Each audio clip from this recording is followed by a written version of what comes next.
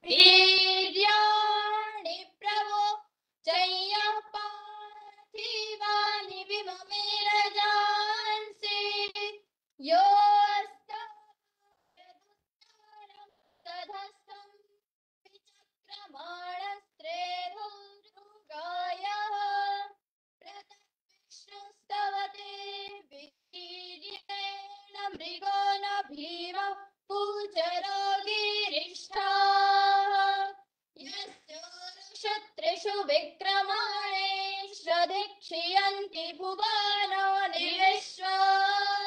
प्रविष्णवे शोषमे तु मन्मगिरीक्षिता उरुगायाय वृष्णे। य इदं देहं प्रयातं सदस्तमेकोऽपि ममे त्रिभिर्पदेभिः यस्य त्रिपूर्णा परान्यक्षीयमाणा परा न्यक्षीयमाणा मदन्ते यौ त्रिधात पृथिवीमुतद्यामेको आधार भुवनानि विश्वा तदस्य प्रियमपि प्रियमभिधो श्याम् नरो यत्र देवयो मदन्ते। यौ त्रिनाथ पृथिवी भुवनानि विश्वा वास्तुन्यश्वसितमध्ये यत्र गावो भूरिशिङ्ग अयासा अत्राहतदुर्गायस्य विष्णु परम परमवाति भूरि इति मङ्गलाचरण बहुत बहुत धन्यवाद। अपने नाम भी बता दीजिए आप लोग। अपने नाम बताइए। अब श्रद्धा। प्रियमवदा और श्रद्धा आप दोनों। कन्या गुरुकुल शिवगंज सिरोही की छात्राएँ हैं। और ये कन्या गुरुकुल जो लोग जानते हैं उनको तो पता है जो नहीं जानते हैं ये जितने भी कन्या गुरुकुल वैदिक पद्धति से आर्ष पद्धति से चल रहे हैं भारत में ये सब स्वामी दयानंद की शिक्षा प्रणाली का ही परिणाम है। इन कन्या गुरुकुलों में कन्याओं को वेद मंत्रों के सस्वर उच्चारण की पद्धति सिखाई जाती है और वेदाध्ययन कराया जाता है। अभी आपने एक निदर्शन देखा है। दो और गुरुकुलों की बच्चियाँ आई हुई हैं। उनको भी हम अलग अलग सत्रों में एक आई हुई हैं, कन्या गुरुकुल नजीबाबाद से। वहाँ की आचार्य प्रियमवदा जी हैं। और तीसरा कन्या गुरुकुल पाणिनि विद्यालय वाराणसी वो अभी आचार्य और उनकी ब्रह्म, लड़कियों को जो वहाँ पढ़ती हैं, उनको हम लोग ब्रह्मचारिणी कहते हैं। जैसे जो लड़कों के गुरुकुल होते हैं, उनको ब्रह्मचारी कहते हैं और जो लड़कियाँ वहाँ पढ़ती हैं, उनको ब्रह्मचारिणी। तो हम जैसे आजकल सुश्री, श्री, श्रीमती लगाते हैं, अंग्रेज़ी में मिस्टर, मिस और मिसेस लगाते हैं तो गुरुकुलों में जो पहला विशेषण लगाया जाता है, कन्याओं के लिए ब्रह्मचारिणी और लड़कों के लिए ब्रह्मचारी। बहुत धन्यवाद। पहले तो मैं क्षमा चाहती हूँ, ये जो हमने क्रम में थोड़ा सा विपर्य किया है, लेकिन वो हमारे हाथ में नहीं था। सत्र साढ़े बारह समाप्त होकर एक बजे तक ग्रुप फोटोग्राफ इत्यादि होता और एक से दो हमने लंच का समय रखा था।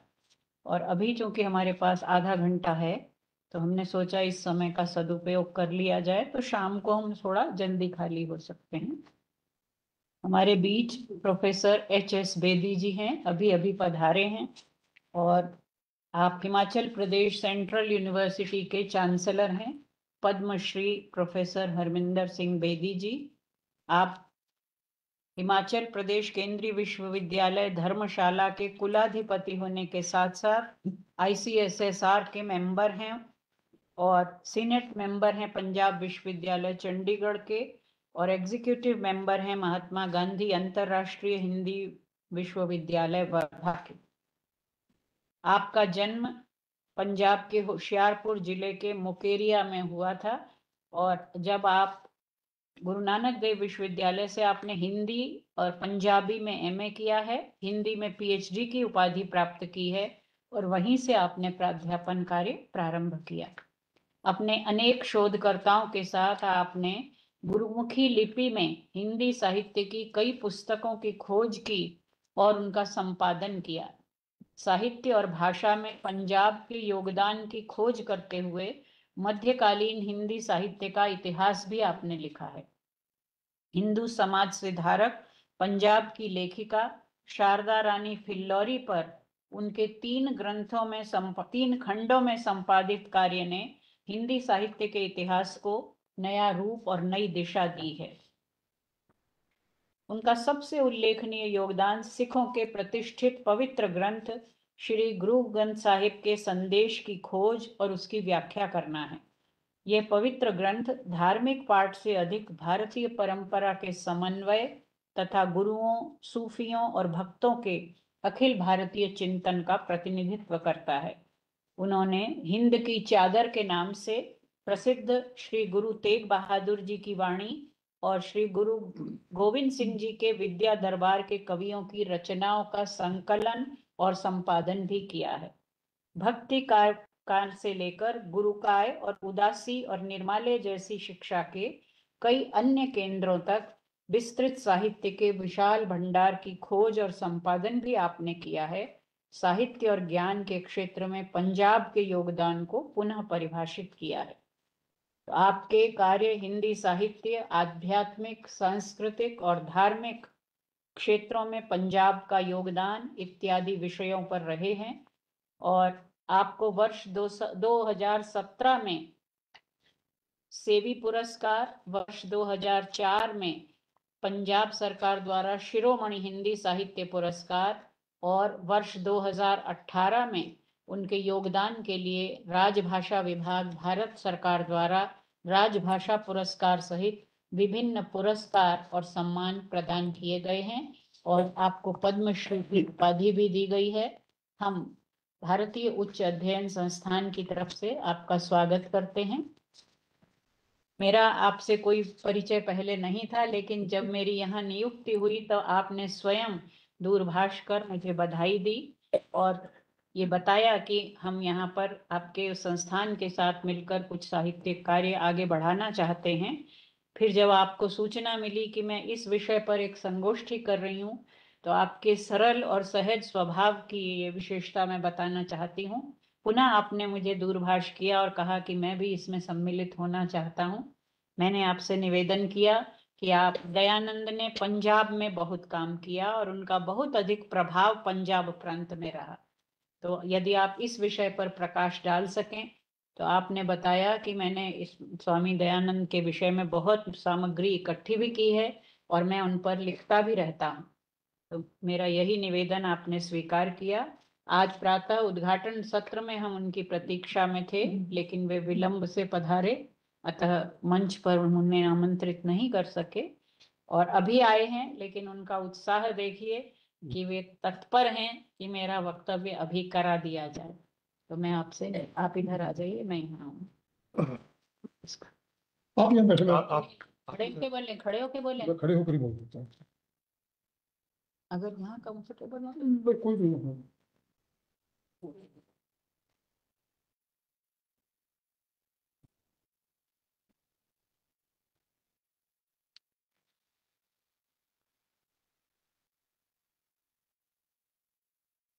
परमादरणीय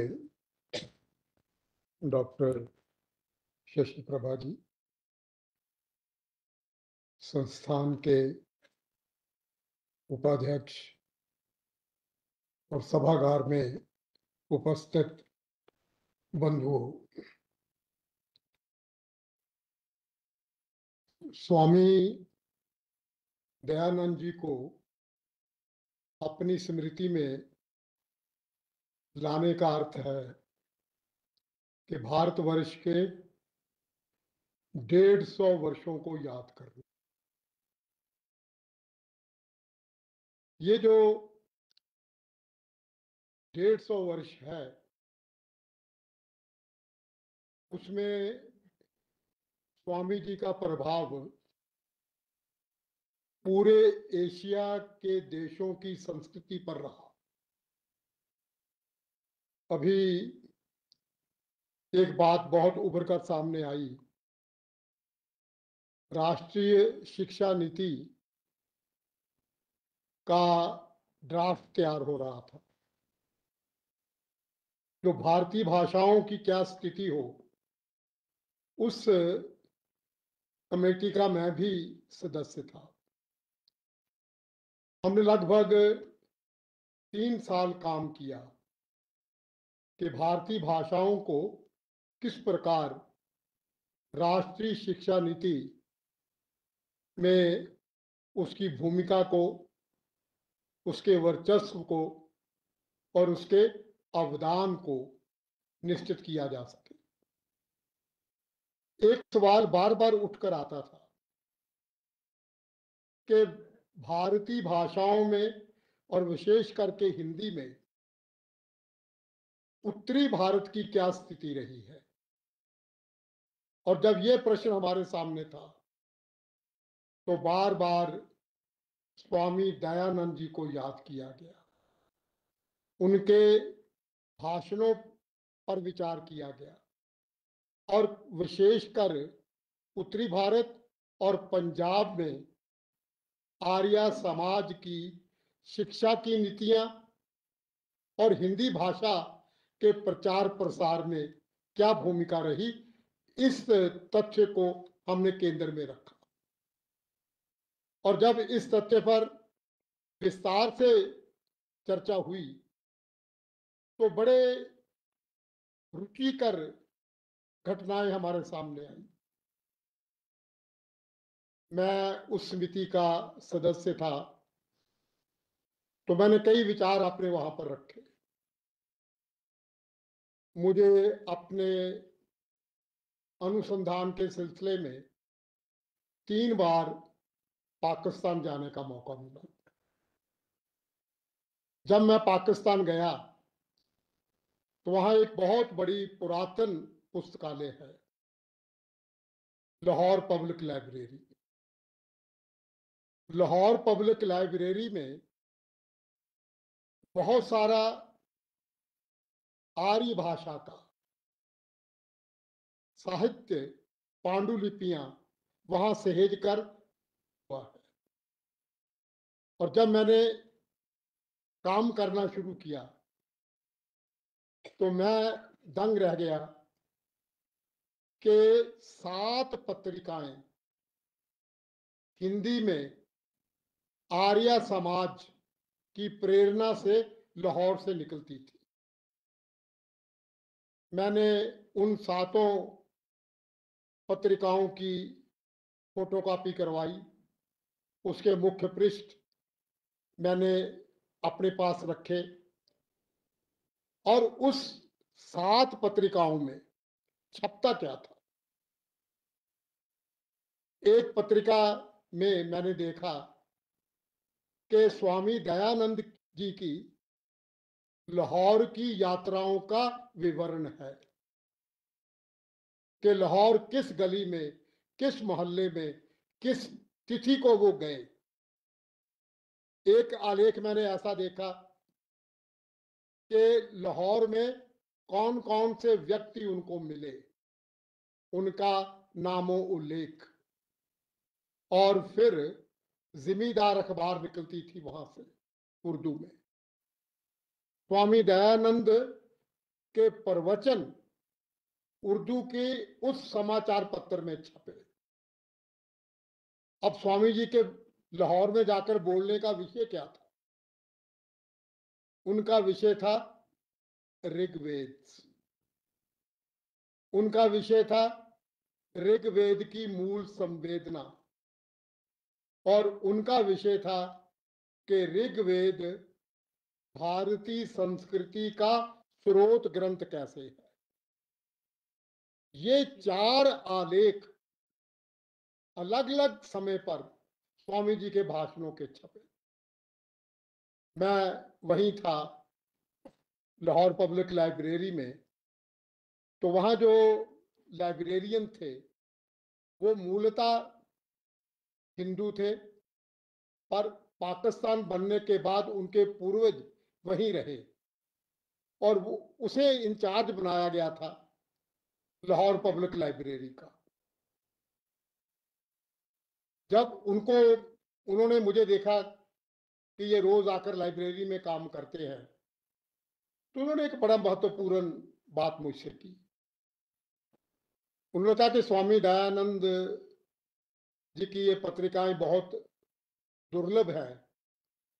उन्होंने कहा जी, एक दुर्लभ दस्तावेज़ और भी है। तो मैंने कहा, वो क्या है? उन्होंने कहा कि भगत सिंह का, शहीद आज़म भगत सिंह का पूरा मुकदमा 1600 पृष्ठों में बाइंड होकर यहाँ पर पड़ा हुआ है।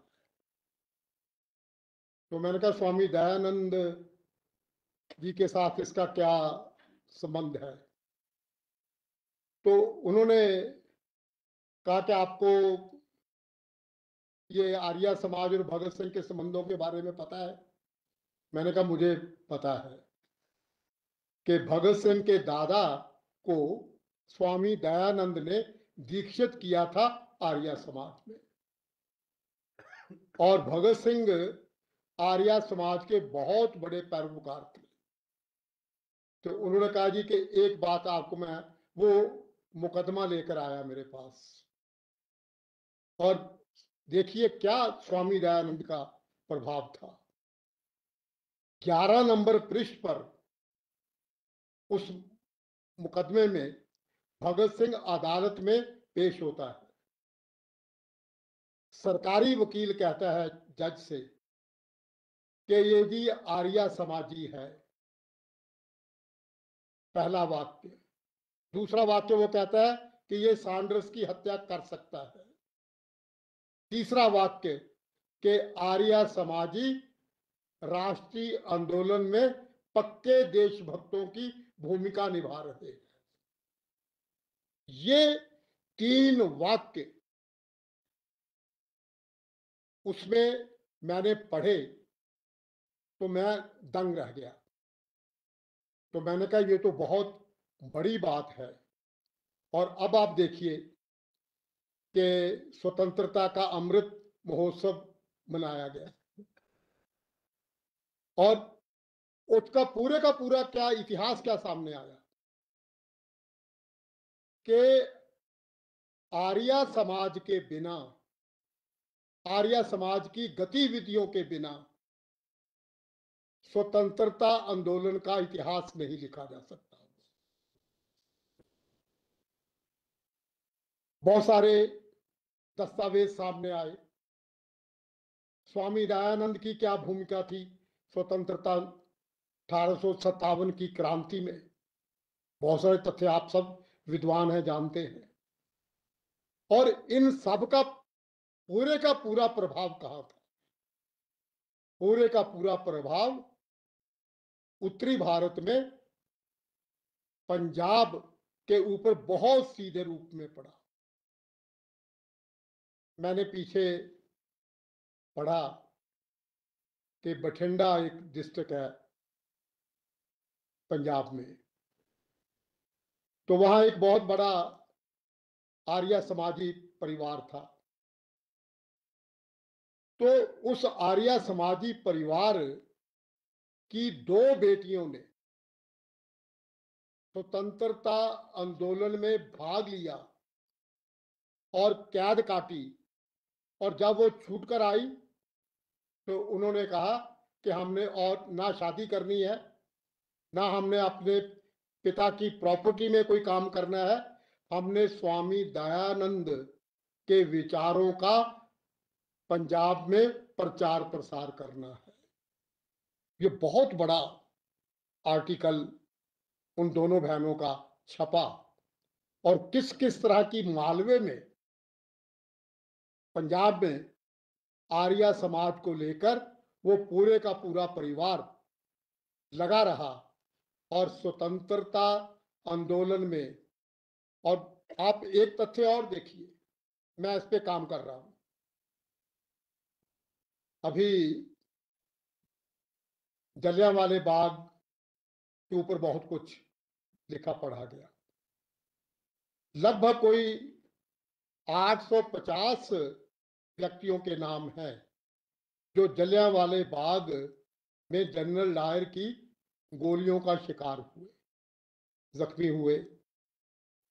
उन्होंने कुएँ में कूदकर अपनी जान दे दी और स्वर्ग सिधारे।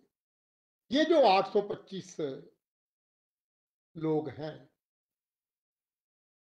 उनमें 75 लोग आर्या समाजी थे। स्वामी दयानंद के शिष्य थे और उन्होंने लगातार उस दिन रामनवमी थी। बहुत बड़ा शोभा यात्रा निकली और जो पानी पिलाने का प्रबंध था ना, उस शोभा यात्रा में वह अमृतसर के आर्या समाज के मंदिर वालों ने किया। ये उनकी कुर्बानी देखिए कि 800 875 लोग अपनी जान देते हैं और एक बड़ा ग्रुप वो आर्या समाजियों का है। तो आर्या समाज और पंजाब, ये दोनों प्रायवाची है।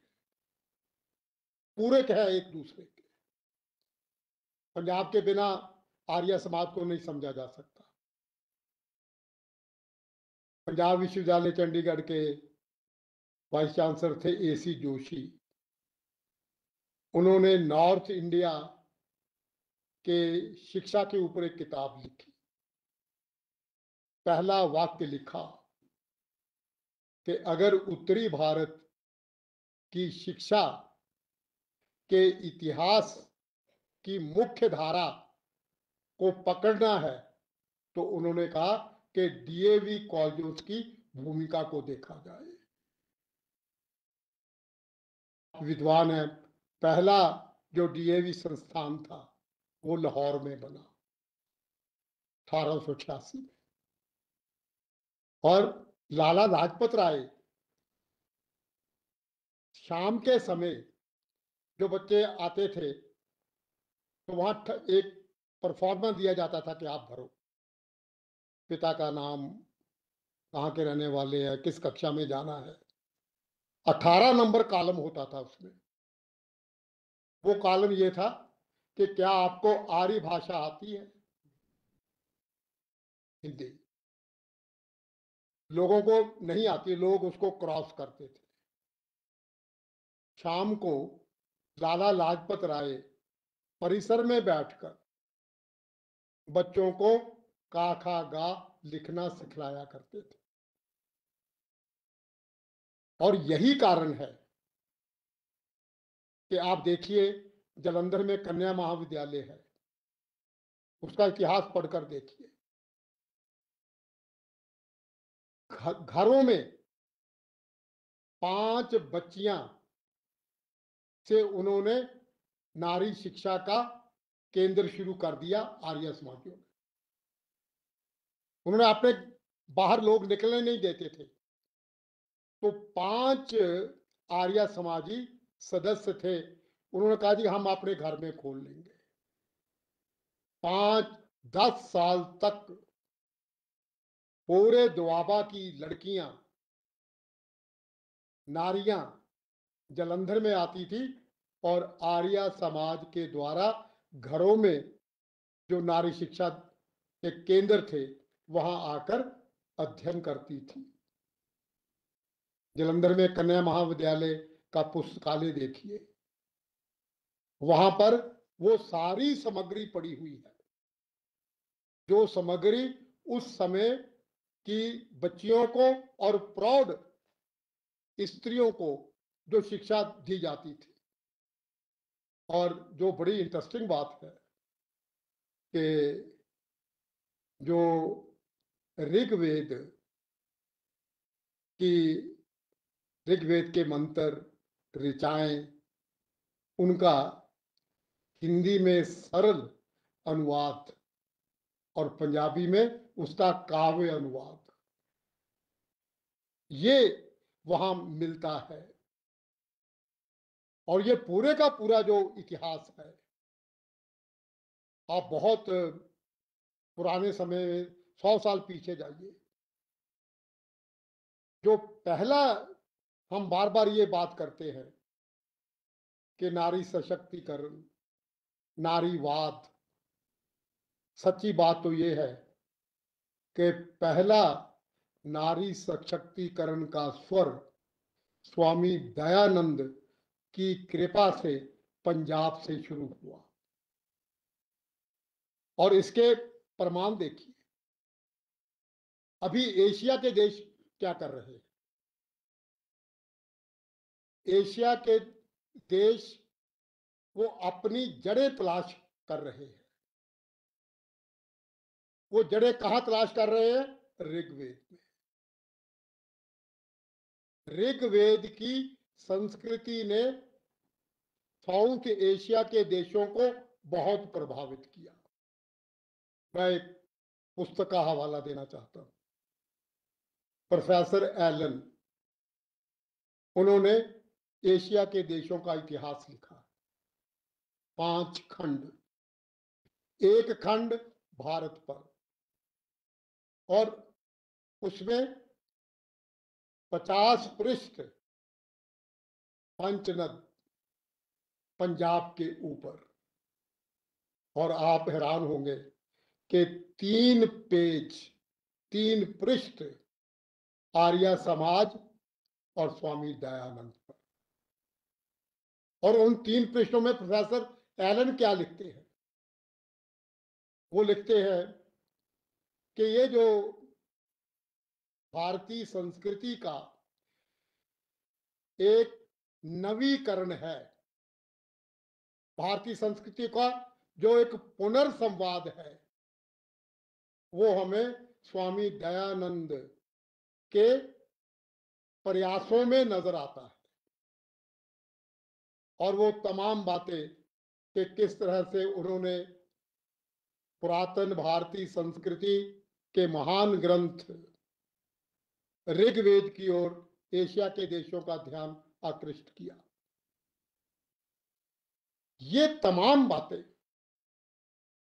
अब स्वामी दयानंद के व्यक्तित्व और कर्तृत्व के उन प्रसंगों को पारदर्शी बना रही है, जिनका बहुत बड़ा प्रभाव दक्षिण एशिया के देशों पर पड़ा।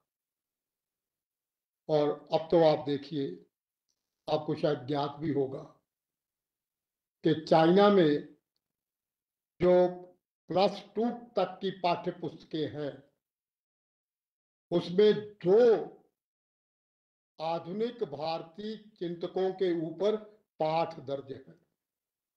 लेसन है इसमें।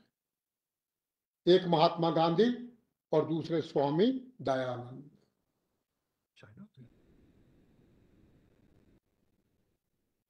वो पढ़ाया जाता है स्वामी दयानंद का जीवन चरित्र। और कई बार मुझे बड़ा अजीब लगता है कि हम तो सब कुछ भूलते जा रहे हैं। और एशिया के देश अपने चिंतन को पुनः हमारी सांस्कृतिक चेतना से जोड़कर अपना एक नया संवाद दुनिया के सामने रख रहे हैं। मैं काम कर रहा था। तो स्वामी दयानंद तीन बार अमृतसर आए। जो बड़ा ऐतिहासिक प्रसंग है कि एक बार स्वामी दयानंद पंजाब प्रवास पर थे। अमृतसर में 21 दिन रुके। प्रवचन होता था। चौक शक्ति नगर है वहाँ। और जब उनके आने का कार्यक्रम बना तो ट्रिब्यून के जो, जिन्होंने ट्रिब्यून अखबार निकाली, दयाल सिंह मजीठिया, उन्होंने एक कोठी किराए पे ली, अमृतसर। स्वामी दयानंद उस कोठी में ठहरे। और मजीठिया जी खुद लाहौर से रात को आ जाते थे और आकर पहली पंक्ति में बैठकर स्वामी दयानंद के प्रवचन सुनते थे। तेरह प्रवचन जब ट्रिब्यून निकली तो तेरह प्रवचन स्वामी दयानंद ट्रिब्यून के मुख्य पृष्ठ पर छपे। ये पूरे का पूरा रिकॉर्ड है। और केवल छपे नहीं। उनका एक पेंसिल स्केच भी ट्रिब्यून में छपा। मुझे लगता है कि वो पहला प्रमाणिक पेंसिल स्केच है स्वामी जी का, कि जो प्रिंटिंग के माध्यम से लोगों तक पहुँचा। और लाहौर पब्लिक लाइब्रेरी में वो एक ग्रंथ एडिट हुआ, उसका वज़न है 20 kilo. Who's who in Asian Asia तो स्वामी दयानंद का वही पेंसिल स्केच उस किताब में छपा हुआ है। मेरे पास उसकी भी फोटोकॉपी है। तो स्वामी दयानंद ने किस तरह से पूरे पंजाब को, उत्तरी भारत को शिक्षा के क्षेत्र में प्रभावित किया।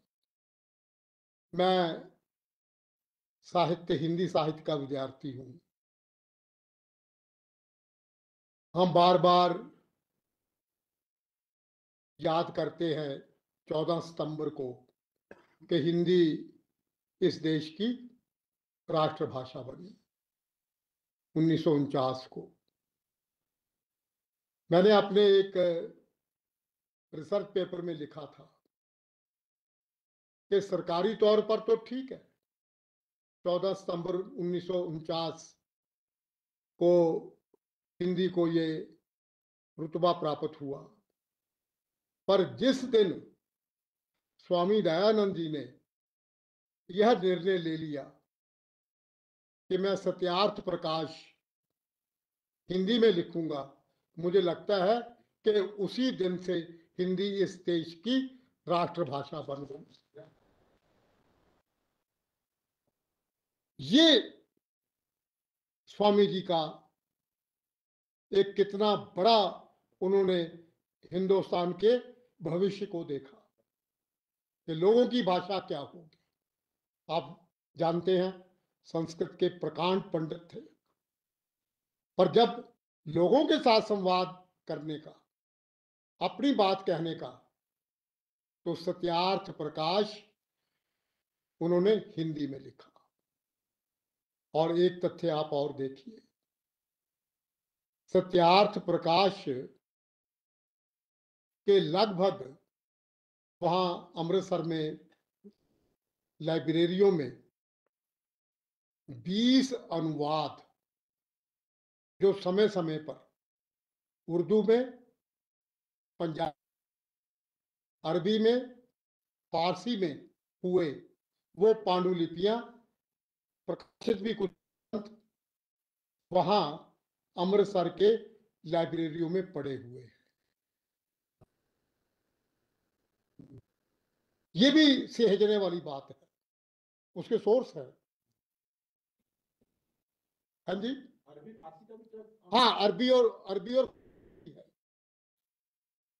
वहाँ एक खालसा कॉलेज बड़ा पुराना कॉलेज है अमृतसर।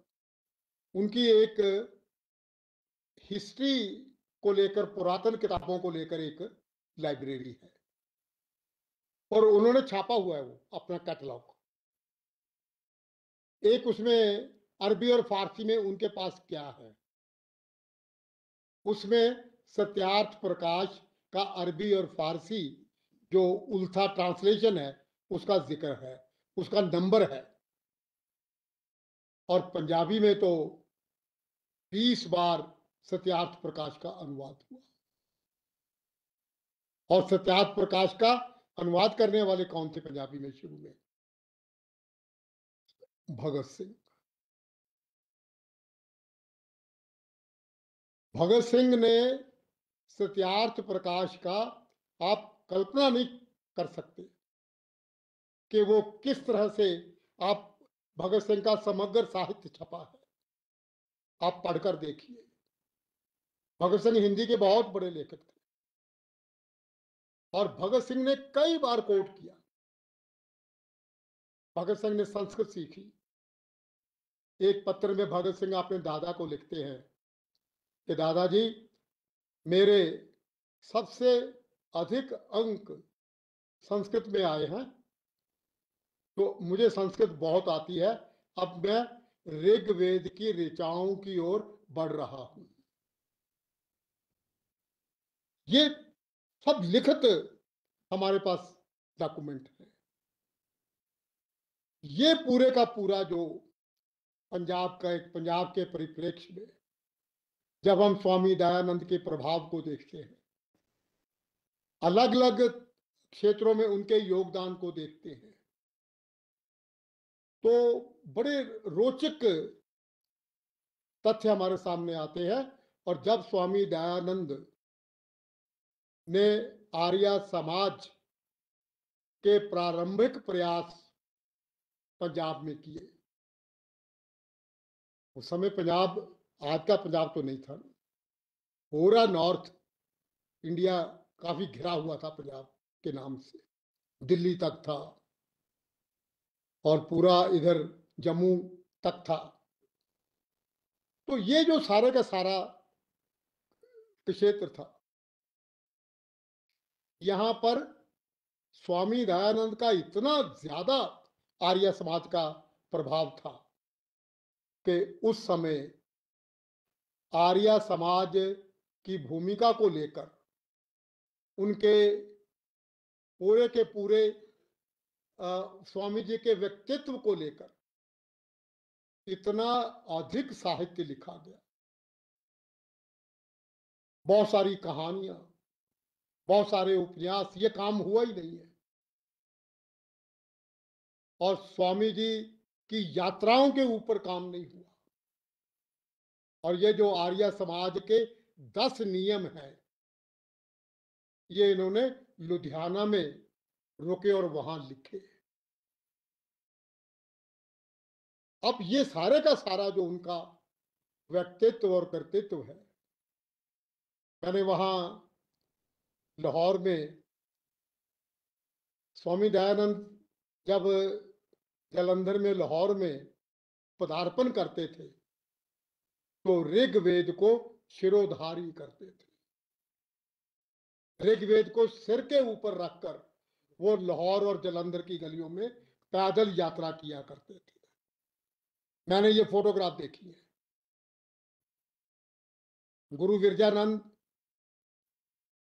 को जब पूछा उन्होंने कि गुरुदेव मेरे लिए क्या आदेश है? तो उन्होंने कहा कि आप पंजाब की ओर जाओ। कहते वहाँ करतारपुर के पास मेरा गाँव है।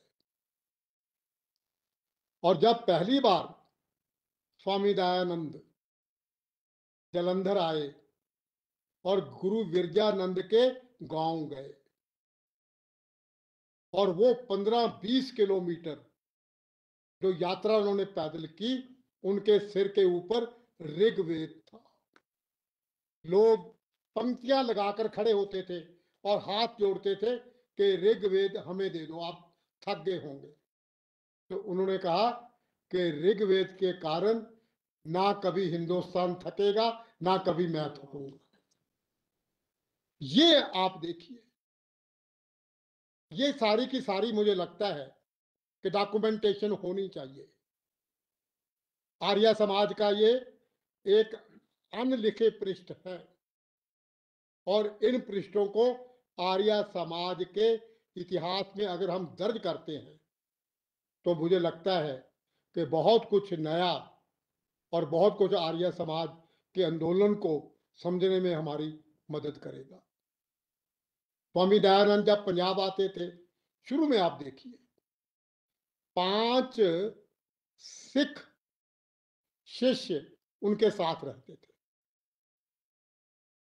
और शुरू में आर्य समाज की बैठकें पंजाब में गुरुद्वारों में हुआ करती थी।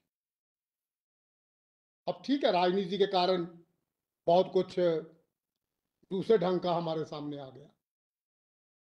पर आप देखिए कि पंजाब के गाँव तक, पंजाब की जो असली जो एक जड़ है, उन जड़ों के साथ आर्य समाज जुड़ा हुआ था। और एक तरफ़ आप देखिए, सिंह सभा लहर थी, वो सिख धर्म में क्रांतिकारी परिवर्तन कर रही थी। और दूसरी तरफ़ आर्य समाज की लहर थी। और मुझे तो कई बार लगता है कि आर्या समाज के कारण सिंह सभा लहर का मूवमेंट चला और गुरुद्वारों की पवित्रता बहाल हुई। ये सारी चीज़ें देखने वाली है कि किस तरह के प्रभाव पंजाब के पूरे सांस्कृतिक, पूरे पंजाब की आध्यात्मिक चिंतन पर स्वामी दयानंद के पड़े। राजनीति की बात छोड़िए। अगर पिछले पूरे का पूरा हमने इतिहास देखना है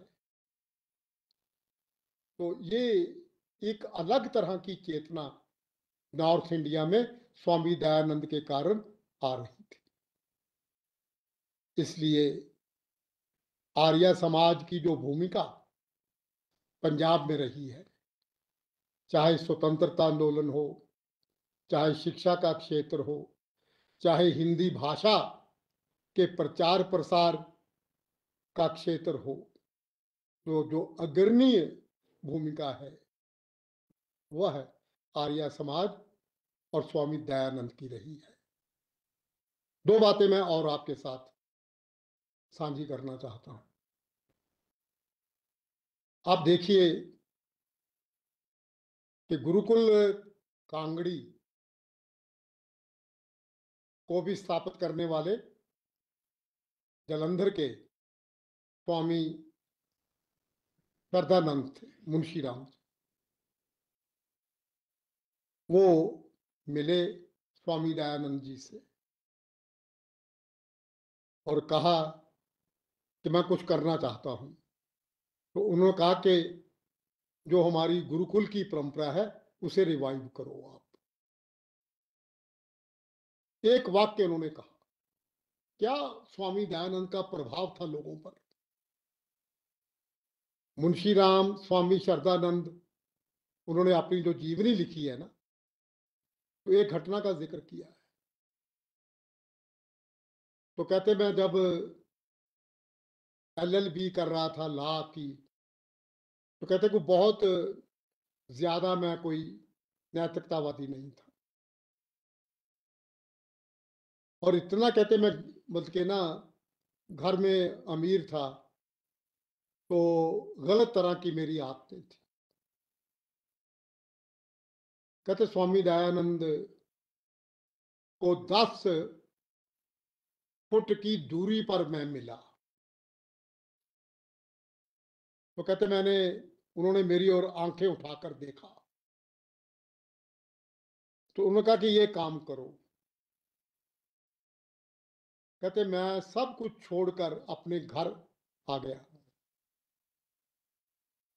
और पिताजी को कहा कि, मेरे हिस्से की जो ज़मीन है, वो मुझे दे दो।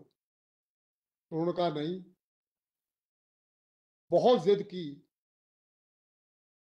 तो उन्होंने कहा कि मैं सन्यासी हो जाऊँगा, मैंने घर पे नहीं रहना। वो ज़मीन का हिस्सा उनकी जब पिताजी देने लगे, उन्होंने कहा कि मेरी झोली में डाल दो। झोली में डाला तो पूछा, क्या करोगे? उन्होंने कहा कि, जलंधर चले जाओ अच्छा मकान ले लो, अपने बच्चे वहाँ ले ले जाओ। तो उन्होंने कहा, नहीं। मुझे स्वामी दयानंद ने कहा है कि भारतीय संस्कृति के जीवन मूल्यों को समर्पित कोई पाठशाला शुरू करो। उनके पिताजी ने कहा कि ये स्वामी दयानंद कौन है? मुंशी राम ने कहा कि मैंने जिस दिन से देखा है, मैं बावला हो गया पिताजी, आप ना देखें। आप उसकी छवि को, उसकी आभा को आप सहार नहीं सकेंगे। गुरुकुल कांगड़ी खोला। इतिहास में नहीं जाना। गंगा के किनारे बाढ़ आती थी। रोज बच्चों को नहाते थे। तो किसी ने कहा कि इसके बच्चे तो जलंधर में है, तलवन में। ये गरीबों के बच्चों को रोज गंगा के ठंडे जल से स्नान कराता है। लौटे, अपनी पत्नी को, अपने बच्चों को लिया और उन्हीं झुग्गियों में रखा। तो उनकी पत्नी ने कहा कि ये क्या कर रहे हो? तो उन्होंने कहा कि धीरे बोल, स्वामी दयानंद सुन लेगा। आप देखिए। और उसके बाद गुरुकुल कांगड़ी की क्या भूमिका रही? क्या स्वतंत्रता आंदोलन में उसका वहाँ पढ़ने वाले लोगों ने योगदान दिया। ये हिंदुस्तान के शानदार इतिहास का, आर्य समाज का बहुत बड़ा हिस्सा है। इन सारी जो चीज़ें हमारे सामने आई, उनको आप डॉक्टर शशि जी बहुत कुछ जानती हैं, पर मुझे लगता है कि बहुत बड़े ऐसे प्रोजेक्ट पर काम करने की ज़रूरत है। लाहौर पब्लिक लाइब्रेरी में बहुत सारी सामग्री मिल जाएगी। और इसका एक सुरेंद्र जी बैठे हैं। आप देखिए, हिंदी के जितने बड़े बड़े पब्लिशर हैं, वो सारे के सारे आर्य समाजी हैं। चाहे राजपाल एंड सन्स हो, और पब्लिशर हो वो सभी के सभी पंजाबी हैं, लाहौर से आए हुए हैं और आर्या समाज की पत्रिकाएँ शुरू में प्रकाशित किया करते थे। तो हिंदी प्रकाशन को भी आर्य समाज का बहुत बड़ा योगदान है। और एक छोटी सी घटना मैं अपने परिवार की सुनाकर अपनी बात समाप्त करूँगा। मेरे पिताजी लाहौर में पढ़ते थे। तो उनके घर में प्रताप अखबार आती थी। तो प्रताप अखबार में विज्ञापन छपा कि गुरुकुल कांगड़ी में हर हिंदू परिवार अपना एक बेटा दे पढ़ने के लिए। मेरे दादा ने वो विज्ञापन पढ़ा। तो जो मेरे बड़े, मेरे जो ताया जी थे ना रामेश बेदी, बड़ा काम किया उन्होंने, बड़ी किताबें हैं। वो पाँच पाँच साल के थे। मेरे दादा उनको गुरुकुल कांगड़ी छोड़ आए। और वहाँ वो रहे। मेरे फादर बतलाया करते थे कि वो पंद्रह साल के बाद जब घर आए तो उन्होंने पूरी तरह से रंग चुके थे, धोती, कुर्ता पहनते थे, संध्या करते थे। और पूरी तरह से वो आर्य समाज के नियमों का अनुपालन करते थे। और जब वो संस्कृत बोलते थे, संस्कृत तो कहते, मेरे दादा कहते थे कि ये मैंने गलती कर दी, इसको तो जिन अंग्रेज़ी नहीं आती। पर बाद में मेरे उस ताया जी ने हिंदी में सौ ग्रंथ लिखे, जड़ी बूटियों को लेकर और उनकी किताबों के अंग्रेज़ी में अनुवाद हुए। तो मैं कई बार सोचता हूँ कि अंग्रेज़ी नहीं आती तो कोई बात नहीं, पूरा यूरोप पढ़ा है, आर्य समाज के व्यक्तियों के व्याख्यानों को अंग्रेज़ी में अनुवाद करने के लिए। मुझे बहुत अच्छा लगा आप लोगों के साथ बातचीत करके। मेरा फ़्लाइट का समय यही था। मैं पहले से वहाँ आने का कार्यक्रम बना चुका था। फिर भी मैं प्रोफेसर शशि प्रभा जी का आभारी हूँ कि मेरी देरी को उन्होंने कुछ ज़्यादा महसूस नहीं किया। तो आप सबका बहुत बहुत धन्यवाद। पंद्रह मिनट में कुछ सर आपने कहा कि लुधियाना में हर समाज के नियम लिखे गए हाँ। हाँ मेरी जो जानकारी है कि लाहौर में यदि इसका कोई और लुधियाना वाला मिल जाए तो हाँ मैं वो आपको बताता हूँ। दूसरी बात ये है हाँ आपने एक बहुत अच्छी बात आपने सारी बातें अच्छी कही एक से एक नई नई बातें। हाँ कि वस्तुतः हिंदी का दिवस वो है जिस दिन स्वामी जी ने पचास पचास हिंदी का लिखना लिया। हाँ तो केशव चंद्र सेन के सुझाव पर स्वामी जी ने हिंदी बोलने का उन्होंने सुझाव दिया था हमारा ख्याल है दिसंबर अठारह में कलकत्ता के अंदर। लेकिन स्वामी जी ने सबसे पहला जो हिंदी में भाषण दिया 22 मई अठारह सौ चौहत्तर को बनारस में दिया। और उस पर सारे पंडितों ने रोका कि मत बोलिए। भाखा भाखा तो समा- जमाने में हिंदी को बड़ी हीन दृष्टि से देखा जाता था। तो लिखा है कि स्वामी जी का नहीं मैं नहीं मानूँगा मैं बोलूँगा। तो देवेंद्र बाबू ने लिखा है लेकिन लेख राम जी ने लिखा है बाबू ने लिखे। कि स्वामी जी बोलते थे दो लाइन हिंदी बोलते थे फिर संस्कृत बोलने लगे। हम्म। क्योंकि अभ्यास तो था नहीं संस्कृत बोलने का। तो पहले भाषण में मुश्किल से बीस परसेंट हिंदी बोले अस्सी परसेंट तो संस्कृत ही बोले। और उस भाषण के बाद जून के लास्ट में पंडित चंद्रशेखर जो महाराष्ट्रियन था उसको लगाया राजा जगदीश दास ने कि स्वामी जी बोलेंगे उसको तुम हिंदी में लिखो तो वही उनका बोला हुआ सत्यार्थ प्रकाश तीन साढ़े तीन महीने जून जुलाई अगस्त में लिखा गया सितंबर में प्रेस में दिया गया चौहत्तर में और वो पचहत्तर में वो छप पाया आपने बड़ी आपने बड़ी अच्छी बातें बताई। लुधियाना में स्वामी जी रुके लाहौर जाने से पहले। पंजाब की धरती में सबसे पहला कदम उनका पड़ा ही लुधियाना लुधियाना में। और वहाँ उन्होंने आर्य समाज की सिद्धांतिकी की चर्चा की।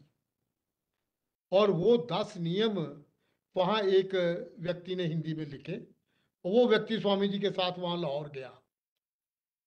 और वहाँ वो दस नियम संस्कार हाँ। हुए वो फिर वहाँ छपे। लोगों में बांटे गए। डॉक्टर ने एग्जैक्ट बताया उसका। तो ये है वो लुधियाना वाला प्रसंग। मित्रों हाँ मित्रों आप सब मेरे साथ सहमत होंगे। मैंने तो आज पहली बार आपका व्याख्यान सुना है लेकिन आप भी मेरे साथ सहमत होंगे और प्रभावित हुए होंगे कि एक वयोवृद्ध व्यक्ति उसी समय यात्रा से आए हमने चाय पान किया नहीं, नहीं, उन्होंने पानी भी नहीं लिया व्याख्यान के लिए तत्पर हुए खड़े होकर उन्होंने और जो व्याख्यान दिया है शायद इतने तथ्य और सारे कंठस्थ हैं उनको। उन्होंने कोई पेपर अपने सामने नहीं रखा। एक एक बात की नई जानकारी। तो उनसे मेरा निवेदन है मैं समझती हूँ आप सब भी मेरे इस निवेदन को अनुमोदित करेंगे कि जो जानकारी आपने दी है इस पर एक पहले तो आप हमें लेख ज़रूर देंगे। और लेख को विस्तारित करके आप एक ग्रंथ के रूप में प्रकाश क्योंकि जितनी जान और आपकी सारी वो प्रत्यक्ष के अनुभव पर आधारित जानकारी है। किताबों से पढ़ी हुई नहीं है क्योंकि किताबें हमने जो पढ़ी हैं जितनी उनमें ये कोई भी बात जो आपने बताई है वो हमने हमें नहीं पता थी अभी तक। एक सर वो रचना भी है कि हू में जो स्वामी दयानंद का इष्ट है हाँ हाँ। वो अपने आदि जगत में छपना चाहिए सर ये नहीं हाँ और वो करेंगे। आप जो भी ग्रंथ मेरे पास सात पत्रिकाओं के मुख्य पृष्ठ है। जी। जो लाहौर पब्लिक लाइब्रेरी से मैं लाया हूँ। मुझे आप हम करेंगे। नहीं तो आप जो है वो पुस्तक लेख तो मुझे दे तो दीजिए आज। लेकिन पुस्तक इनको दे दीजिए डीएवी वाले छापेंगे। और इंस्टीट्यूट से छापे ना इंस्टीट्यूट हाँ ठीक है इंस्टीट्यूट फॉर एडवांस स्टडीज़ से हाँ, छापते हैं। आप कुछ कहना मैं आपको दूँगा। आप कुछ कहिए कहना हम चाहें? भी आभारी हो गई हम भी छाप नहीं बहुत ही बहुत ही सूचनाप्रद और प्रेरक और तथ्यों पर आधारित सबसे बड़ी बात। इंस्टीट्यूशन की ओर से छिपे तो और भी गरिमा की बात है। जी। हाँ। इंस्टीट्यूशन की ओर से छिपे तो और भी गरिमा की बात है। जी बिल्कुल। और जिस आईडियो में है मैं तो डॉक्टर साहब को बहुत बार मिल चुका हूँ सुन चुका हूँ। करतारपुर बुलाया मैंने द्वाबा को बुलाया। मैडम विषय पर बहुत काम किया। बिल्कुल। मुझे बिल्कुल पहले जानकारी नहीं थी। मैं बहुत आभारी हूँ। तो मैंने जैसा पहले निवेदन किया कि उन्होंने स्वयं मुझे संपर्क किया। तो इसका मतलब उनके हृदय में वो तड़प भी है वो लगन भी है। स्वामी दयानंद जी का जहाँ कुछ मुझे पता चलता है ना तो मुझे लगता है कि मुझे वहाँ पहुँचना चाहिए। सर आपने के साथ दो विशेषण और जोड़ दीजिए। ज्ञान वृद्ध तपोवृद्ध ज्ञान वृद्ध तपोवृद्ध तपोवृद्ध ज्ञान वृद्ध और वयोवृद्ध। जी सूर्य प्रकाश जी यूएसए से हैं वो कुछ तारा जी का नाम नहीं बताया। रामेश बेदी बताए डॉक्टर रमेश बेदी। मैंने उनके ग्रंथ पढ़े हैं हाँ उनके जो बेटे हैं ना बड़े अच्छे फोटोग्राफर फोटोग्राफर हैं जी। राजेश बेदी हाँ जी करके। रमेश आप सदस्य के रूप में सारा कार्य करवा रहे हैं। हमारे यहाँ पहले महर्षि दयानंद सरस्वती हर राज्य में प्राथमिक जो माध्यमिक शिक्षा उसमें पढ़ाए जाते थे। और भारतीय शिक्षा में अगर एनईपी के माध्यम से जो- जो हो रहा है इसमें अगर स्वामी दयानंद जी का पढ़ाया जाए तो ये मेरा अनुरोध है आपसे। डॉक्टर साहब अभी हमने जो ये राष्ट्रीय शिक्षा नीति है ना उसमें एक रिकमेंडेशन ये है कि स्वामी दयानंद की हिंदी भाषा के साथ और स्वामी दयानंद ने उत्तरी भारत में जो शिक्षा का मॉडल पेश किया उसको बल्कि पाठ्यक्रम का हिस्सा बनाया जाए जैसे शशि जी जी। मैं इस सत्र को बढ़ाना नहीं चाहता लंबा नहीं करना चाहता लेकिन मैंने ऋषि दयानंद जी की पूरी जीवनी जी। इंग्लिश भाषा में लिखी जी। और एक बायोग्राफिकल नोट अनुपस्थित है जी। दो व्यक्तियों का जी। बाबा अर्जन सिंह और बाबा छज्जू सिंह अगर आपके पास कोई जब एक मिनट आपके पास कोई अतिरिक्त जानकारी हो बाद में कृपा कर मुझे दे दें ताकि मैं इस पुस्तक में सम्मिलित कर सकूँ। Is going to publish a set of biographies of Swami Dayanand Saraswati on the eve of uh, two hundred on कर लीजिए mike please we are going to publish and the both biographies by Sadhu Singh and Baba Singh are with me. We are going to publish them. How soon will that be published? So it will take uh, almost, uh, maybe by July this will be ready. And one final question, if you have any notes on Lala Mooraj, It is there, al- it is also there.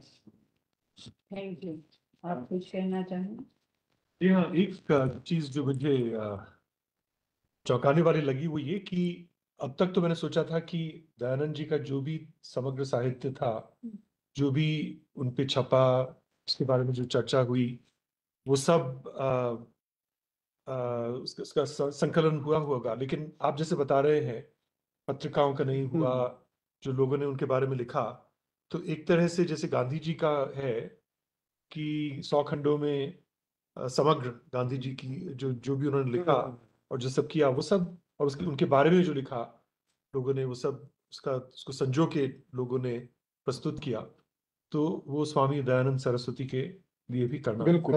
आवश्यक है। बहुत बढ़िया बहुत बढ़िया जी please professor Anand Kumar ji हमारे national मेरा नाम आनंद कुमार है और आपका लेक्चर है बहुत ही यू नो प्रकाशित उसने किया हम लोगों को।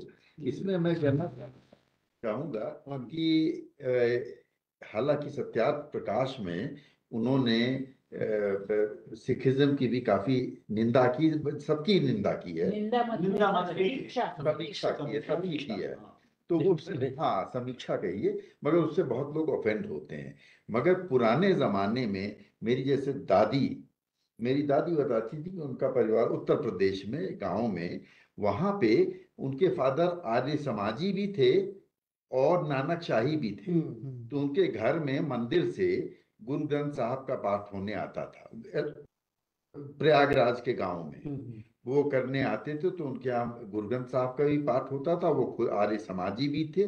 तो ये एक बड़ी दिलचस्प स्थिति थी कि नानक शाहियों के यहाँ दोनों चलते ठीक है पुराने जमाने में साथ सरदार भी जैसे भगत सिंह जी थे हाँ। वो उनके दादाजी सिख भी थे हम्म, और आर्य आर्य दीक्षित और और स्वामी दयानंद जी ने उनको दीक्षित किया। और आपको एक किस्सा मैं और बताऊँ मुझे किसी प्रत्यक्षदर्शी ने बताया हम्म, कि भगत सिंह वो जब उनके खिलाफ वारंट वगैरह था तो वो गुरुकुल कांगड़ी में कोई आचार्य अभय देव थे वो आचार्य अभय देव को रस्ते में वो स्टेशन से उतरे और उनका सामान उन्होंने उठा लिया। उनका कि ये क्यों उठा रहे हो मेरा? अ, मैं कुली कर लेता हूँ। क्या नहीं नहीं मैं। फिर बाद में चलते चलते कहा मैं भगत सिंह हम्म, तो उन्होंने कहा कि तुम मेरे पास क्यों आए? अगर तुमने मैंने मान लो पुलिस को बता दिया तो तुम अरेस्ट हो जाओगे। उसने कहा कि मैं इस पूरे विश्वास से आया हूँ कि आप ऐसा नहीं करेंगे। और एक बार उन्हीं सज्जन ने मुझे बताया कि एक दिन रात में आचार्य अभय देव लेटे लेटे एकदम से वो उठ गए और ज़मीन पे लेट गए। हम्म। और उन्होंने पूछा कि आप क्यों आचार्य जी नीचे क्यों लेट गए? उन्होंने नेक्स्ट डे पूछा। उन्होंने कहा भगत सिंह जी को फांसी हो चुकी थी। उन्होंने कहा कि भगत सिंह आए थे। इसलिए मैं तो और हिंदी के बारे में ये आपने बड़ी नई जानकारी दी क्योंकि मैं समझता था हिंदी के प्रचार में एक तो बहुत बड़ा हाथ गांधी जी का था। कि उन्होंने भी गुजराती होते हुए हिंदी को बड़ा समर्थन दिया और दूसरा रेलवेज को मैं मानता हूँ। हम्म। रेलवे जब से आई तब से हिंदी का प्रचार बिना किसी सरकारी प्रेशर के अपने आप होने लगा। रेलवे से कैसे? रेलवे ज्यादा- जॉब अपॉर्चुनिटीज़ तो एक कॉमन लैंग्वेज की लोगों को ज़रूरत थी। उत्तर पूर्वी उत्तर प्रदेश का आदमी दक्षिणी दक्षिणी या डायलॉग पश्चिमी नहीं बोल पाते थे वो भोजपुरी बोलता था वो खड़ी बोली बोलते थे वो ब्रज नहीं समझ पाते थे। बहुत बहुत बढ़िया बात है। तो ये रेलवेज की वजह से मेरा ऐसा विचार है कि बहुत इसका प्रचार हुआ और गांधी जी और ये मुझे आज पहली बार पता लगा दो मिनट पहले पहले बैठे धन्यवाद। एक बात मैं आपके साथ साझी करना चाहता हूँ कि ये भी बड़ा एक ऋग्वेद की क्या ताकत है। मैक्स मूलर का नाम आपने सुना होगा, बहुत बड़े विद्वान थे। वैदिक साहित्य के, खास करके ऋग्वेद के बारे में। एक बहुत पुरानी कंपनी होती थी हिज मास्टर वॉइस तो वो जब कंपनी ने जो पहला रिकॉर्ड बनाना था और दुनिया के कानों में डालना था। तो बैठक हुई, फैसला हुआ कि किसी बहुत बड़े दुनिया के दार्शनिक के प्रवचन उसमें रिकॉर्ड करके हम पूरी दुनिया को बताएँगे कि ये हमारी कंपनी है और आदमी की आवाज़ को पुनः प्रसारित कर सकती है। वो लोग मैक्स मुल्लर के पास गए। और कहा कि आप दुनिया के बहुत बड़े फिलोसफर हैं, भाषाविद हैं। तो हमारी कंपनी है और ये आपका पहला रिकॉर्ड हम बनाकर दुनिया के कानों में डालना चाहते हैं। मैक्स मुल्लर ने कहा कि एक महीना रुक कर आओ। महीने के बाद गए। तो मैक्स मूलर को उन्होंने कहा कि आप बोलिए। तो मैक्स मूलर ने ऋग्वेद का मंत्र का उच्चारण और उसके साथ जो कमेंट्री देखिए आप तीन चीज़ें थी उसमें कि ये जो ऋग्वेद है ये विश्व का सबसे प्राण प्रामाणिक ग्रंथ है। दूसरा वाक्य उन्होंने कहा कि सपत सिंधु की धरती पर फिर ब्रैक्टो में उन्होंने लिखा कि ये पंजाब की धरती पर ऋग्वेद ऋषि मुनियों ने रचा। और तीसरा वाक्य बड़ा महत्वपूर्ण लिखा। उन्होंने कहा कि ऋग्वेद के बिना एशिया के देशों का इतिहास नहीं लिखा जा सकता। है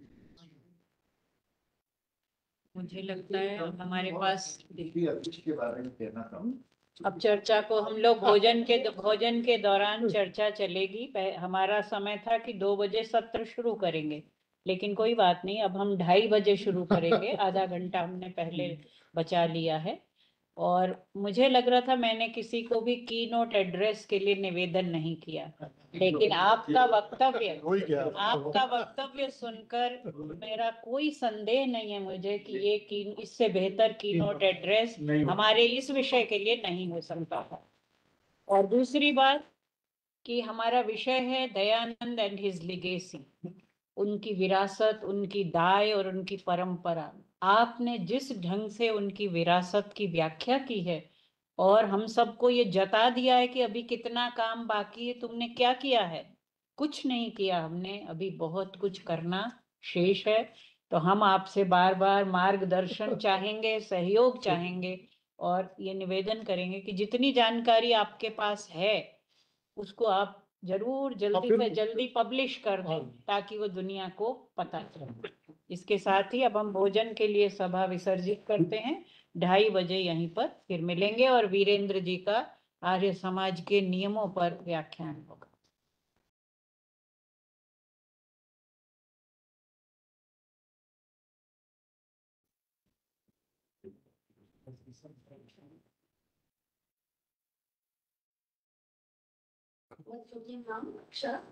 मम नाम सत्यकीर्ति अस्ति। मम गुरुकुलस्य नाम आर्षकन्या विद्यापीठ नजीबाबादस्य। कस्यां कक्षायां पठति अहं नवम्यां कक्षायां पठामि।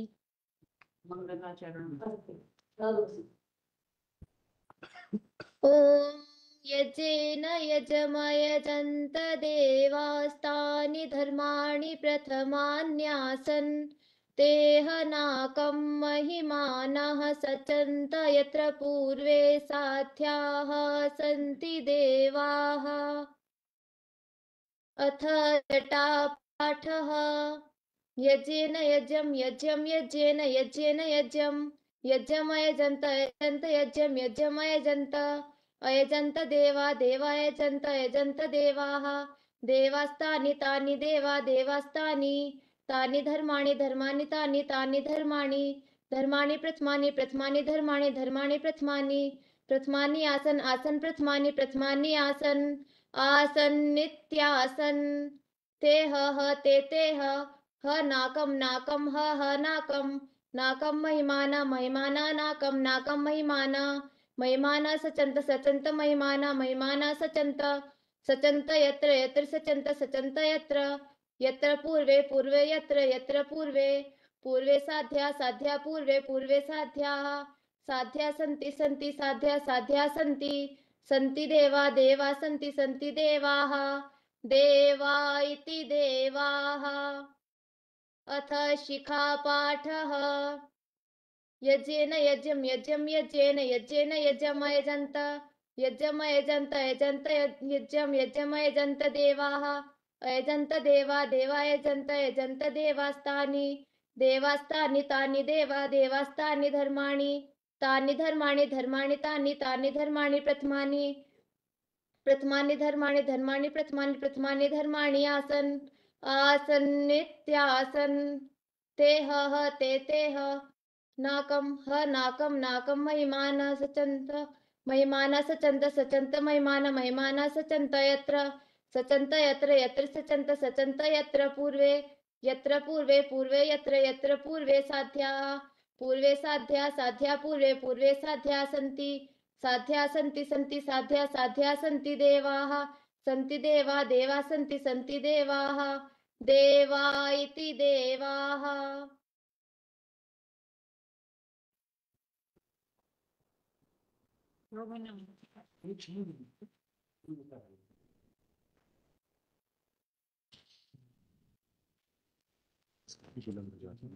धन्यवाद, स्तुति।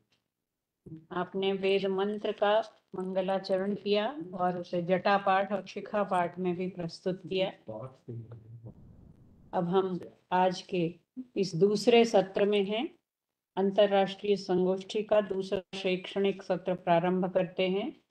इसमें हमारे प्रथम वक्ता होंगे प्रोफेसर वीरेंद्र कुमार अलंकार जी। आप पंजाब विश्वविद्यालय चंडीगढ़ के अध्यक्ष संस्कृत विभाग में अध्यक्ष हैं और दयानंद चेयर के चेयरपर्सन और डायरेक्टर भी हैं वैदिक स्टडीज़ के। वीरेंद्र अलंकार जी ने मेरे साथ इस संगोष्ठी के आरंभिक चरण में संयोजन का भार भी संभाला और आप लोगों को जो पहला पत्र गया था वो आप ही की तरफ़ से गया था। अभी हाल में वीरेन जी ने अनेक ग्रंथों का प्रणयन किया है किंतु अभी जो उनका ग्रंथ आया है शायद पिछले कुछ दिन पहले ही इसके लोकार्पण हुआ है हंस मानसम डीएवी से प्रकाशित है महात्मा हंसराज जी के जीवन पर रचित ये महाकाव्य है। तो आप है। उन्नीस सर्ग हैं। तो आप लोग जी इस ग्रंथ को खरीदें पढ़ें और इसका प्रचार करें। इस भावना के साथ आपने वेद पर अनेक ग्रंथ लिखे हैं, लेकिन आपका काव्य लेखन में भी इतना कौशल है, ये अब हमें पता चला है। और विदेशों के अनेक पटलों पर व्याख्यान दे चुके हैं, जापान, कनाडा, यूएस, थाईलैंड आदि देशों, और अनेक पुरस्कारों से भी आप सम्मानित हुए हैं। महाकवि बाण भट्ट सम्मान और सर्वोत्कृष्ट काव्य कृति का पुरस्कार आपको मिला है। हरियाणा संस्कृत अकादमी से, संस्कृत सेवा सम्मान दिल्ली संस्कृत अकादमी से, महर्षि वेद व्यास सम्मान हरियाणा संस्कृत अकादमी, वैदिक विद्वत पुरस्कार, Arya Pratinidhi Sabha, Mumbai award of recognition for contribution to Sanskrit language and literature by Chandigarh Sahitya Akademi Shiromani Sanskrit award the highest academic award of Punjab state for contribution to Sanskrit studies. महर्षि वाल्मीकि सम्मान हरियाणा सरकार द्वारा संस्कृत में विशेष शोध कार्य और सर्जनात्मक लेखन के लिए और आपने जो रिसर्च वर्क्स पब्लिश किए हैं उनमें लिंग लक देखिए एक तरफ़ काव्य है और दूसरी तरफ़ व्याकरण है मीमांसा दर्शन में आपने डीलिट किया है और व्याकरण में आपने पीएचडी की उपाधि प्राप्त की है और जो आपके शोध ग्रंथ हैं, उनमें लिंग, लकार, एक दार्शनिक दृष्टि, मीमांसा या ज्ञान मीमांसा, संस्कृत व्याकरण में लकारार्थ विवेचन, पालिप प्रदीपिका, गोपथ निर्वचन विज्ञान, मीमांसा दर्शन, तर्क अध्ययन, मानव मूल्य विश्वकोश, इसमें आपने मेजर प्रोजेक्ट के रूप में सहयोग किया, हरियाणा की संस्कृत साधना और स्वामी देवानंद सरस्वती जीवन चरित इत्यादि।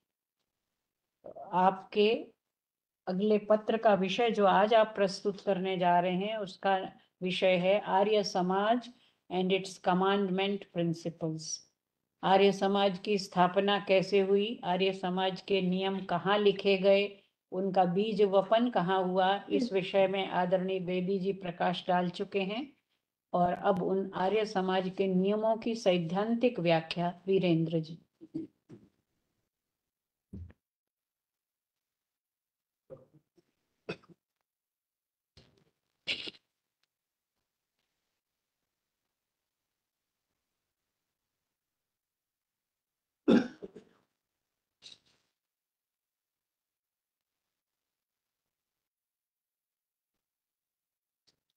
Advance study centre की chairperson professor Shashi Prabha ji professor Shailendra Raj Mehta ji, मेरे सम्मुख विद्यमान विद्वान, बड़ी प्रवाहमयी शैली में हम प्रोफेसर वेदी जी का व्याख्यान सुन रहे थे। आर्य समाज नाम क्यों आया होगा? ये बड़ा विचारणीय विषय है। क्योंकि मैं तो जितने हम संस्कृत के लोग हैं, सब जानते हैं कि आर्य शब्द कैसे निष्पन्न हुआ, व्याकरण की दृष्टि से। आर्य कह दें, री धातु से बना हुआ तो अलग अर्थ। और अरिय स्वामी वैश्य वाला, री धातु से अरिय कह दें तो अलग अर्थ।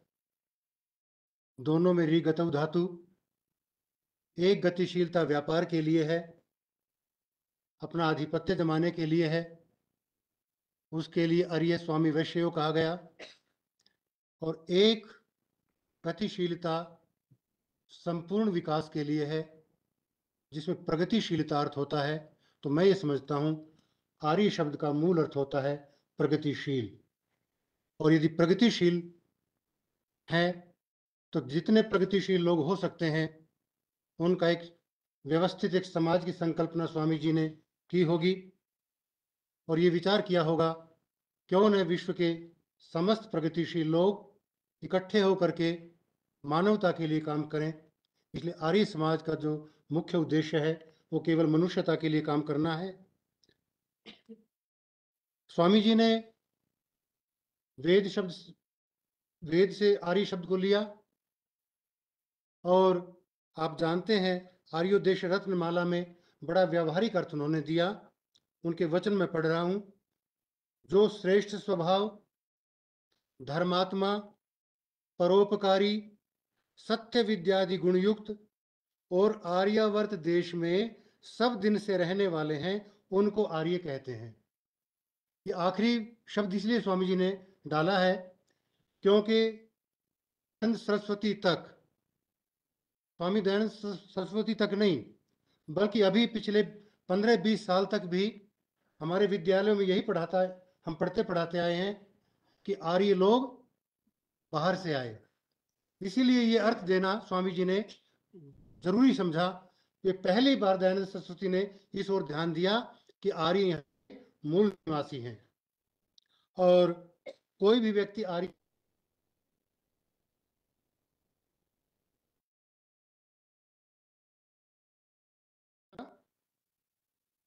राम भी। व्याख्याकार हुए हैं, होशियारपुर के थे, हमारा समाज। उसके अंदर एक बड़ी बढ़िया बात लिखी उन्होंने, आर्य के ऊपर। कि आर्य शब्द गुणवाची क्यों है? गुणवाची इसलिए है कि यदि, हमने भी बचपन में यही पढ़ा था कि जिनकी मोटी मोटी आँखें होती हैं, गोरा होता है, इतनी हाइट होती है, ऐसे लंबे चौड़े लोग होते हैं, वो लोग आर्य होते हैं। तो एक बड़ा बढ़िया उन्होंने तर्क दिया कि यदि ऐसे आर्य होते हैं तो कृणवंतो विश्वम आर्यम।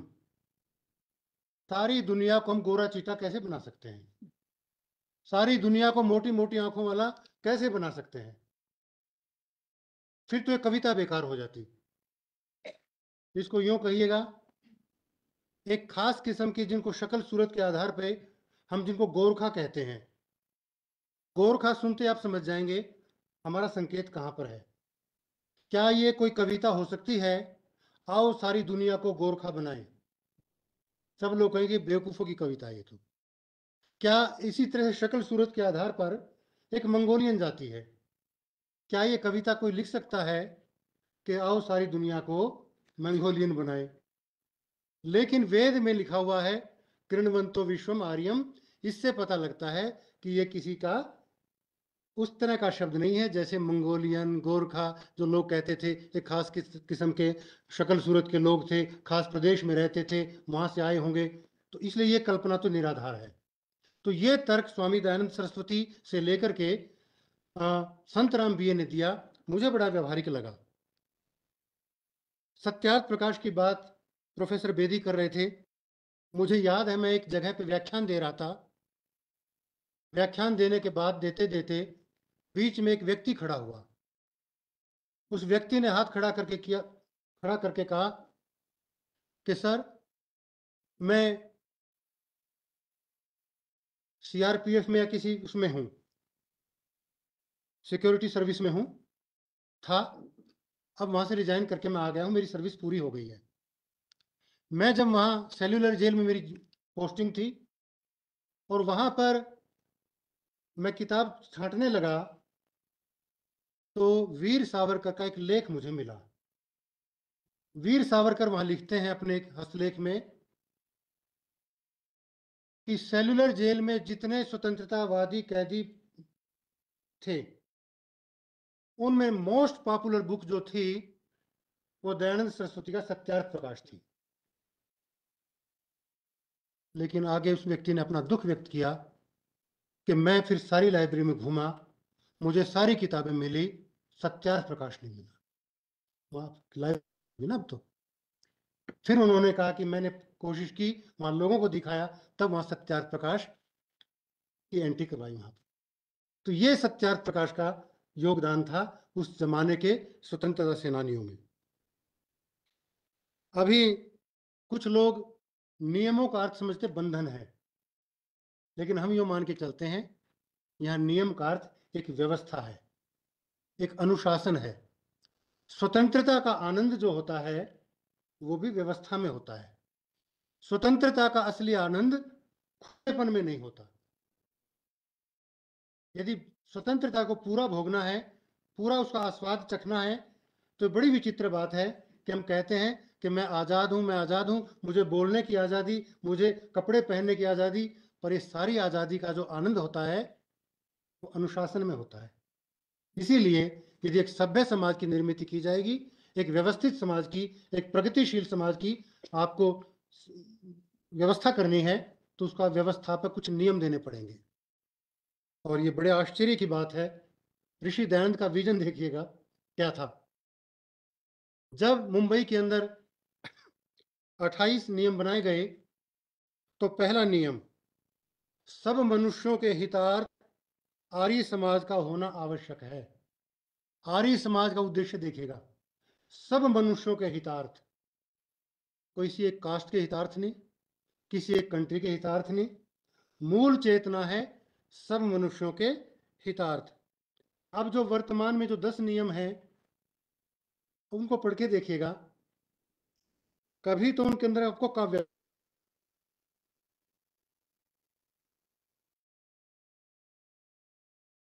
लोग हैं। जैसे उनमें शब्दों का बाह्य सौंदर्य है, वैसे उसके भीतरी जो अर्थ है, वो अंत सौंदर्य भी देखिएगा। और कुल मिला के देखा जाए तो आर्य समाज के नियमों में जो सत्य के प्रति आकर्षण है, वो अनूठा है। ऐसा आग्रह स्वामी जी का सत्य के प्रति, जब हम यजुर्वेद भाष्य पढ़ते हैं तो यजुर्वेद में भी चलते चलते कई व्याख्या वो करते हैं, न्यायाचरणम धर्म। है इससे बढ़िया पूरी मानवता के लिए धर्म की व्याख्या क्या हो सकती है? न्यायाचरणम धर्म। है न्याय का आचरण करना यही धर्म होता है। एक और परिभाषा वहाँ मुझे मिली, सत्याचरणम धर्म। है सत्य का आचरण करना ही धर्म होता है। तो इस पृष्ठभूमि में स्वामी जी ने नियमों की कल्पना की और आप जानते हैं, पहला नियम, सब सत्य विद्या और जो पदार्थ विद्या से जाने जाते हैं, उन सब का आदि मूल परमेश्वर है। मूल स्थापना कर दी, आदि मूल परमेश्वर। ये पूरे, ये एक शब्द कह करके स्वामी जी ने भारत की जो शाश्वत परंपरा थी, उसका उद्घोष कर दिया। आदि मूल परमेश्वर। यही आदि मूल हमारे योग दर्शनकार ने कहा था, पूर्व शाम अपनी गुरु कालेन अनवच्छेदात। प्रोफेसर बेदी बैठे हैं। आपको डॉक्टर साहब, मैं शायद आपको मैंने बताई कि नहीं बताई, मुझे ध्यान नहीं आ रहा। डीएवी कॉलेज चंडीगढ़ में एक लालचंद लाइब्रेरी है और लालचंद लाइब्रेरी लाहौर में थी। बड़ी मुश्किल से जैसे तैसे वो लाइब्रेरी भारत में आई। आज वो चंडीगढ़ में है। मैं ऐसे उसमें चला गया एक बार। देखने लगा तो ऐसे ऐसे अद्भुत ग्रंथ वहाँ पर मुझे दिखाई दिए और एक जपू जी साहिब जो है अपना सिखों का बड़ा, जैसे हमारी गीता है हिंदुइज्म में, वैसे जपू जी साहिब। जपू जी साहिब के अंदर एक अद्भुत व्याख्या मिली मुझे वाहे गुरु की। ये आप बताइएगा हमारे सिख कम्युनिटी को। मैं पढ़ते पढ़ते वहाँ देखा कि वाहे गुरु का अर्थ क्या है? जो लोग ये कहते हैं ना, सिखिज्म और हिंदुइज्म या दयानंद आर्य समाज और सिखिज्म में कुछ विरोध है, उनका तालमेल देखिएगा। ये वाहे गुरु का अर्थ क्या? हमारे वहाँ सिख स्टडीज़ में प्रोफेसर जसपाल कोरकंग, आप जानते हैं, एक बार मैंने उनसे पूछा कि मैम, आप तो सिखिज्म को पढ़ा रहे हैं, ये वाहे गुरु का अर्थ क्या होता है? वो कहने लगे, जी, वाहे गुरु का अर्थ तो बस गुरु जी वाह वाह वाह वाहे गुरु और क्या हो सकता है? लेकिन संस्कृत के आचार्यों ने जो वाहे गुरु का अर्थ किया, वो बड़ा अद्भुत है। वो आपको इस आर्य समाज के नियम से भी जोड़ेगा और पूरी भारत की शाश्वत परंपरा से जोड़ेगा। उन्होंने कहा, वाह, के वाह? ब्रह्मा, विष्णु, महेश, इमे वाह संति वह वह कहते हैं, बाहर ढोने वाले को, ज्ञान ढोने वाले को। इसलिए वह का अर्थ घोड़ा भी होता संस्कृत में और वह का अर्थ गुरु भी होता है, क्योंकि वो ज्ञान का वहन करते हुए अगली पीढ़ी तक पहुंचाते हैं। और आगे उसने लिखा वाह नाम अर्थात गुरु नाम गुरु, वाहे गुरु। ये अद्भुत व्याख्या जो है, ये किस और संकेत दे रही है? ये योग सूत्रकार ने जो संकेत किया था पूर्व श्यामपी गुरु, ये उसकी ओर संकेत कर रही है। वो जो दयानंद सरस्वती ने संकेत किया आदि मूल परमेश्वर मेरा मूल मेरा गुरु है। उसका गुरु कौन? उसका गुरु कौन? उसका गुरु कौन? और हमें दार्शनिक लोग तो इसको अनवस्था दोष मानते हैं। अनवस्था दोष का निरा, निराकरण करना हो तो क्या करेंगे? शशि प्रभा जी यही कहेंगे कि एक आज बिल्कुल एक आखिरी किसी सत्य को मानना पड़ेगा। और आखिरी कहाँ तक जाएँगे? आखिरी जाएँगे आप ईश्वर तक। इसलिए पूरी फिलोसफी को ऋषि दयानंद ने इस छोटे से शब्द में कह दिया, आदि मूल परमेश्वर है। और सब सत्य विद्या। अब हालाँकि आर्य समाज के लोग भी अलग अलग व्याख्याएँ करते हैं, सभी की स्वीकारी हैं, क्योंकि ये तो विचार मंथ है। और वेद में तो कहा गया ना कि मनु कौन? विद्वान से वही मनु म- जो विद्वान होते हैं, उन्हीं को तो मनु बोलते हैं ना। मनु मतलब विचारशील, जो विचार करें, जो हमेशा प्रगतिशील रहें। तो ये सारा मनु का अर्थ भी वहाँ पर वैदिक भाषा में प्रगतिशील हो गया, अर्थात विद्वान हो गया, अर्थात विचारशील हो गया, मननशील हो गया। तो इस तरह से आप जब आगे बढ़ेंगे तो सत्य विद्या। कुछ लोग शुरू शुरू में आपत्ति किया करते थे, दूसरे लोग ज़्यादा करते हैं। हमारे यहाँ एक आदत होती है ना खाम खा आलोचना करने की। क्योंकि बिना आलोचना के दिल लगता नहीं। और जितना आनंद इस आलोचना में है, उतना आनंद दुनिया के किसी पदार्थ में नहीं है। मैंने तो एक कविता लिखी थी, मैम, पहले कभी निंदा पुराणम। उसमें मैंने यही लिखा था, इतना आनंद तो ब्रह्म में भी नहीं मिलेगा, जितना आनंद निंदा करने में मिलता है। तो चलिए तो ये कुछ लोगों की आदत होती है, हर चीज़ के अंदर कुछ ना कुछ कमी देखना। तो कुछ लोग यूँ कहा करते थे सब सत्य विद्या। सब है तो बहुवचन होना चाहिए था। सब सत्य विद्याएँ होना चाहिए था। ऐसे कुछ पूर्व पक्षी लोग कह देते हैं कई बार। लेकिन वो संस्कृत की शैली को भूल जाते हैं। दयानंद सरस्वती शुद्ध वैदिक व्यक्ति हैं। और संस्कृत के अंदर वो क्यों भूल जाते हैं कि सर्वय शब्द एक वचन में भी होता है और बहुवचन में भी होता है। तो सब सत्य विद्या का अर्थ सब प्रकार की सत्य विद्या, जितनी विधाएँ हो सकती हैं, वो विद्या। क्या विद्या या अमृतम अश्नुते का अर्थ? कोई एक विद्या मानोगे क्या?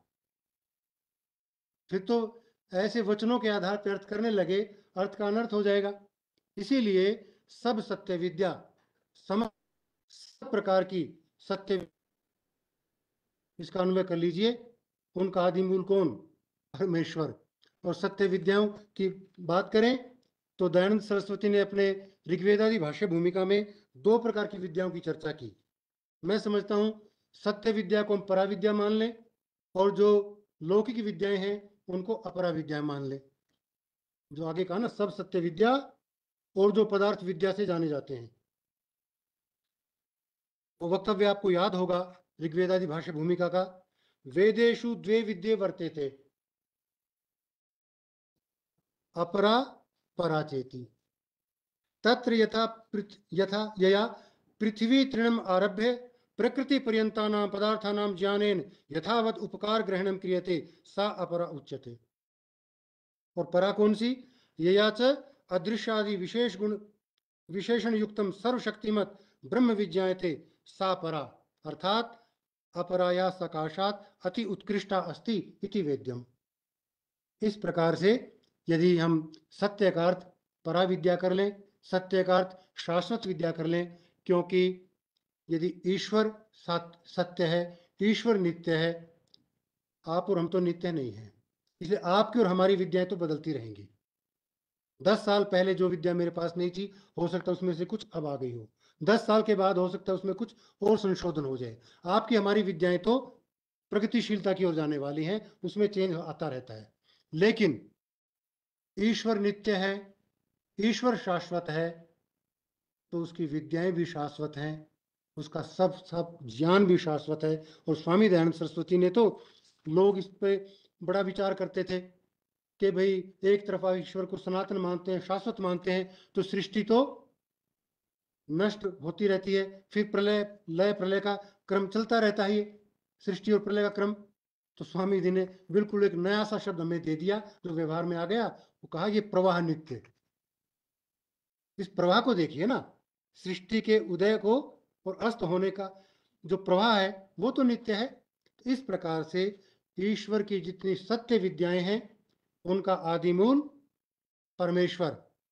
और आगे जो बात कही, सब सत्य विद्या और जो पदार्थ विद्या से जाने जाते हैं ये विद्याएँ की भौतिक विद्याएँ, जिनसे सारा ये विज्ञान खड़ा हुआ है। इस कई बार ये हो सकता है कि कुछ लोग यूँ कहें कि इतनी उलझ पुलझ की भाषा लगती है हमें, लेकिन उलझ पुलझ की भाषा नहीं है। यदि सत्य विद, यदि विद्या ही कह देते तो दोनों का ग्रहण हो जाता तो मुझे वैयाकरणों का जो मैडम एक बात अभी संकेत कर रही थी, लिंग लकार के बारे में, एक प्रसंग याद आ गया मुझे। वहाँ एक सवाल ये उठा कि विधि निमंत्रण आमंत्रणाधिष्ट संप्रश्न प्रार्थनेशु लिंग। एक तरफ़ तो वैयाकरण कहते हैं कि अर्धमात्रा लाघवेन पुत्रोत्सव मनन्ते वैयाकरणा, और इतना लंबा चौड़ा सूत्र बना दिया, जबकि विधि प्रेरणा है। निमंत्रण में क्या है? आपको आना ही है प्लीज़ ये निमंत्रण हो गया। आमंत्रण में क्या है? आप समय निकाल के आइएगा, हो सके तो आइएगा। तो इस तरह से सब के अंदर देखा जाए तो मंत्रणा प्रेरणा है। तो वैयाकरण ने सवाल उठाया कि इस पाणिनि को सूत्र बनाना चाहिए था। प्रवर्तन आयाम लिंग, झगड़ा ही खत्म हो जाता। इतना सूत्र बच्चों को याद नहीं करना पड़ता। एक सूत्र बना देते प्रवर्तनायाम लिंग तो उसका समाधान क्या किया? वैयाकरणों ने कि ना आचार्य जब लिखते हैं तो उनको संक्षिप्तता तो अभिप्रेत है, पर साथ साथ ये भी है, कहीं विस्तार करने से विद्यार्थियों का उपकार होता हो, पाठक को स्पष्ट ज्ञान होता हो तो उसमें भी कंजूसी नहीं करनी चाहिए। इसीलिए बाद के वैयाकरणों ने क्या बताया कि विधि किसे कहते हैं, निमंत्रण किसे कहते हैं, आमंत्रण किसे कहते हैं, आमंत्रण तुम किसी को भी दे देते हैं। यहाँ जितने आप आमंत्रित हैं, सबको निमंत्रण है। और बाकी लोगों को आमंत्रण है। आए तो आए, ना आए तो ना आए, भाई उनकी मर्ज़ी। और आपके लिए तो आना आवश्यकता ज़रूरी था ना? तो ये सारा जो अर्थ का स्पष्टीकरण करना था, ये भी पाणिनि को अभिप्रेत था। तो मुझे लगता है, आचार्य दयानंद, वो भी पूर्णतः शुद्ध वैयाकरण है, शुद्ध वैदिक है। उनके ऊपर ऐसा कैसे हो सकता है? उनके ऊपर ये सारा प्रभाव ना आए। तो इसलिए स्पष्टता के लिए उन्होंने विद्या का भी अलग से ग्रहण किया होगा। तो आप यूँ अर्थ कर लीजिएगा। एक तो शाश्वत, परा और ब्रह्म विद्या जो है, उसका आदि मूल परमेश्वर, उसके बाद भौतिक विद्या से। आपने अपने अपने सामर्थ्य के अनुसार जिन भी तत्वों का अनुसंधान किया, उसका भी आदि मूल कौन? परमेश्वर। दयानंद सरस्वती का ऋग्वेद भाष्य जब आप पहला मंत्र पढ़ेंगे और उसके बाद वहाँ जो ऋषि का अर्थ करते हैं ना स्वामी जी, वो बड़ा कमाल का है। वो ऋषि का अर्थ एक करते हैं, अनुसंधान करने वाला अध्यापक। ऋषि का अर्थ। अर्थात, जो बड़ी निष्ठा के साथ, पूरे सत्यासत्य विचार के साथ अनुसंधान कर रहा है, वो समझ लीजिएगा, वो ऋषि पथ का अनुगामी हो गया है। इसलिए स्वामी दयानंद ने पहली बार ये वेद भाषा में लिखा कि ऋषि का अर्थ क्या? अनुसंधान करने वाला अध्यापक। दूसरा अर्थ किया ऋषि का अर्थ तर्क और प्रमाण दिया, निरुक्त का। और तीसरा अर्थ किया प्राणाह ऋषि का अर्थ प्राण भी है। ऋषि वही प्राणा। वहाँ पर स्वामी जी ने ब्राह्मण का उदाहरण ये साक्ष्य दिया। तो इस तरह से ऋषि दयानंद का अर्थ माने तो अनुसंधान करता, जो पूरी तर्क के साथ और पूरी प्राणों के साथ, अर्थात पूरी ताकत झोंक दे, जो अपने रिसर्च में, उसे कहते हैं ऋषि या ऋषि पथ का गामी। तो इस तरह के अर्थ हमें वहाँ ढूँढने चाहिए। ये जो भौतिक पदार्थ हैं उनकी व्याख्या स्वामी जी किस तरह से कर रहे हैं देखिएगा। तो आठवां समोल्लास देख लीजिएगा। एक पंक्ति में पढ़ देता हूँ। जिस परमात्मा की रचना से ये सब पृथ्वी आदि भूत उत्पन्न होते हैं, आगे लंबा वाक्य है। बस ये कह दिया कि उनका सबका कारण कौन है? वो ब्रह्म है। उसके जानने की इच्छा करो। अब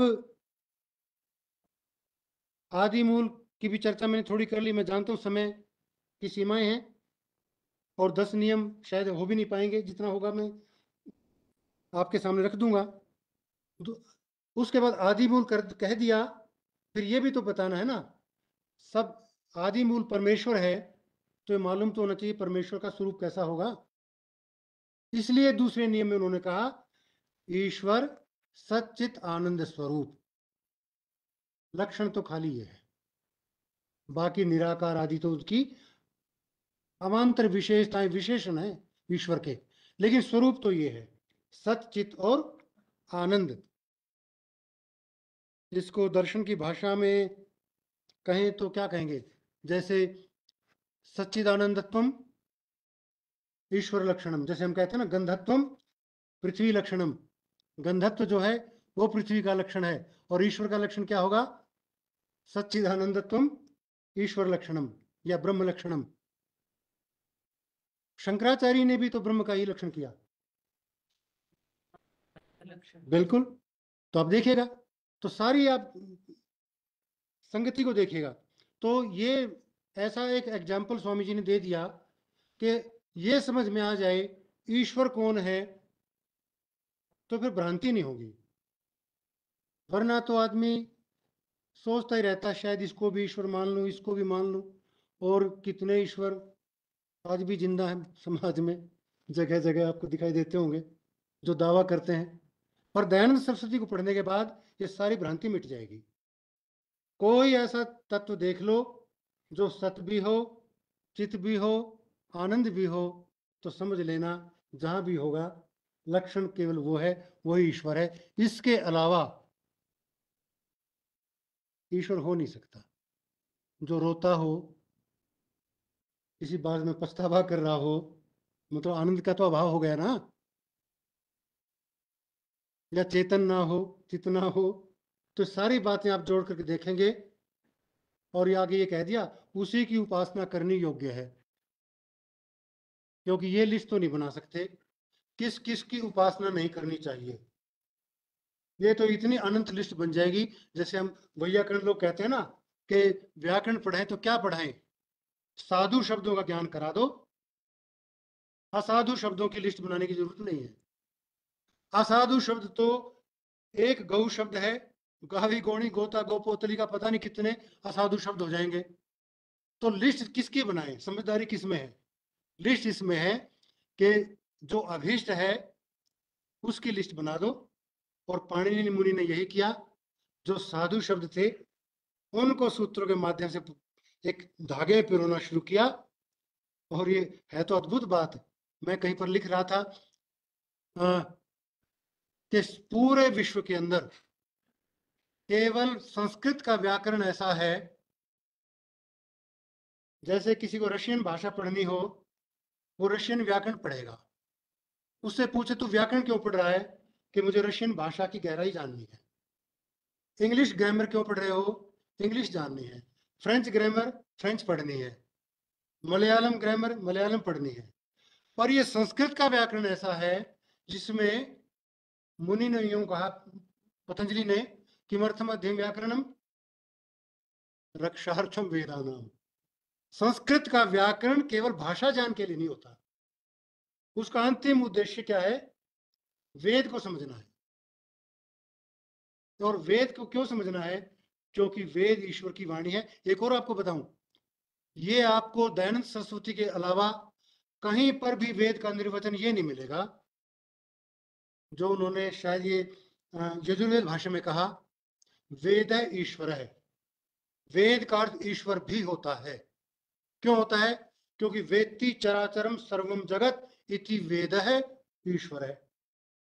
तो वेद का अर्थ ईश्वर भी हो गया, वेद का अर्थ ज्ञान भी हो गया तो ज्ञान, रूप और वेद शक्ति और शक्तिमान भेद नहीं कर सकते ना। ये दोनों अलग पदार्थ नहीं होते। कोई कहे कि मैं मैं ताकतवर ज़्यादा हूँ तो ऐसा तो कोई आज तक कोई दवा नहीं बनी। उस व्यक्ति की ताकत को अलग निकाल के खड़ी कर ये इसकी ताकत रही और ये व्यक्ति रहा। ये तो संभव ही नहीं है। तो इसी तरह से वेद और वेदता के अंदर मुझे ऐसा लगा ऋषि दयानंद ने कहीं ये संबंध भी जोड़ दिया है कि वो उसकी वाणी और वाणी जिसकी है, उसका नाम भी वेद। तो इस तरह से ये संबंध देखिएगा। बाकी जो विशेषताएँ आई, वो तो अद्भुत हैं। ईश्वर सच्चिदानंद स्वरूप के बाद जो भी निराकार, सर्वशक्तिमान, न्यायकारी, दयालु अजन्मा आदि और सर्वशक्तिमान के बारे में तो आप जानते हैं। इससे पहले शायद ही हम इस शब्द के अर्थ को जाना करते थे। अब तक तो यही सुनते आए थे, परमेश्वर कौन? जो राई को भी पहाड़ बना दे, पहाड़ को भी राई बना दे, वो परमात्मा, इतना ताकतवर, परमात्मा कुछ भी कर सकता है। पहली बार हमें तो दयानंद सरस्वती को पढ़ के लगा कि नहीं सर्वशक्तिमान का अर्थ ये नहीं होता। मेरी शक्ति, मेरी ईश्वर की शक्ति में फ़र्क ये है, मैं कोई काम करूँगा तो मुझे दस लोगों की सहायता लेनी पड़ती है। वो सारा सामर्थ्य मेरे पास है नहीं। लेकिन ईश्वर के पास तो सारा अपना सामर्थ्य है। उसको सृष्टि बनाने के लिए कुछ दस बीस लोगों की ज़रूरत नहीं पड़ती। मैडम को तो सेमिनार करने के लिए कितने लोगों की हेल्प लेनी पड़ी। इसलिए आप और हम लोग सर्वशक्तिमान नहीं है। ज़्यादा शक्ति है, किसी पास कम शक्ति है। लेकिन सर्वशक्तिमान है तो केवल ईश्वर है, क्योंकि ईश्वर सृष्टि का जो निर्माण करता है, वो केवल किसी दमखम पे नहीं करता। वो तो उसकी अपने सहज स्वभाव में करता एक व्यक्ति कई बार लोग यूँ कहते हैं, उसके अंदर एक बात आ रही आई ना कि सृष्टि सृष्टिकर्ता, ये विशेषण दिया। तो कुछ लोग यूँ कहते हैं, यार, क्यों सृष्टि बना दी भगवान ने? सृष्टि है तो दुख है।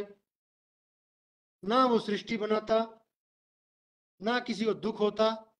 तो मैं उनको यूँ कहा करता हूँ, जब भी इस देश के अंदर टेंथ के एग्जामिनेशन होते हैं, प्लस टू के एग्ज़ाम होता है जब रिज़ल्ट आता है, कुछ बच्चे बेचारे सुसाइड कर लेते हैं। कि हमारे इतने मार्क्स आने चाहिए थे, इतने मार्क्स क्यों नहीं आए? क्या उन बच्चों के दुख को देख करके कि एग्जामिनेशन खत्म कर देना चाहिए? कि नहीं भी एग्जामिनेशन कराने की ज़रूरत नहीं है। क्योंकि कुछ बच्चे से मरते हैं, लेकिन एग्जामिनेशन हम इसलिए करते हैं कि बच्चों को आगे बढ़ने का मौका मिलता है, अवसर मिलता है। असल में जो सृष्टि का जो क्रम है, इसके अंदर प्रत्येक प्राणी को, प्रत्येक जीवात्मा को आगे बढ़ने के विकल्प खुलते हैं।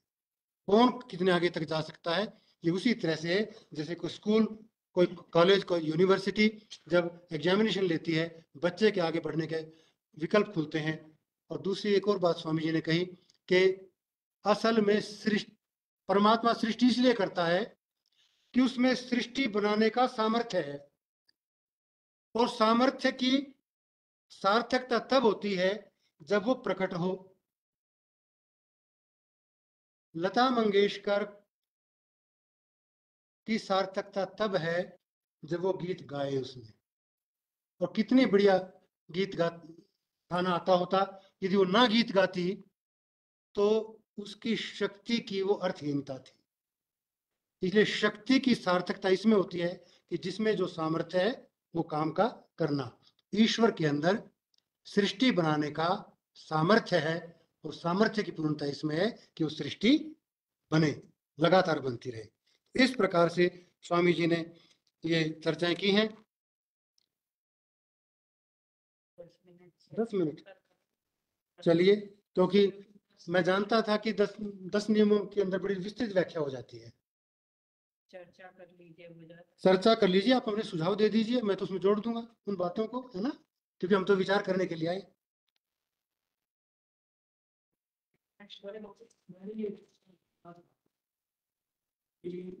तो लाहौर में जो रजिस्टर थी इसमें दस फाइनल किए गए तो उसमें शीर्षक भी लिखा था। आज समाज के उद्देश्य जी जी जी हाँ। और हमने वो उद्देश्य हटा दिया आज समाज के नियम आज समाज के नियम नहीं छपा तो वो ओरिजिनल थे महात्मा राज लेकर के आचार्य की शुरुआत में देखा था। उन्होंने एक लिखा था कि उसमें हमने आँखों से खुद पढ़ा था कि आज समाज के नियम और उद्देश्य। और दूसरी, ये तो एक बात, दूसरी बात ये आ रही है, इसको लिखा भी है भवन भारतीय ने कि आज समाज के दस नियम जो हैं तो उसमें जो तीसरा चीज़ उसमें सब शब्द नहीं वेद तत्व विद्याओं का पुस्तक। और ये बात शायद क्लियर था। हम्म। वो सब जो है वो ओरिजिनल जो मनस्क्रिप्ट है पर उसका वो रजिस्टर है वो नहीं है। अब इसमें आया आप नहीं था अभी मैं प्रसन्न नहीं हूँ। लेकिन ये बात आई यदि वो रजिस्टर है कि नहीं है भी उसकी परीक्षा तो किया जाएगी रजिस्टर है उसका नाम वो जैसे आपने कहा साहब ने की और लाइब्रेरी में वहाँ लाहौर में तो वो रजिस्टर गए जीत सकते तो शायद इसकी पुष्टि की जा सकती है। लेकिन ये बात तो लगभग तय है कि नियम के साथ वो उद्देश्य ज़रूरी है। बचपन में साहब आप भी जब जैसे गुरुकुल में पढ़े, मैं भी गुरुकुल में पढ़ा, हमारे पास जो नियम आते थे ना वो हर एक सत्संग के पीछे आर्य समाज के नियम में उद्देश्य लिखा होता था। बचपन में हाँ हमने बचपन में यही पढ़ा है और तीसरी बात आप सबको और इसकी जो संसद विद्या और जो कहा इसके अन्वय दो तरीके से हम्म, हम्म, एक सबसत्य विद्या जिसके लिए शास्त्र योगी प्राप्त कर गया जी, जी। सबसत्य विद्याओं का एक गंगा शब्द उपाध्याय सत्यप्रकाश ने यही कहा। हम्म। और जो पदार्थ विद्या ने जो पदार्थ हाँ। जन्माद्य से जी जी जी। फिर उसे लेकर जो पदार्थ है पदार्थों का भी बनाना पड़ा तो एक व्याख्या ठीक है। एक मोहनलाल विश्वनाथ पंड्या ने जो कि के हाँ। उसमें भी विद्या अलग है पदार्थ विद्या अलग है। तो इस पर आपत्ति यदि स्वामी जी को अभिष्ट ये होता सत्य विद्या और पदार्थ विद्या से तो बीच में छो नहीं हम्म। तो ये कहते सत्य विद्या और पदार्थ विद्या से। लेकिन जो पहले आ गया सत्य विद्या और जो इसका हम्म। मतलब वो पदार्थ पर फोकस डालना चाह रहे हैं पदार्थ विद्या से नहीं कर का हाँ मतलब हमने ठीक है जी। बिल्कुल ठीक है आपका। इस इसमें सतीश प्रकाश हम विदेशों में हम एक भ्रम नित्य पवित्र। ये नित्य पवित्र या नित्य कमा पवित्र? God is uh, eternal and holy या eternally holy? हम तो समझते हैं कि अलग अलग मायने हैं। अभी तक अलग अलग है। इसमें जो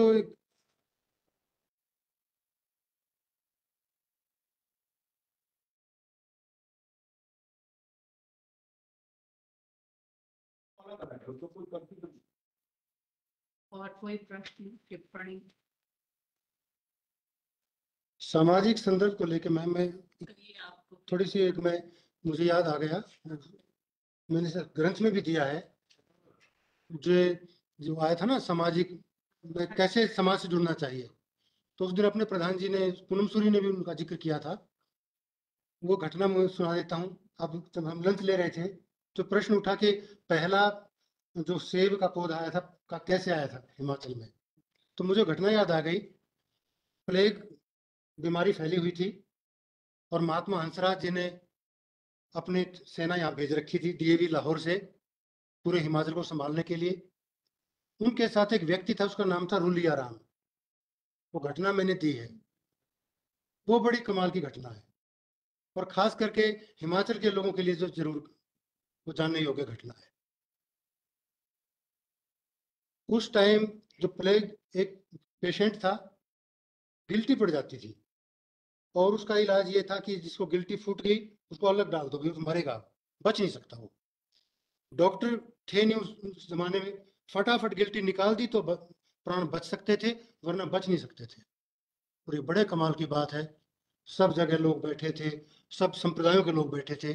रुलिया राम को भूत सवार ये था कि दयानंद सरस्वती समाज के लिए आए थे, समाज के लिए और हम आर्य समाजी हैं और मुझे भी ऐसे व्यक्ति ने भेजा है।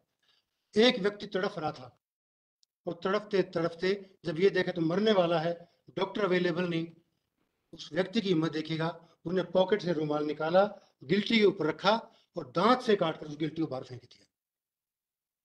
और उस व्यक्ति की जान बच गई। और आसपास कुछ मुसलमान लोग थे, कुछ ईसाई लोग थे, वो हैरान रह गए। उसमें आपके हिमाचल का शिमला का एक पादरी थे, जिनका नाम मिस्टर स्टोक्स था। वो स्टोक्स देख के हैरान रह गए ये कौन व्यक्ति है? उससे पूछा कि भाई तुम कहाँ से आया है? उसने कहा, ये मत पूछ, मैं किस समृद्ध परंपरा से आया हूँ? मैं आर्य समाजी हूँ। और कहते मिस्टर स्टोक्स ने उसी टाइम रिजाइन कर दिया पादरी छोड़ दिया और वो हिंदू बन गया। और शायद ये विद्या स्टोक्स जो हिमाचल की हैं, ये उनकी बेटी है। ये विद्या स्टोक्स जो मिनिस्टर थी तो इस तरह की घटनाएँ, इस तरह की बड़ी घटनाएँ आर्य समाज के साथ जुड़ी हुई है। ये जो सामाजिक सर्वहितकारी नियम की बात उस संदर्भ में मैंने कही, ये लिखी थी मैंने। चलिए मैं आपका बड़ा आभार व्यक्त करता हूँ। हाँ और वो पह, पहला सेब का पौधा लाने वाले मिस्टर स्टोक्स ही थे। जिन्होंने पहला स्टोक्स का पहला पौधा लगाया था यहाँ पर हिमाचल में। उसके बाद ये हिमाचल पनप गया जी। तो इसलिए मुझे लगता है हिमाचल को समृद्ध करने में भी सेब पॉपुलर बनाने में भी। आर्य समाज का ही योगदान है। और खाना नहर में उनकी जो जगह है पे उन्होंने है इसमें वेद मंत्र लकड़ी के काट के पूरे एक व्यक्ति मैम हमारे पंजाब चंडीगढ़ के हैं। वो बता रहे थे उनका लाहौर काफ़ी जाना होता है। वो कहते मैं ऐसे चला गया, वहाँ डीएवी कॉलेज जो था अपना, अब तो इस्लामिया कॉलेज है वहाँ। तो वहाँ चला गया। तो मैं ऐसे देख रहा था तो वहाँ के प्रिंसिपल आए। उसने पूछा, भाई तुम कौन हो? कि मैं ऐसे ऐसे भारत से आया हूँ। कहते यार पता नहीं इस बिल्डिंग में क्या खूबी है। यहाँ विदेशों से लोग आते हैं और इन पत्थरों को पकड़ पकड़ के रोते हैं तो उस जमाने में ये काम किया था आर्य समाज ने तो इसलिए ये Why did we need to reduce the twenty-eight principles to become ten? 28 to 10 Why? मुझे लगता है कि वो जो सारे उद्देश्य थे वो स्वामी जी ने इनमें दस में इतनी गंभीरता से कह दिए होंगे बाकी आचार्य वेद साहब कुछ लोगों ने कहा जो अट्ठाईस नियम है, वो बहुत व्यवस्थित है और वो किसी संस्था की उस नियम को नानातन आनंदी पारित क्योंकि आसमान मुंबई के कमेटी बनी तो बाद में फाइनल करके दस वाला ही बना। स्वामी हाँ। मैंने वो 28 नियम कानून इतिहास की वस्तु। डिक्लेयर वो लाहौर में हुए थे। If I may say a word, Dr. I may say something about these 28 to 10. I think that shows how Swami Dayanand was open for revision in everything. Anybody suggested something, he would always, although he is characterized as a very rigid person, but he was so flexible in his dress, in his language, and also in the commandments that he was formulating. Chaturvedi बहुत बड़े समीक्षक हैं हिंदी साहित्य के उन्होंने लिखा है कि उस काल की जो संस्थाएँ ब्राह्मण समाज समाज सब में आर्य समाज देव समाज प्रार्थना- समाज, और उनका कहना है कि इतने है इसको सबसे बढ़िया आर्य समाज इसका जो व्यापकता है इसमें इसमें तो एक बात और मैं पढ़ रहा था कि हंसराज जो थे वो पहले हिंदू अध्यापक थे उससे पहले स्कूलों के अंदर कॉलेजों के अंदर कोई हिंदू जो था वो प्रिंसिपल हेडमास्टर नहीं बन सकता था। ये शुरुआत भी आर्य समाज ने की। कॉन्स्टिट्यूशन में था कि हमारे जो टीचर्स हैं ये भी टीचर्स जो है वो इंडियन चलिए थैंक यू थैंक यू धन्यवाद। बहुत अच्छा।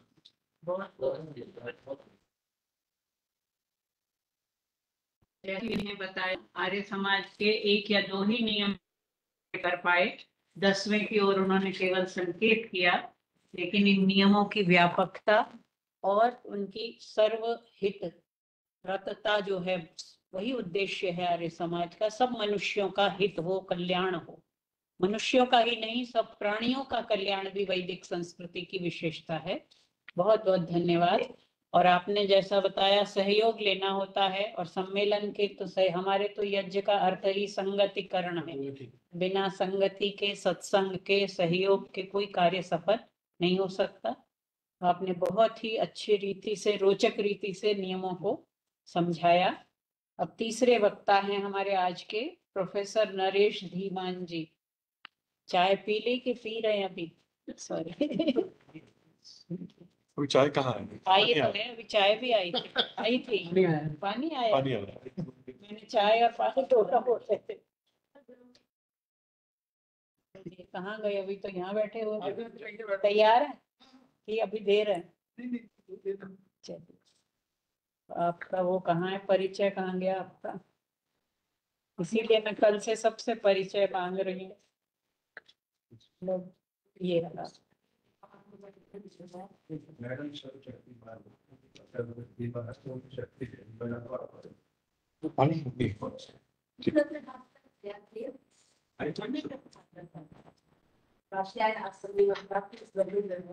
आपस में बात नहीं कीजिए। जो भी कहिए मंच में माइक से कहिए माइक से कहिए। मैं सर्वशक्तिमान कर रही थी जी। कि परमेश्वर ने भी अपने अंग प्रत्यंग तैयार किए। आप जैसे हम गुरु हैं शिष्य के रूप में अपने अंग प्रत्यंग तैयार करता है। हम्म। तो बाद में जाके उसके अंग को सहायक बन जाते हैं। आप हैं आपने इतने सारे जो सहायक अपने आप नहीं आ जाते। तो परमेश्वर में भी प्राप्य ब्रह्म के रूप में जो चर्चा आती है उसने संपूर्ण सृष्टि वो भी यज्ञ यज्ञ संगतिकरण का नाम आपने कहा उसने अपने साथ सब सबको आहरण किया। आहरण किया वो ब्राह्य ब्रह्म पढ़ करके बैठा। ऋग्वेद यजुर्वेद सामवेद पंच प्राण पंच सबका बड़ा विस्तृत व्याख्यान वहाँ पर दिया गया है। और निरूपकार ने तो कहा ही महाभाग्य देवताया एक आत्मा है लेकिन उसके अन्य देवा अंग प्रत्यंगानि होंगी। स वो भी है ना सह यज्ञा प्रजा सृष्टवा। तो सह की भावना तो सर्वत्र है। यज्ञ यज्ञ से ही वो प्रकट होता है। यज्ञ से ही उसको जानते हैं। ऋषिवर ने तो और स्पष्ट किया सृष्टि उत्पत्ति विषय में अष्टम समक्लास में कि इस ब्रह्मांड के दो निमित्त हैं मुख्य निमित्त ईश्वर है और साधारण निमित्त जीव जीव है। तो निमित्त तो हम सबको मालूम चलिए ये चर्चा चलती रहेगी क्योंकि सभी पत्रों का विषय उनका मूल तो एक ही है। उसकी भीतर पृथक हैं। तो अब अगले वक्ता हैं हमारे प्रोफेसर नरेश कुमार धीमान जी। आप इस करतार महर्षि दयानंद सरस्वती के गुरु दंडी विरजानंद की जन्मस्थली में स्थापित है। उसके आप प्रथम स्नातक हैं। बहुत बधाई। और आपका विषय था भारतीय दर्शन के प्रदान में पंडित गंगा प्रसाद उपाध्याय का योगदान। और आपने गुरुकुलपुर में ही तिरासी से लेकर बानवे तक आचार्य पद का निर्वहन किया। और फिर दो द्वाबा कॉलेज जालंधर में संस्कृत अध्यापन एवं प्राचार्य पद का भार वहन किया। और वर्तमान में फरवरी 2022 से आप महर्षि दयानंद सरस्वती चेयर पर चेयर प्रोफेसर हैं, अजमेर में महर्षि दयानंद सरस्वती विश्वविद्यालय में। और आज जो आपका विषय है, अनेक पुस्तकें आपने लिखी हैं और फॉन्ट्स का भी निर्माण किया है। यजुर्वेद भाष्य में बंगला लिपि में प्रथम बार सस्वर फॉन्ट का निर्माण पूर्ण यजुर्वेद संहिता का सस्वर संयोजन आपने किया। बहुत सुंदर। यजुर्वेद भाष्यम, उसमें वाजसनेयी माध्यम दिन शुक्ल यजुर्वेद के संहिता पाठ, पद पाठ की उपलब्ध पांडुलिपियों और प्रातिशाख्य ग्रंथों के परिप्रेक्ष्य में मंत्र संहिता का मिलान करते हुए शुद्धतम सस्वर संयोजन के साथ महर्षि दयानंद के भाष्य का प्रकाशन जो कि वैदिक पुस्तकालय परोपकारिणी सभा अजमेर से हुआ है। और अन्य ग्रंथ भी आपने लिखे हैं। सत्यार्थ प्रकाश विश्व कोश ये आपकी परियोजना चल रही है। सत्यार्थ प्रकाश पदानुक्रम कोश ये बन चुका है कि बहुत सुंदर। और स्वरों पर आपका विशेष कार्य है। और आज जो आपका विषय है वो भी Vedic Swaraj as expounded by Dayanand. Professor Naresh Kumar Dhiman Ajmer से। और फॉन्ट्स भी बहुत खूबसूरत है आपके इसमें। आपने डिज़ाइन किया है? ये वाला फॉन्ट ये फॉन्ट जो है डिज़ाइन करवाया है। ये जो देवनागरी का है। हाँ ये आपको बाकी भी इसमें इंग्लिश का और हिंदी का दोनों कंबाइंड है। अपनी जो आप प्रिंट करना चाहें इसमें प्रिंट कर सकते हैं। उसमें कोई प्रॉब्लम नहीं आएगी। क्या क्या नाम है इस फॉन्ट का? इसका आदिशिला फॉन्ट मैंने भेजा अच्छा, हुआ है। मैंने मेल पर भेजा हुआ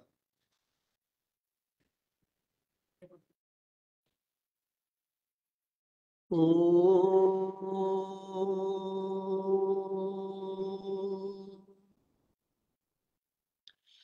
मेधा मे वर्णो ददातु।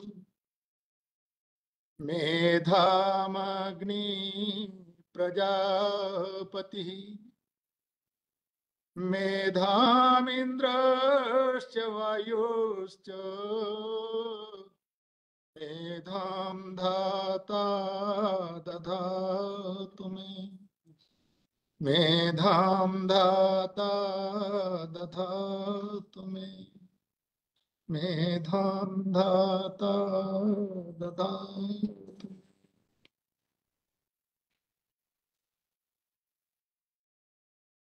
आज इस उच्च शिक्षण संस्थान में बहन शशि प्र- प्रभा जी के विशेष प्रयास से और उनके स्नेह भाव से आपके बीच में आने का सौभाग्य प्राप्त हुआ। इतने बड़े बड़े विद्वान मेरे समक्ष उपस्थित हैं। और मेरा अध्ययन बहुत अल्प है, फिर भी मैं अपने विचार प्रकट करने के लिए आपके बीच उपस्थित हुआ हूँ। मेरा विषय है महर्षि दयानंद का वेद भाष्य में स्वरानुरोध और उसकी संधान प्रक्रिया। जहाँ तक स्वर की बात है, स्वर भी उसी ढंग से कुछ विवादास्पद हो गया जैसे कि हमारे जो वेद हैं, ये ईश्वरीय वाणी है, या किन्हीं के द्वारा, ऋषियों के द्वारा या अन्य आचार्यों के द्वारा रचे गए हैं, वैसे ही स्वर के विषय में भी ये धारणा बनी कि क्या स्वर सहित वेद उपस्थित हुए हैं या स्वरों को बाद में जोड़ा है? मेरा अपना यह मानना है कि यदि वेद ईश्वरीय वाणी है तो स्वर भी स्वर सहित ही ये अवतरित हुए हैं, बिना स्वर के नहीं। और उसका कारण क्या है कि जब हम पाणिनीय व्याकरण के परिप्रेक्ष्य में हम देखते हैं तो वहाँ जो जिस प्रकार से शेष व्यत्यय है, कहीं पर लकार व्यत्यय है, कहीं पर लिंग व्यत्यय है, कहीं पर पुरुष व्यत्यय है, कहीं पर विभक्ति व्यत्यय है, कहीं पर प्रत्यय व्यत्यय है, उसी ढंग से स्वर व्यत्यय भी वहाँ पर विद्यमान है। ये बाद में जोड़े हुए होते तो ये पूरी तरह से व्यवस्थित होते और इसमें किसी व्यत्यय की कोई गुंजाइश नहीं होती। तो ये ईश्वरीय वाणी है जिसमें हमें और जिस क्रम में हमारे साथ हैं तो ये वैदिक स्वर भी उसी रूप में, उस सहित ही वेदवाणी अवतरित हमारे सामने है। दूसरी बात और स्वर कोई भाषा बिना स्वर के होती ही नहीं है। ये वैदिक संस्कृत का वैशिष्ट्य समझिए कि उसमें उन तत्वों को समाहित करने के लिए इस स्वर चिन्ह दे दिए गए हैं। शेष भाषाओं ने सरलता का मार्ग अपनाया और उनमें स्वर का आधिपत्य होने के पश्चात भी, महत्व होने के पश्चात भी उन्होंने उसमें स्वर का संयोजन नहीं किया। जो वैदिक वांग्मय से परिचय रखने वाले लोग हैं, वे जानते हैं कि वेद का अर्थ सबसे अधिक ध्यान यदि जिस स्वर पर जाता है तो वह है उदात्त स्वर। और इस महत्व को भारत के आचार्यों ने नहीं समझा, केवल उन्होंने नहीं समझा। जो विदेशी आचार्य हुए हैं, विद्वान हुए हैं, उन्होंने भी इस महत्व को समझा। उनकी संहिताओं में आप कोई और स्वर नहीं देखेंगे, लेकिन उदात का एक्सेंट वहाँ पर भी आपको जो है विद्यमान मिलेगा। उन्होंने उदात्त को विशेष रूप से अंकित किया है। और भारतीय लोग जो हैं, वे शायद रहस्यवादी रहे जो सबसे उत्तम चीज़ होती है, उसी को छुपा करके रखने का प्रयास करते हैं और इसीलिए हमारी वेद संहिताओं में स्वरित का चिन्ह आपको मिल जाएगा अनुदात का मिल जाएगा, लेकिन उदात को उन्होंने अचिन्हित रख लिया, उसको छुपा करके रख लिया। जब स्वर की बात करते हैं महर्षि आनंद स्वर के संबंध में सबसे अधिक और महत्वपूर्ण कार्य यदि हम पुराने आचार्यों में देखें तो हमें वेंकट माधव का मिलता है। ओम। हाँ जी। हेलो। हाँ जी। हाँ अच्छा। जी।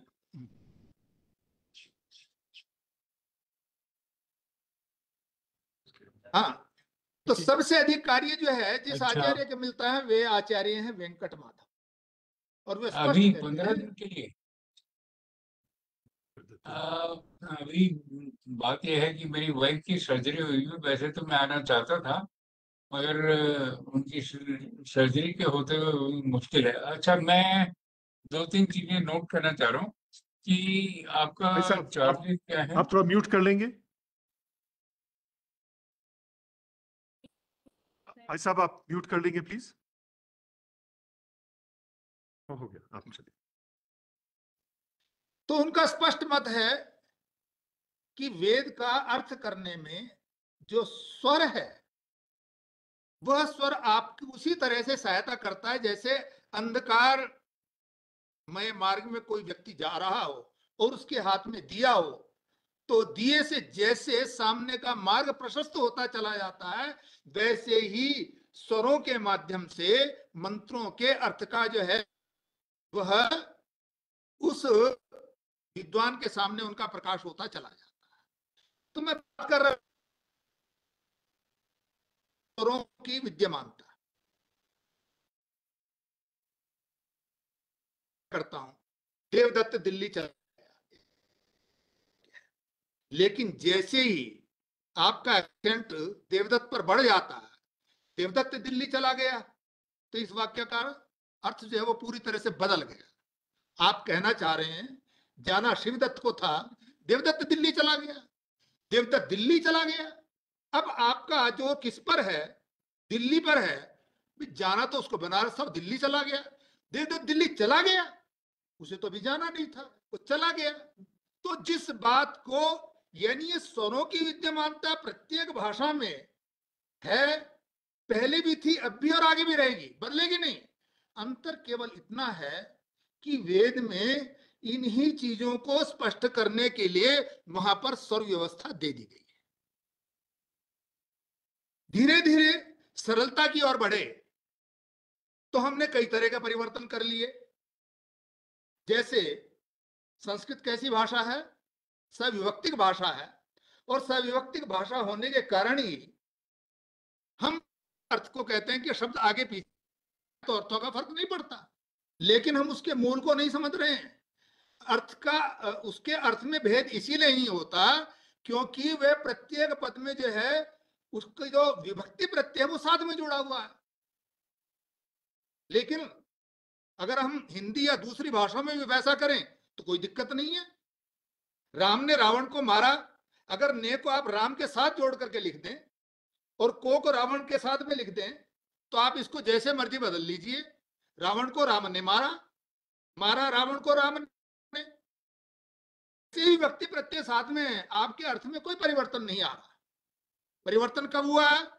जब आपने सरलता की दृष्टि दृष्टि से शब्द को प्रत्यय से अलग करके रख लिया। तो हम सरलता की ओर तो चले गए, लेकिन भी हमने पैदा कि उसमें भ्रांति की संभावनाएँ बन गई हैं।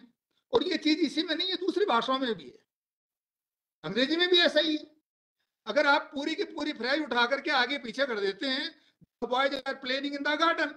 अब आप इन द गार्डन पूरी पूरी फ्रेज है, इसको सीधा उठाइए, शुरू इन तो क्या फ़र्क पड़ेगा? कोई फ़र्क नहीं पड़ता। लेकिन आपको वह सविभक्ति पद उतना उठा करके लाना पड़ेगा।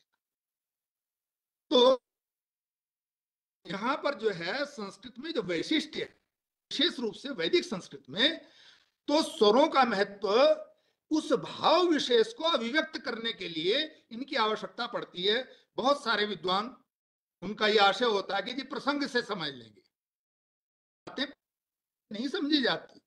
कोई अपनी ओर से भी प्रसंग कर सकता है तो उन सबको लिए अंकुश लगाने के लिए और गंभीरता से कार्य किया जाए तो इसमें बहुत कुछ हमारे सामने आ सकता है। जैसे जिन शब्दों की पाणिनि स्वर की व्यवस्था देते हैं, परंतु वेद में उसका स्वर अलग है। हमें ऐसे शब्दों का एक अलग से संकलन करना चाहिए और हमें विचार करना चाहिए कि यहाँ पर तो विशेष रूप से इन शब्दों का अर्थ बिल्कुल भिन्न होगा ही होगा। क्योंकि अगर वेद में ऐसा स्वर वाला शब्द मिल रहा है और लोक में दूसरे स्वर वाला शब्द मिल रहा है तो इसका मतलब है कि वहाँ उसका विशेष अर्थ है। और इसी ढंग से पाणिनि भी, स्वर के अर्थ का वैशिष्ट बताते हुए अलग अलग व्यवस्थाएँ करते हैं। यजुर्वेद का पहला मंत्र है, इसे तोर्जे वायवस्थ देवो व सविता प्रार्पयतु श्रेष्ठताय कर्मण आप्याय दोमग्ना इंद्राय भागम प्रयावती अनमिवा क्षमा मावस्ते न यशद मागशंसो अब यहाँ पर गोपति शब्द आया है, जो व्याकरण के विद्वान है, वो जानते हैं कि एक संस्कृत का सूत्र है, क्या है ऐश्वर्य? हाँ कि पति शब्द का जो है, जब समास किया जाएगा तो वह क्या है? ऐश्वर्य के अर्थ में जब होगा तो वह अद्युदात होगा। किस अर्थ में होगा? ऐश्वर्य अर्थ में। अगर आप सामान्य अर्थ उसका ग्वाला ले रहे हैं, गोपति का, तब वहाँ पर क्या समास से सूत्र से उसको अंतोदात हो जाएगा? तो अर्थ में भेद हो गया ना। यानी अगर आप गो यानी वाणी या पृथ्वी, इनके ऐश्वर्य से जो ऐश्वर्यवान है, ऐसा जो व्यक्ति है वो है अद्युदात अर्थ वाला होगा। और जो केवल साधारण जहाँ पर आप पति को ज़ोर देना चाह रहे हैं, उसके स्वामित्व पर आधिपत्य पर ज़ोर देना चाह रहे हैं, वहाँ पर उसका अर्थ जो है, वह अंतोदात उसको हमें अंतोदात लिखना पड़ेगा। लेकिन वेद में बाध्यदात है तो इसलिए वहाँ पर जो वाणी अथवा इंद्रिय इत्यादि के ऐश्वर्य से ऐश्वर्यवान है, ऐसे गोपति के शासन में हम रहे, वहाँ पर ऐसी कामना है। गवाले के अंडर हम काम करें, ऐसी कामना नहीं है। तो इस ढंग से हम बड़ी सूक्ष्म बहुत सारे हैं एक बड़ा प्रसिद्ध उदाहरण है कि भी आर्य समाज जो है वो क्यों लड़ते झगड़ते रहते हैं रोज शांति पाठ करते हैं? वहाँ अंत में वाक्य क्या आता सा माँ शांति रेधी। अब वहाँ पर क्या है? माँ अनुदात है, लेकिन बोलते सारे उदात्त हैं। उस पर विशेष रूप से ज़ोर देंगे। सा माँ शांति रेधी। जब उदात्त हो गया तो उसका अर्थ हो गया, माँ का अर्थ हो गया निषेध, मत। वो तो हमें मिले ही ना। तो वो नहीं मिल रही तो लड़ते झगड़ते रहते हैं। तो कहने का तात्पर्य है कि स्वरों का अपना महत्व है। स्वर इतने जटिल नहीं है जितने हमने बना लिए हैं। जितने हमने बना लिए हैं, स्वर इतने जटिल नहीं है। स्वर बहुत सरल हैं। पूरे व्याकरण में सात सूत्र हैं जो आपकी इसके स्वर की प्रक्रिया प्रक्रिया की व्यवस्था को बताते हैं। केवल सात सूत्र हैं। और उस सात में भी चार सूत्र जो हैं, वो तो केवल संज्ञा ही कर रहे हैं। जैसे उच्च रुदात्त, नीचे ऋणुदात्त समाहार स्वरित उदात्त स्वरित परस्य सन्नत। ने तो केवल संज्ञा एक सूत्र है अनुदात्तम पद में एक वर्जम कि भी एक पद में एक क्या होगा? उदात्त होगा या स्वतंत्र स्वरित होगा? जिसको हम जात्य स्वरित कहते हैं। इनको छोड़ करके बाकी सारे क्या हो जाएँगे? अनुदात्त हो जाएँगे। एक सूत्र कहता है उदात्ता अनुदात से स्वरित। कि उदात्त के बाद जो आए, वह क्या होगा? वह स्वरित हो जाएगा। और एक सातवां सूत्र और है और वो क्या है? स्वरिता संगीतायाम अनुदात के स्वरित से परे जो अनुदात होंगे उनको क्या हो जाएगा? प्रचय हो जाएगा, एक श्रुति हो जाएगी। केवल इन सात सूत्रों की सारी माया है। लेकिन उस माया में हम उलझ क्यों गए? हमने एक छोटी सी भूल कर दी। और वो भूल क्या कर दी? कि पाणिनि ने हमें बताया था, उदात्त स्वरित परस्य सन्नतर। के उदात्त और स्वरित परे हैं जिसके, यानी उदात और स्वरित से पहले वाला जो वर्ण है, वह क्या होता? है उसका नाम होता है सन्नतर। वो हमने पढ़ाया नहीं। उसको हमने एक तरफ़ रख दिया। और हम बताते रहे विद्यार्थियों को कि चार स्वर होते हैं। एक उदात्त होता है एक अनुदात्त होता है एक स्वरित होता है और एक प्रचय एक श्रुति होती है। प्रचय का दूसरा नाम क्या है? एक श्रुति है। हमने कभी नहीं पढ़ा कि एक पांचवा स्वर भी होता है। और पाँचवें स्वर का नाम क्या है? सन्नतर है। इसी सन्नतर शब्द को जो है जो आ, अपना एक याज्ञोलिक शिक्षा एक दूसरी है नारदीय शिक्षा। नारदीय शिक्षा में इस पाँचवें स्वर को ही वो कहता है कि निघात पंचम स्वर। निघात जो है ये पांचवा स्वर है। यानी जिसको पाणिनि सन्नतर कह रहे हैं, उसी को नारदीय शिक्षा में क्या नाम दिया गया है? निघात नाम दिया गया है। और इस ही को महाभाष्य में अनुदात्तर नाम दिया गया है। जो कौमदिकार हैं, वे भी इसको अनुदात्तर मानते हैं। लेकिन जब स्वरों की व्यवस्था बढ़ानी होती है, तब हमने अपने मस्तिष्क से इस सन्नतर को गायब कर दिया। और जैसे ही गायब किया, वैसे ही सारी व्यवस्था जो है क्या हो गई है? भ्रष्ट हो गई है। बहन जी मुझे जरा बता देना कितने बजे तक मुझे अपनी ये कार्यवाही शुरू रखनी है? पर दयानंद के योगदान पर प्रकाश डाल दें।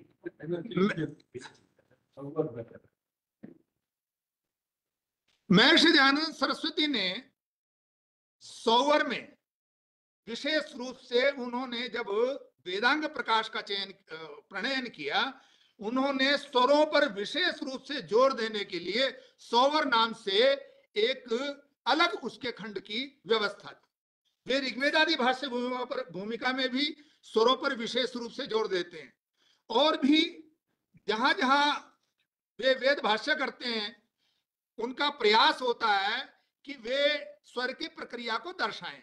परंतु स्वर की प्रक्रिया प्रत्येक पद में अगर दर्शाने लगेंगे तो भाष्य बहुत लंबा हो जाएगा। लेकिन मेरे देखने में ऐसा आ रहा है कि महर्षि दयानंद सरस्वती ने वेद भाष्य करते समय उस स्वर के संबंध को अर्थ के साथ में जोड़ते हुए और अपने मस्तिष्क में रखते हुए उसके साथ में न्याय करने का पूरा पूरा प्रयास किया है। अब मैं थोड़ा सा प्रकाश इस पर डालूँगा। लेख काफ़ी लंबा है और हमारे पास जो वेद में स्वरों के जो हमें चिन्ह मिलते हैं वे केवल पाँच ही नहीं है, कुल मिलाकर के अस्सी से अधिक चिन्ह है। और जो अस्सी से अधिक चिन्ह है, इन सारे चिन्हों को आज यूनिकोड में स्वीकृत कर लिया गया उसके लिए इन चिन्हों सहित फोंट भी तैयार हो गए हैं। अभी तक का जो, जिस फोंट को मैं भी प्रयोग में लाता हूँ, वह आदिशिला नाम का फोंट है। और इस फोंट तो फोंट बनवाने वालों ने बनवा लिया, लेकिन अब उस फोंट में टाइपिंग कैसे करें? यह समस्या है। तो उस फोंट का ड्राइवर जो है वो मैंने खुद तैयार कर दिया है और वो फ़ोन ड्राइवर भी शायद मैंने आपको भेजा होगा, नहीं भेजा होगा तो मैं फ़ोन ड्राइवर भी आपको भेज दूँगा। आपको सीधे उसमें इंस्टॉल करें, पीडीएफ दी हुई है और उसके अकॉर्डिंग आप उसका प्रयोग कर सकते हैं।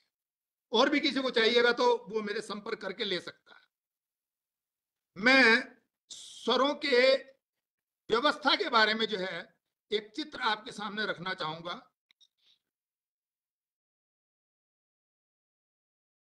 अच्छा वहाँ तक तो ये पहुंचेगा ही नहीं ठीक है।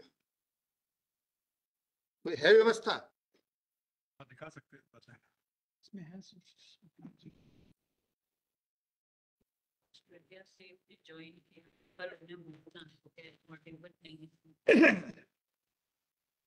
या फिर म्यूट नहीं तो पता नहीं पूछिए सुनो भैया आवाज़ जा रही है क्या उधर? हाँ जी हाँ जी सर इसमें क्योंकि ये छोटा है फिर भी मैं इसको अपनी ओर से बड़ा करने का प्रयास करता हूँ। इसमें आप देखिए ये जो लंबे के आकार में जो बना हुआ है इसमें लिखा हुआ है अनुदात। और अनुदात के साथ में जो है दो प्लस के साइन लगाए हुए हैं। ये दो प्लस के साइन जो है इस बात को इंगित करते हैं कि एक ही पद में एक साथ एक से अधिक अनुदात क्या क्या है इसका मतलब? कि एक पद में एक ही साथ एक से अधिक अनुदात आ सकते हैं। अनुदात के बाद सीधे आगे हम दूसरा है निघात, ऊपर की ओर चलिए। अनुदात अनुदात के बाद क्या है? निघात। निघात के साथ में कोई चिन्ह नहीं लगा हुआ। इसका मतलब ये है कि एक पद में ये जो निघात होगा, ये एक ही होगा। उसके बाद आगे फिर आ गया उदात्ता। के उदात्त जो है, वैसे तो एक पद में एक ही उदात्त होता है, लेकिन संगीता पाठ भी आएगा। तो संगीता पाठ में एक से अधिक उदात्त जो है, वो आ सकते हैं। सामासिक जो पद हैं, उनमें भी एक से अधिक उदात्त आ सकते हैं, जो समस्त पद हैं, क्योंकि वहाँ दो पदों में को मिलाकर के एक पद बनेगा। तो वहाँ पर दो उदात्त हो सकते हैं। तो उनमें भी ये नियम काम करेगा। और उदात्त के बाद जो है, उसके बाद आ जाता है स्वरित। और स्वरित पर कोई चिन्ह नहीं दिया हुआ, इसका मतलब क्या है कि एक बार में एक ही स्वरित आएगा, दो स्वरित कभी भी इकट्ठे नहीं आए उसके बाद आ गया प्रचय। प्रचय के बाद में फिर प्लस का साइन दिया हुआ है। ये आपको बता रहा है कि प्रचय जो है, वह एक साथ एक से अधिक हो सकते हैं। और फिर एक सीढ़ी दी हुई है कि जैसे ही आप करें तो शुरू में एक बार अनुदात देखना है। उसके बाद आपका ध्यान पूरी संगीता में अनुदात, यानी पूरे एक मंत्र में अनुदात पर नहीं जाना चाहिए। मंत्र में भी एक पूरे पाद में।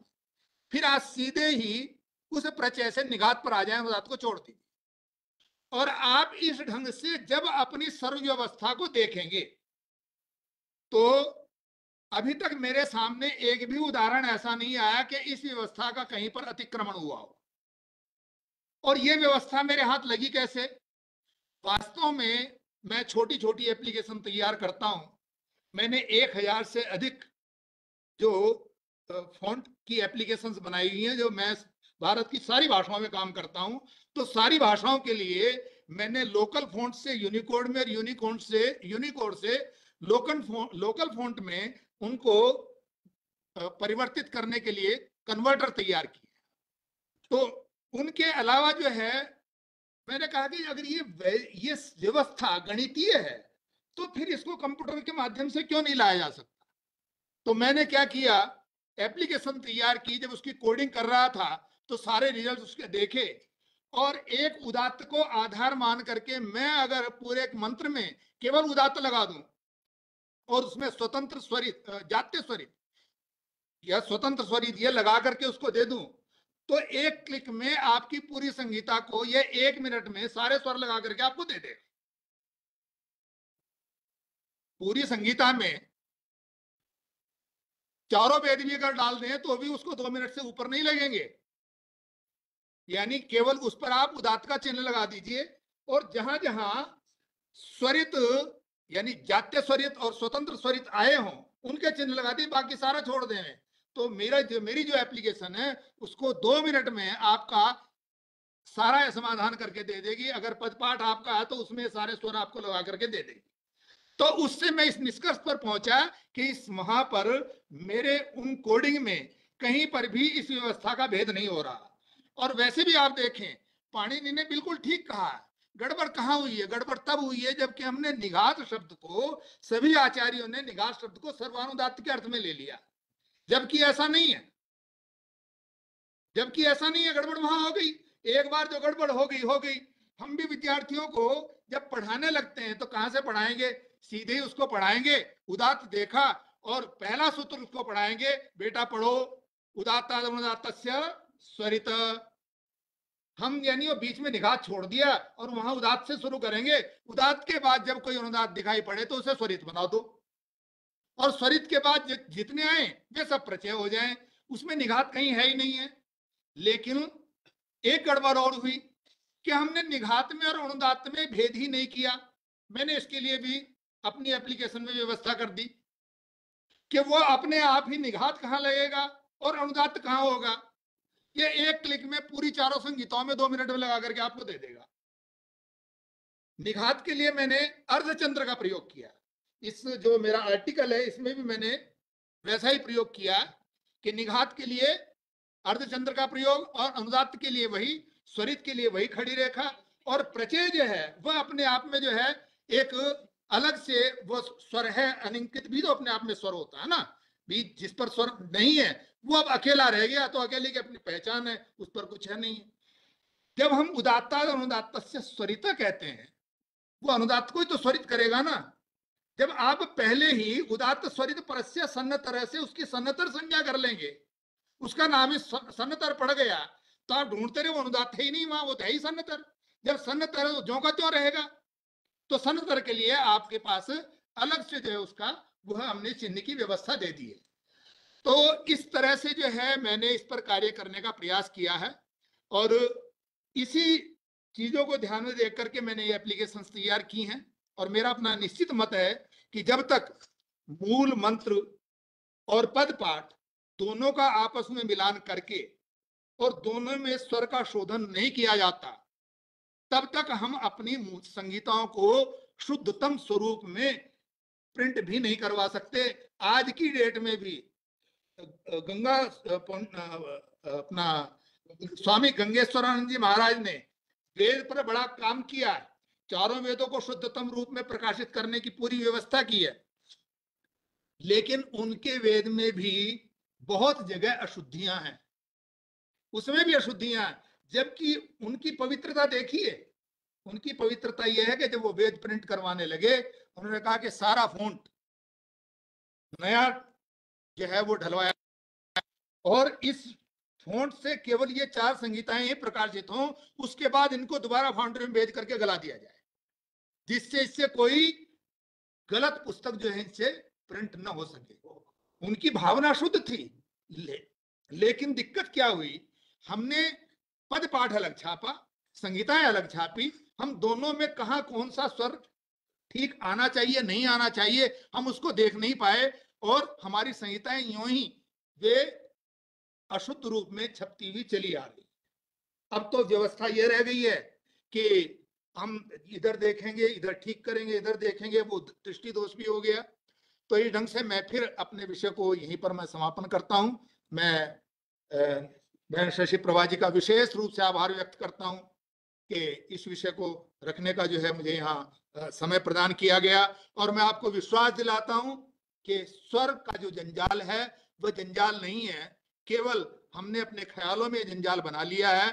अब मैं इस विषय पर, अभी तक तो ये व्यवस्था की बात थी ना, इस ही विषय पर अब एक वर्कशॉप रख रहा हूँ, जिस वर्कशॉप में हम सीधे ही पदों में आप कैसे सरलता से स्वर संचार कर सकते हैं। जब पदों में आ जाएगा तो संगीता में स्वर संचार करना जो है, वह बड़ा सरल हो जाएगा। उसमें किसी तरह की कोई कठिनाई नहीं आएगी। बहुत बहुत धन्यवाद बहुत बहुत आभार। किसी का और कोई प्रश्न शेष हो तो आप भी बात कर सकते हैं।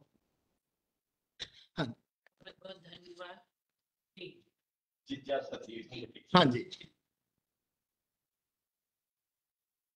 देखिए वेंकट माधव की चर्चा से आपने प्रारंभ किया। हम्म हम्म, और वेंकट माधव कहता तिरमात्रे विद्यमाने पुनश्चात दीयते ससूक्ष्म शक्यते जातुम नाप्रत्ययिति निर्णय। इसका मान नहीं साधारण व्यक्ति नहीं समझेंगे बुद्धिमान है, वो समझ लेंगे। एक है। कहीं आद्युदात है, कहीं मध्योदात है। तो अर्थ में भेद क्यों नहीं करते न वेंकट माधव करते हैं न दूसरे भाष्यकार करते हैं जो मेरी समझ है। आप बिल्कुल ठीक कह रहे हैं। तो देखिए ये इतना सारा जो सरलता आप बता रहे हैं जगटवाल जिसे लोगों ने बना लिया ये जगटवाल क्यों नहीं है? जब वेंकट माधव भी उसी एक पद का उदाहरण के लिए मैं धर्मन पद ले हम्म हम्म, ऋग्वेद संगीता पर वेंकट माधव का भाष्य पूरे पद है। और उसमें पिछहत्तर बार ये पद आया है अलग अलग विभक्ति में। धर्मन के जो रूप है धर्म धर्म। है। अकेला धर्म भी आया है तो वहाँ जो स्वर का भेद हो रहा है अर्थ का भेद तो नहीं हो रहा। यदि स्वर का ये चिन्ह जो अब लगा हुआ है ये अर्थ के भेद का प्रत्यायक नहीं है तो फिर इसका प्रयोजन क्या है? और ये दूसरे के भाष्यकारों मैंने भी आपके हाँ हाँ। आपका जो है कथन बिल्कुल ठीक है। वेंकट माधव ने अपनी अनुक्रमणिका में इस पर ज़ोर दिया है लेकिन भाष्य में वे पूरे खरे नहीं उतरे हैं। और स्वामी दयानंद के भाष्य में भी सर्वत्र इस पर जो है वह परिपालना नहीं हुई है। इसमें कोई दो राय नहीं है। लेकिन ये भी स्पष्ट है। और जहाँ मैं इसलिए कह रहा हूँ ना कि उन पदों को ढूंढ करके वहाँ पर और कौन से अर्थ की परिकल्पना हो सकती है, उसके अनुरूप जो प्रासंगिक भी हो और उचित भी हो, हमें वो ढूँढने चाहिए। पर वो, नहीं नहीं, उसमें आप ये देखिए ना कि जितने भी आपके प्रत्यय हैं, वे त्रिश प्रत्यय और तृण प्रत्यय है। वो जो जब तृण प्रत्यय होगा तो वो आद्युदात हो जाएगा और चित होगा तो अंतुदात हो जाएगा। देखने में वो धाता या करता है, वो ऐसा ही है, लेकिन अर्थ में वहाँ भेद हो रहा है। पाणिनि भी इसको स्पष्ट कर रहा है, दूसरे भाष्यकार भी स्पष्ट कर रहे हैं। तो ऐसी व्यवस्थाएँ, प्रातः शब्द है, वो क्रियापद है, या वह आपका प्रातः काल वाला जो है अव्ययी है तो दोनों का जो वहाँ पर आपको स्वर अलग अलग हैं। तो इस ढंग से बहुत सारी व्यवस्थाएँ ऐसी हैं जिनको जो दूसरे पक्ष वाले हैं जैसे आप बता रहे हैं वो कहते हैं हम इसको प्रसंग से समझ लेंगे। मैं मानता हूँ कि प्रसंग से समझने वाले भी होंगे लेकिन अगर ये व्यवस्थाएँ दी भी गई हैं तो इसमें कोई कोई अनौचित्य नहीं है। और इसका अपना दूसरा जो इसका हेतु है वह उसका उच्चारण में भी इसका प्रयोग किया गया वह भी एक हेतु है।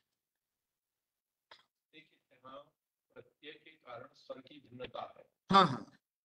इसका सबसे एक ही उदाहरण सब उद्धृत करते हैं। यजुर्वेद संहिता। मीमांसक जी ने भी उसी को उद्धृत किया है। दूसरा कोई विद्वान किसी पत्र पत्रिका में लेख लिखता है तो व्यर्थ और व्यंग करके उसी को उद्धृत कर लेता है। भ्रातृव्यस्य बधा है कि भतीजा अर्थ हो गया और शत्रु अर्थ हो गया। यदि इसको नहीं समझेंगे, प्रत्यय को स्वर के आधार पर तो अनर्थ हो जाएगा। भतीजे की जगह शत्रु होकर शत्रु की जगह भतीजा मारा जाएगा। ये बात कहते हैं। किंतु जहाँ व्यर्थ और व्यंग नहीं है पद विभक्ति में है वहाँ तो नहीं दिखा रहे तो कभी तो वो भी होना चाहिए। अकेला देखिए वेद शब्द ही है। हाँ हाँ। वहाँ नहीं भाष्यकार क्या अर्थ कर रहे हैं? वहाँ ना नहीं, वो आचार्य जी ठीक कह रहे हैं, डॉक्टर साहब ठीक कह रहे हैं। वो ठीक कह रहे हैं। मैं मैं, मेरा अपना मानना ये है कि यदि यहाँ उन्होंने स्वर की दृष्टि से वहाँ पर अर्थभेद नहीं किया है तो इसमें ये स्वर व्यवस्था की गलती नहीं है। जिन्होंने उनके अर्थ किए हैं, ये उनकी अल्पज्यता का दोष है। हाँ।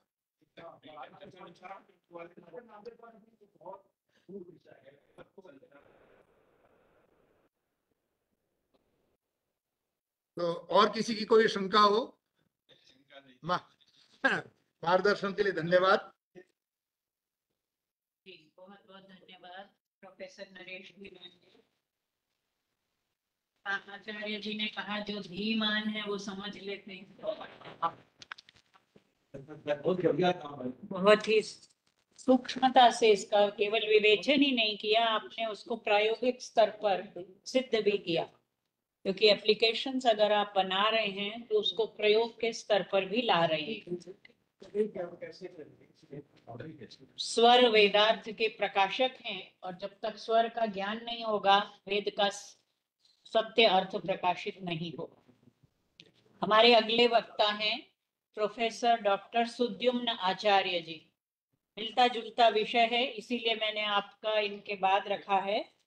आप वेदांग प्रकाश, महर्षि दयानंद की अनेक रचनाओं में से वेदांग प्रकाश बहुत महत्वपूर्ण है, अनेक खंड हैं उसके।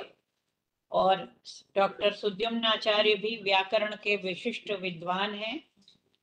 आपने वेदवाणी वितान की स्थापना की है सतना, मध्य प्रदेश में, उसके आप निदेशक हैं। भरहुत कला संग्रहालय के आप संस्थापक हैं। अनेकानेक ग्रंथों के लेखक हैं। और आपके ग्रंथों की विशेषता यह है कि आप प्राचीन शास्त्रों को आधुनिक विज्ञान से जोड़कर बताते हैं। डॉक्टर सुद्यम्न आचार्य जी, वेदांग प्रकाश और स्वामी दयानंद।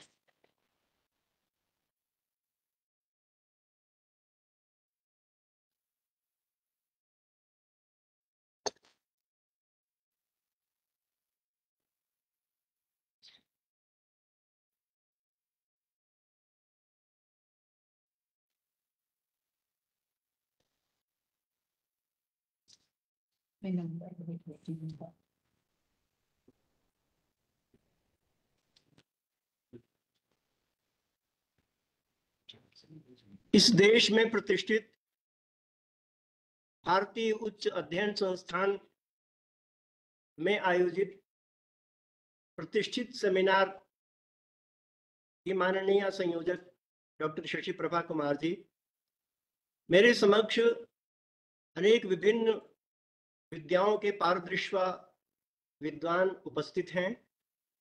मैं उन सबको प्रणाम करता हूँ। मेरा विषय ऋषि दयानंद द्वारा विरचित, संपादित, वेदांग प्रकाश में उणादि कोश यह विषय है।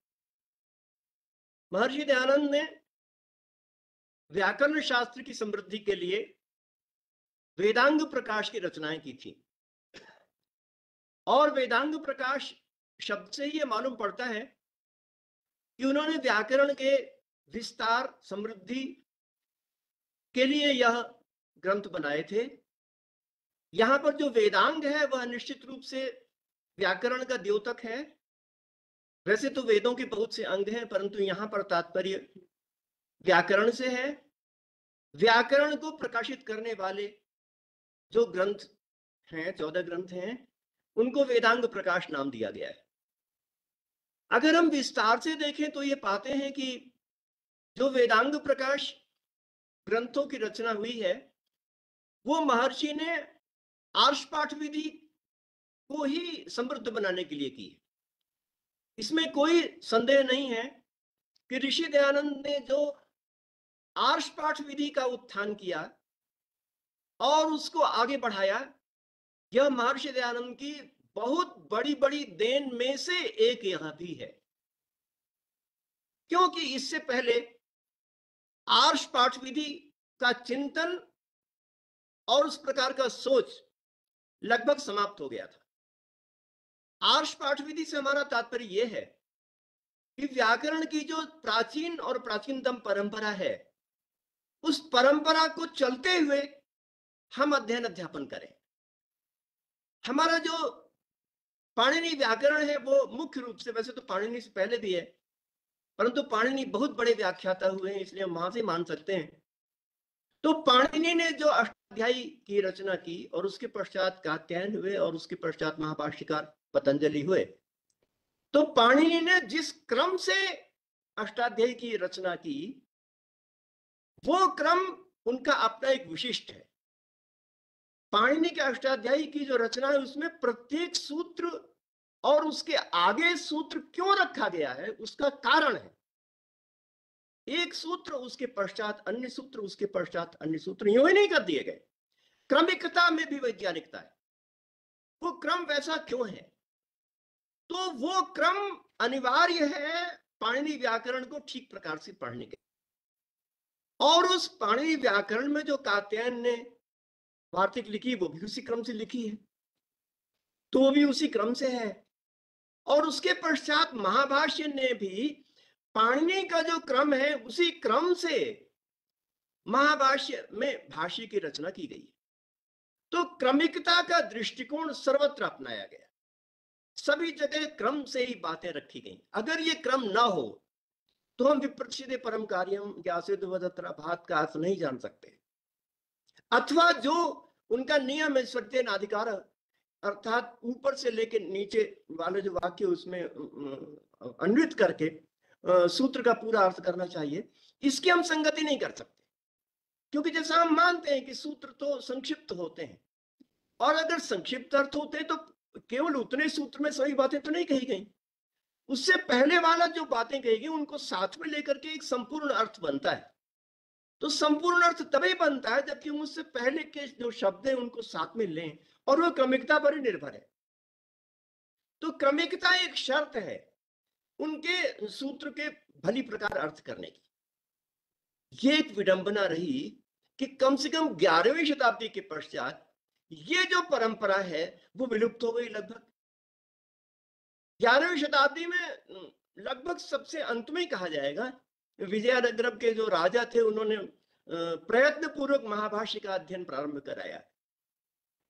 और उस समय अध्ययन शुरू हुआ। उसके पश्चात सूचना नहीं मिलती कोई कि ग्यारहवीं शताब्दी के पश्चात अठारहवीं, उन्नीसवीं शताब्दी तक महर्षि के आने तक कोई ने महाभाष्य का अध्ययन किया उस क्रम से करने की परंपरा विकसित हुई हो, चली हो। ऐसा उदाहरण नहीं प्राप्त होता है। इसलिए हम कह सकते हैं कि हज़ारों वर्षों के पश्चात ऋषि दयानंद ने क्रांतिकारी कार्य किया कि उन्होंने आर्ष पाठ विधि को पुनर्स्थापित करने का प्रयास किया। यानी जितने बड़े बड़े पंडित गण हैं, वो भी कहते हैं बार बार हमारे अष्टाध्याय में आता है ये बार बार कि त्रिमुनि व्याकरणम है। यानी व्याकरण जो है तीन मुनियों ने विकसित किया। पाणिनि कात्यायन और पतंजलि ने। परंतु तीन मुनियों ने विकसित किया तीन मुनियों के ग्रंथों का पता ही नहीं। नव्य न्याय के न्याय, न्याय की छाया में जो नव्य व्याकरण के ग्रंथ चले वो चल पड़े और उन तीन मुनियों ने जिस क्रम से किया उसका पता ही नहीं। तो त्रिमुनि व्याकरण हम कहते हैं केवल परंतु पता नहीं होता है। तो इसलिए सबसे बड़ी क्रांतिकारिता की बात रही, ये रही कि उन्होंने आर्ष पाठिति के द्वारा सूत्र क्रम से अध्ययन किया और महाभाष्य को आगे बढ़ाया। जो नव्य व्याकरण के लोग महाभाष्य की बड़ी बड़ी चीज़ों को लेकर सिद्धांत बताते हैं, स्फोट नामक सिद्धांत केवल और केवल महाभाष्य से विकसित हुआ और उस सिद्धांत को को पढ़ने, पढ़ाने वाला महाभाष्य अब दूर हो चला था। इसलिए उसकी प्रतिष्ठापना बहुत आवश्यक थी, उसकी ऋषि ने की। और ऋषि ने जैसा कि मैंने कहा कि उसकी प्रतिष्ठापना को पूरा करने के लिए वेदांग प्रकाश बनाए और वो जो वेदांग प्रकाश बनाए, उसमें भी एक खासियत थी। जितने वेदांग प्रकाश की रचना उन्होंने की, उन्होंने भी सूत्र क्रम से की। चाहे वर्णोच्चारण शिक्षा की स्थापना की, वर्णोच्चारण शिक्षा के जो सूत्र हैं, उन सूत्रों को उन्होंने क्रम से लिया। जैसे क्रम से पाणिनि शिक्षा में सूत्र थे, उसी क्रम से उन्होंने लिया और उसके पश्चात उसकी आगे व्याख्या की। आगे उनके जितने भी वेदांग प्रकाश हैं चाहे कोई भी ले लें, संधि विषय इत्यादि कोई भी ले लें, सब में सूत्र क्रम से अपनाया उन्होंने।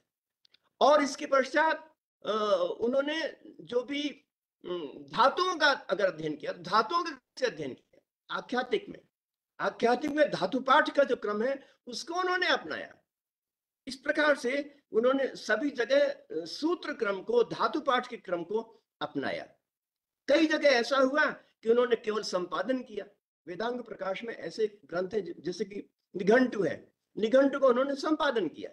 जैसा कि तैसा निघंटु था, उनको उन्होंने संपादन किया। और उस वेदांग प्रकाश के अंतर्गत एक ग्रंथ है, जिसका मैं विशेष रूप से यहाँ आपके समक्ष वर्णन करना चाहता हूँ, वो है उणादि कोश जो उणादि नाम का ग्रंथ है, वह ऐसा है कि जिसका नाम और जिसकी व्याख्या लगभग अप्रचलित हो चली थी। यानी उणादि कोश की जो व्याख्या है, वो स्वतंत्र रूप से तो महर्षि दयानंद से पहले हुई ही नहीं, स्वतंत्र रूप से। सिद्धांत कौमुदी के अंतर्गत व्याख्या हुई है। सिद्धांत कौमुदी के अंतर्गत मतलब सिद्धांत कौमुदी ने बहुत से सूत्र दिए, उसके अंतर्गत एक एक परिच्छेद दे दिया कि उसके अंतर्गत उन्होंने व्याख्या कर दी। स्वतंत्र रूप से ग्रंथ मानते हुए व्याख्या उपलब्ध नहीं हुई अभी तक, परंतु महर्षि ने ये माना कि ये उनादि कोश एक स्वतंत्र ग्रंथ है। क्योंकि उसका महत्व उतना ही ज़्यादा है जितना अन्य ग्रंथ का है। महर्षि पाणिनि इस उनादि कोश से परिचित थे परिचित ही नहीं महर्षि ने तो माना कि उन्होंने उसका प्रणयन किया है। क्योंकि उन्होंने महर्षि पाणिनि ने सूत्र बनाए उनादेव बहुलम। उनादेव बहुलम से ज्ञात होता है कि उनको ये ये ज्ञात था कि उनादि ग्रंथ है। अब वो कितना है किस प्रकार का है ये तो समीक्षा का विषय हो सकता है परंतु उनादि अ, उनको ज्ञात था। इसलिए उन्होंने उनादि बहुलम सूत्र बनाया। और उसके पश्चात जो रचनाएँ हुई, एक बहुत कारिकाएँ हैं। उनादि बहुलम के अंतर्गत महाभाष्य में कारिकाएँ पाँच छह श्लोकों की हैं। उसमें बताया कि उनादि में क्या काम कहा जाएगा? तो उनादि में जितने भी काम कहे गए कि धातु प्रकृति जहाँ पर मालूम नहीं है, वहाँ पर उनको संजोना और उनकी व्याख्या करना, इत्यादि बातों को उन्होंने की इसका मतलब है कि महाभाष्यकार ने भी उसको बहुत महत्व दिया। इस प्रकार से उणादि जो कोश है, वो बहुत महत्वपूर्ण रहा। उणादि जो कोश है, वो महर्षि महर्षि ने उसको कहीं पर उणादि पाठ भी कहा है और उणादि सूत्र भी कहा है और उणादि कोश के नाम से तो मिलता ही है। उणादि जो है, वो दो रूपों में प्राप्त होता है, एक तो दशपादी है और एक पंचपादी है। दशपादी का अर्थ स्पष्ट है कि दस उसके पाद हैं और पंचपादी का मतलब पाँच उसमें पाद हैं। तो पंचपादी के रूप में प्रचलित हुआ। महर्षि ने ये माना कि ये जो उणादि है, वो पंचपादी ही पाणिनि है। क्योंकि जो पंचपादी है, उसके प्रारंभ में ही उण आता है। उणादि का मतलब ये होना चाहिए ना कि उण उण से प्रारंभ हुए। उणादि माने उण से प्रारंभ होने वाला, परंतु दशपादी के प्रारंभ में उण प्रत्यय नहीं है। इसलिए महर्षि ने, महर्षि पाणिनि ने उणादि के अंतर्गत दशपादी को रखा होगा, ऐसा हम अनुमान नहीं कर सकते। जिसके, जिस पंचपादी के प्रारंभ में उण है, उसकी हम कल्पना कर सकते हैं। तो उसको उन्होंने पंचपादी को पाणिनि माना महर्षि ने, ऐसा उन्होंने कहा है। इस प्रकार से उणादि की उन्होंने व्याख्या की। यहाँ पर भी उणादि की जो व्याख्या की उन्होंने, वो भी उसी क्रम से की। जिस क्रम से उणादि सूत्र है, उसी क्रम से उन्होंने व्याख्या की। सबसे पहली और सबसे महत्वपूर्ण बात यह है, जो कि महर्षि ने उणादि कोश की व्याख्या की, वो ये है कि उन्होंने यौगिक और योग रूढ़ दोनों प्रकार की व्याख्याएँ की। यानी प्रत्येक में जितने भी सूत्र हैं, जितने भी उणादि के सूत्र हैं, पहले उन्होंने ये लिखा कि धातु और प्रत्यय के अनुसार ये अर्थ होता है, उसके पश्चात वा लगाते हुए योगरूढ़ अर्थ ये होता है। मतलब जो शब्दकोश में नियमित और प्रचलित रूप से जो प्रचलित है, वह अर्थ ये है और धातु प्रत्यय के अनुसार जो विस्तृत अर्थ अगर हो सकता है तो वो ये है। तो यौगिक अर्थ भी किया और योगरूढ़ अर्थ भी किया है। तो दोनों प्रकार के अर्थ की। ये सबसे बड़ी महत्वपूर्ण विशेषता है कि उन्होंने माना कि शब्द यौगिक भी होते हैं और आगे चलने पर वो योगरूढ़ भी होते हैं और उनका सबका उन्होंने अर्थ किया। और महर्षि दयानंद ने जो ऐसे शब्द हैं जो कि जो कि ऐसा लगता है कि वो उनका अर्थ बहुत कठिन होता है, यानी जो रूढ़ जैसे मालूम पड़ते हैं, उन रूढ़ शब्दों का भी योग रूढ़ मान के अर्थ किया उन्होंने। उन्होंने महर्षि ने अपने उणादि सूत्र में लगट है पारक है, जैसे कि बहुत ही रूढ़ शब्द प्रतीत होते हैं, उनको भी ये मानकर वर्णन किया कि वो भी योग रूढ़ हो सकते हैं। ये उणादि की विशेषता है जो कि महर्षि दयानंद रखी। आगे हम ये कहना चाहते हैं कि महर्षि दयानंद ने जो उणादि की व्याख्या की है, उससे हमें शोध का एक अपार अवसर प्राप्त होता है। महर्षि ने कहीं पर भी ये नहीं कहा है कि इतना ही सोचना, उसके आगे नहीं सोचना। हमें शोध का अपार अवसर प्राप्त होता है।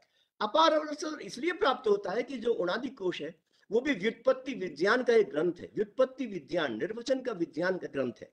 और विज्ञान के संबंध में हम समझते हैं कि जितने भी विज्ञान होते हैं, उनमें नियम होता है। बिना नियम के विज्ञान नहीं होता है। हमारे प्राचीन काल से जो व्युत्पत्ति विज्ञान कहा जाता है, वो इसलिए कहा जाता है कि उसमें निश्चित रूप से नियम है। चाहे ध्वनि विज्ञान हो, चाहे रूप विज्ञान हो, चाहे वाक्य विज्ञान हो, सब में नियम है। अनियमित तो नहीं है। जब नियम होता है, तभी विज्ञान बनता है। तो व्युत्पत्ति विज्ञान के अंतर्गत वो नियम होते हैं, ये मानकर अष्टाध्यायी और उणादि कोश दोनों की संरचना हुई। और अष्टाध्यायी में तो उन नियमों का पूरा पूरा परिपालन किया गया है। हमें कभी कभी आश्चर्य होता है कि प्रकृति प्रत्यय विज्ञान मतलब प्रकृति कितनी होनी चाहिए? कितने हिस्से को प्रकृति धातु कहेंगे? कितने हिस्से को प्रत्यय कहेंगे? इस बात को बताने के लिए परिभाषा बताई महाभाष्य ने बाद में। महाभाष्य में अर्थवत सूत्र में सिद्धम तो अन्य व्यतिरेकाभ्याम।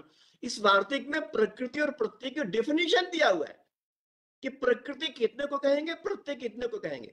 और ठीक वही महाभाष्यकार ने जो प्रकृति और प्रत्यय की परिभाषा दी है, ठीक वही परिभाषा आधुनिक भाषा विज्ञान ने मॉर्फिम की दी है।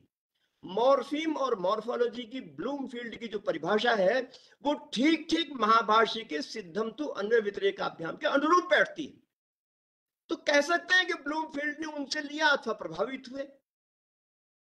कह सकते हैं कि महाभाष्यकार ने माना कि नियम है, अनियमित रूप से प्रकृति नहीं होती, अनियमित रूप से प्रत्यय नहीं होता। है और ये बात आधुनिक भाषा वैज्ञानिक मॉर्फिम और मॉर्फ के अंतर्गत मानते हैं। मॉर्फोलॉजी एक शास्त्र है। इसी प्रकार प्रकृति प्रति विज्ञान भी एक विज्ञान है। ये प्रकृति प्रति विज्ञान जो परिभाषा महाभाषिकार ने दी, पाणिनि ने प्रकृति विज्ञान की परिभाषा कहीं दी ही नहीं है। परंतु पाणिनि ने सदा सदा इस परिभाषा का पालन किया है। कितनी बड़ी बात है। कितनी बड़ी बात है। परिभाषा नहीं दी उन्होंने। पाणिनि ने अपने मुख से प्रकृति कितने को कहेंगे? और क्रियावचनो धातु होती है, इस प्रकार की परिभाषा होती है। ऐसा ऐसा पाणिनि ने नहीं कहा, महाभाष्यकार ने कहा, परंतु पाणिनि को मालूम सब कुछ था। सब कुछ उसी के अनुसार किया, जैसा कि आगे के लोगों ने परिभाषा के रूप में रखा। तो नियम का अनुसरण पाणिनि ने परिभाषा को न कहते हुए किया। तो हम तो कहते हैं कि अष्टाध्यायी सबसे बड़ा विज्ञान है। और अष्टाध्यायी की रचना करने वाला व्युत्पत्ति विज्ञान वास्तव में व्युत्पत्ति विज्ञान। ऐसा हम कह सकते हैं। जब हम उड़ादे के संदर्भ में आते हैं तो हम तो देखिए समीक्षक है ना, हम तो शोध करता है। हम स्पष्ट रूप से कह सकते हैं कि जितना बढ़िया पाणिनि का विज्ञान है, अष्टाध्यायी वास्तव में व्युत्पत्ति विज्ञान है, उतना अनुरूप उसी स्तर पर हम उनादि को विज्ञान नहीं कह पाते। हम उसकी समीक्षा कर सकते हैं।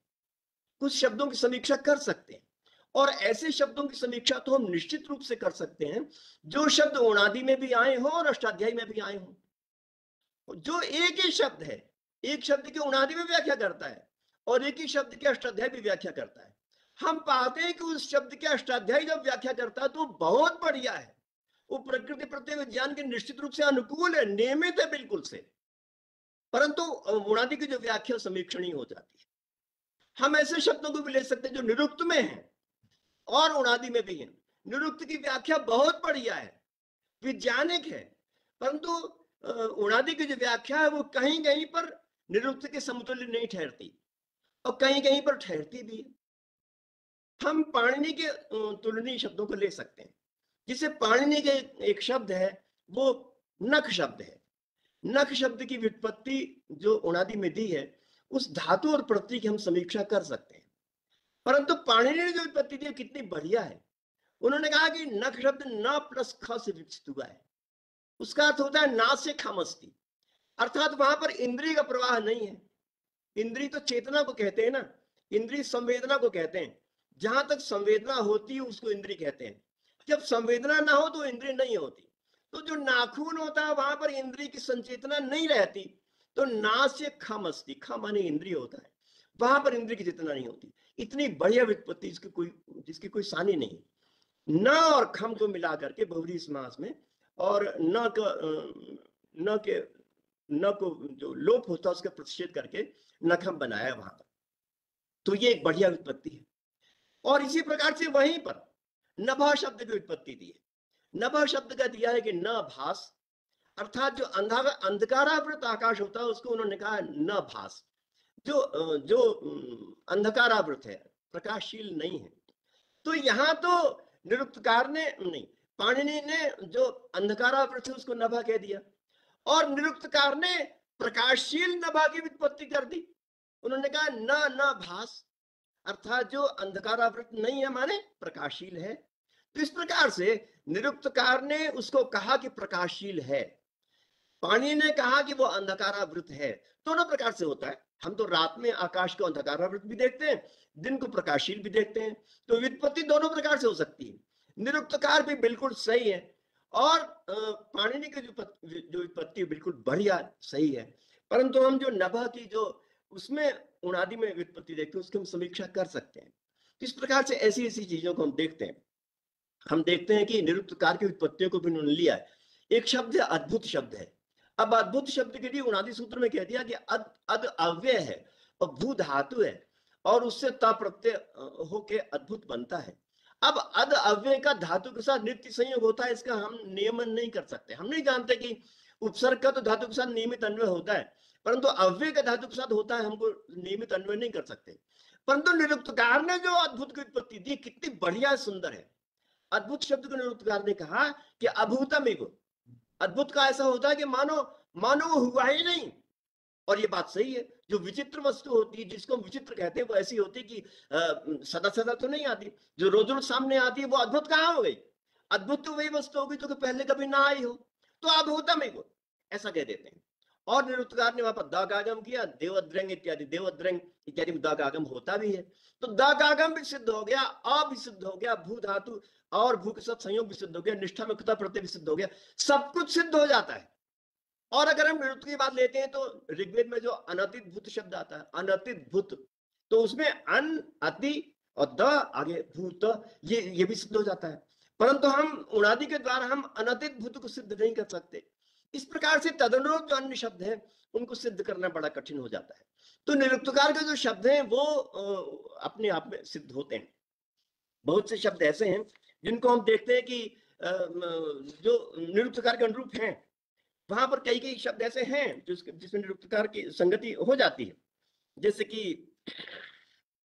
अन्य बहुत से हैं। पाणिनि के अष्टाध्यायी में एक नक्षत्र शब्द बनाया गया। नक्षत्र शब्द को अष्टाध्यायी में बहुत बढ़िया व्युत्पत्ति दी। और उसकी निरुक्तकार ने भी व्युत्पत्ति दी। निरुक्तकार ने कहा कि नक्ष धातु से त्र प्रत्यय हो जाता है अत्र प्रत्यय हो जाता है।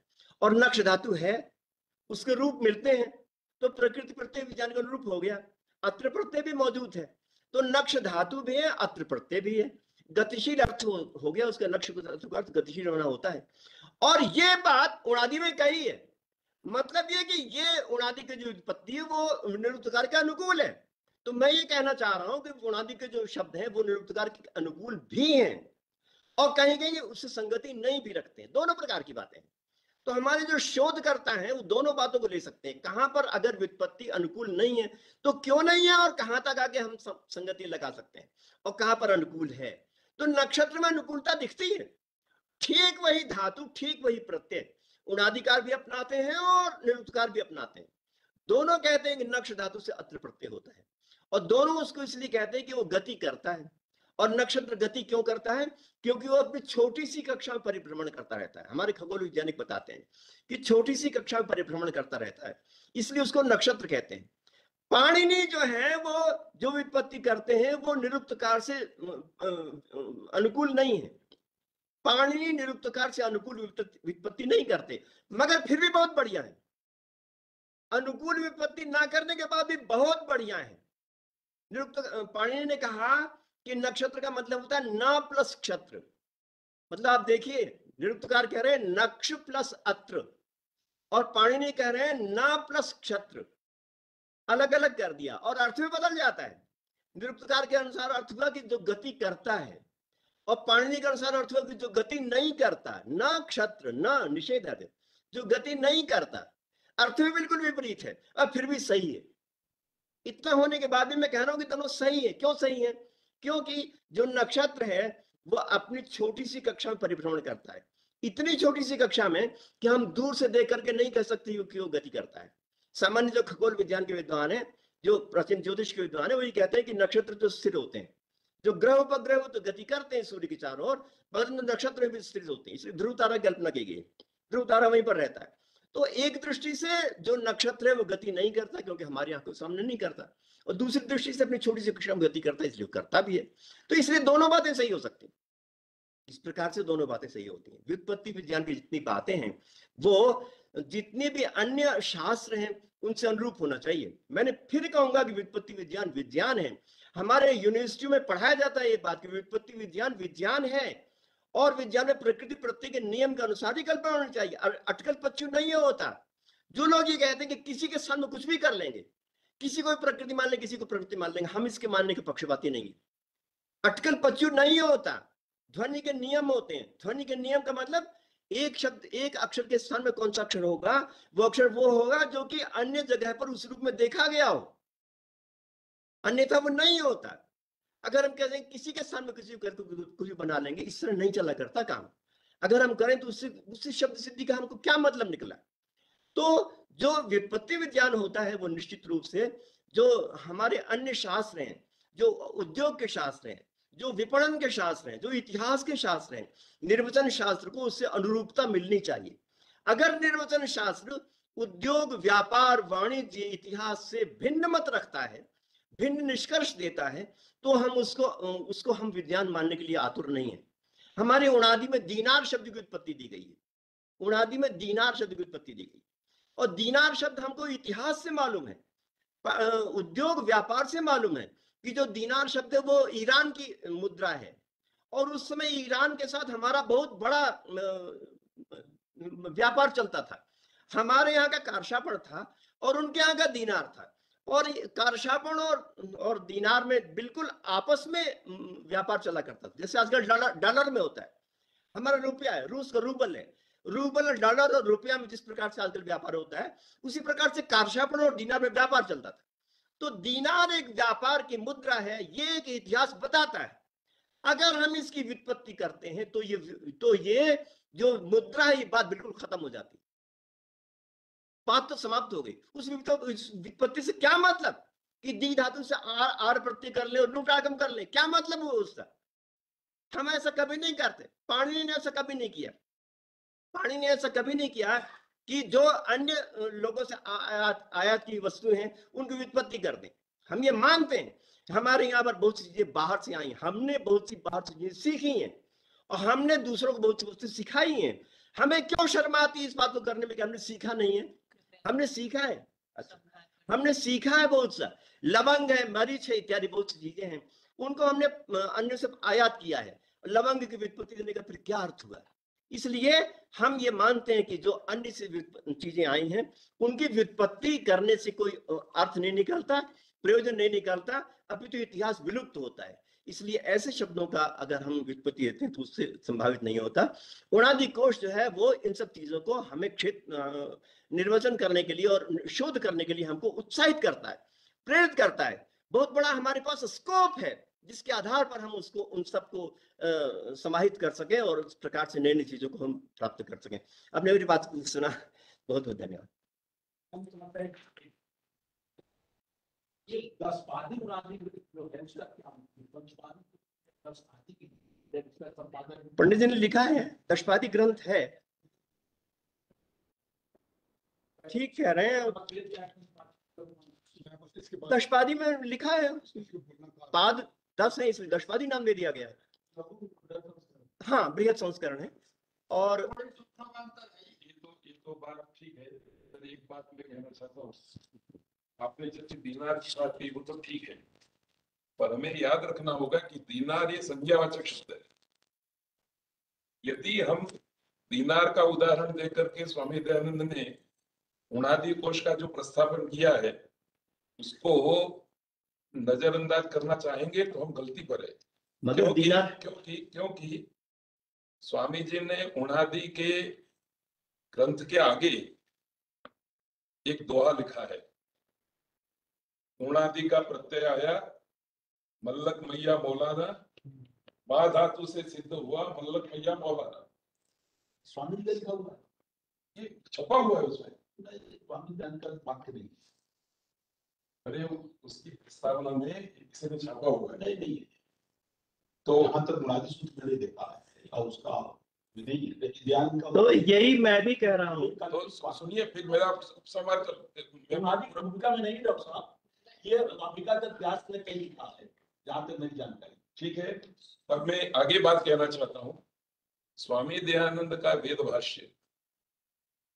जिस तरफ़ उसका मूल जो है, वो उड़ादी में ही पड़ा हुआ है। ये जो संज्ञावाचक शब्द नहीं है, वेद में अंकित हो गया, उसका अर्थघटन करने के लिए आपको कोई धातुज व्युत्पत्ति विचारनी पड़ेगी। और वो धातु व्युत्पत्ति विचारने के लिए उणादि एक्सटेंशन परिशिष्ट के रूप में पाणिनि ने रखा है।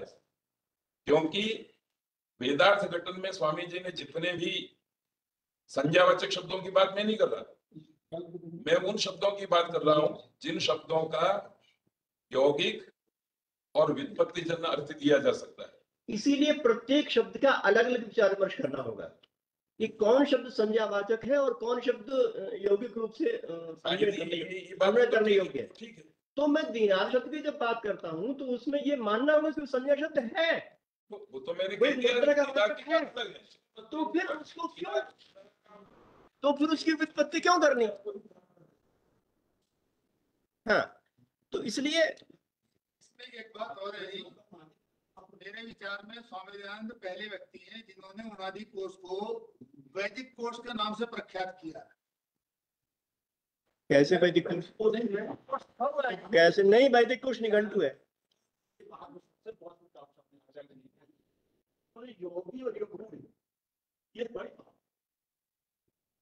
नहीं, ये वैदिक कोश निघंटु है। ठीक है।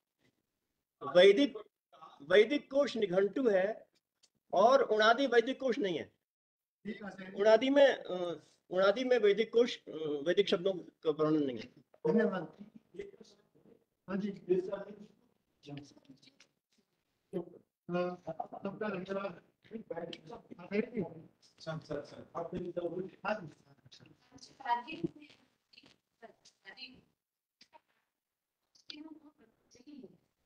नहीं।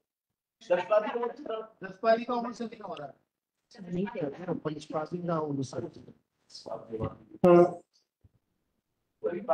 आचार्य जी का दशपादी के प्रारंभ उम्र से नहीं। आचार्य सुद्दीन जी का बहुत ही धन्यवाद। बड़ी गंभीरता के साथ और बड़े उदाहरणों के साथ आपने अपना विषय रखा है। हाँ, अगला व्याख्यान। आचार्य सूर्य देवी चतुर्वेदा जी हमारे बीच में है। हाँ मैम उसके बारे में जानकारी देंगे।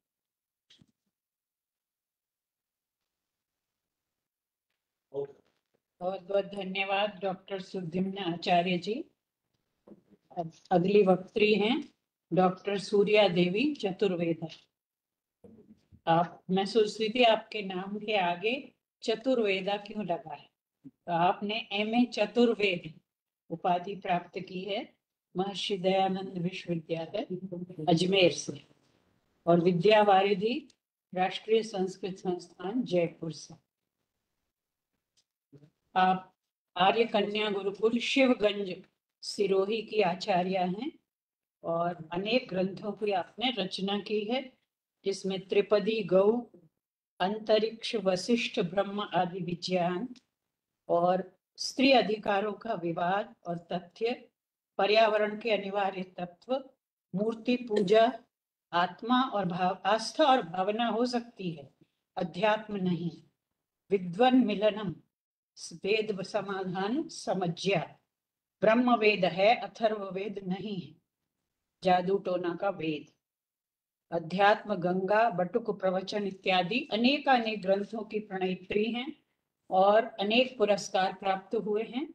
आर्य महिला पुरस्कार, वैदिक मिशन मुंबई, शन्नो देवी वेद वेदांग पुरस्कार भुवनेश्वर, वेद शिरोमणि पुरस्कार, परोपकारिणी सभा अजमेर महिला विदुषी पुरस्कार, वैदिक मिशन मुंबई, वेद वेदांग पुरस्कार, आर्य समाज सांता क्रूज मुंबई, गंगा प्रसाद उपाध्याय पुरस्कार, इलाहाबाद, विद्वत विशिष्ट पुरस्कार, उत्तर प्रदेश संस्कृत संस्थान, अनु, अनुदान साहित्य पुरस्कार, राय हरिश्चंद्र आर्य चैरिटेबल ट्रस्ट, नागपुर।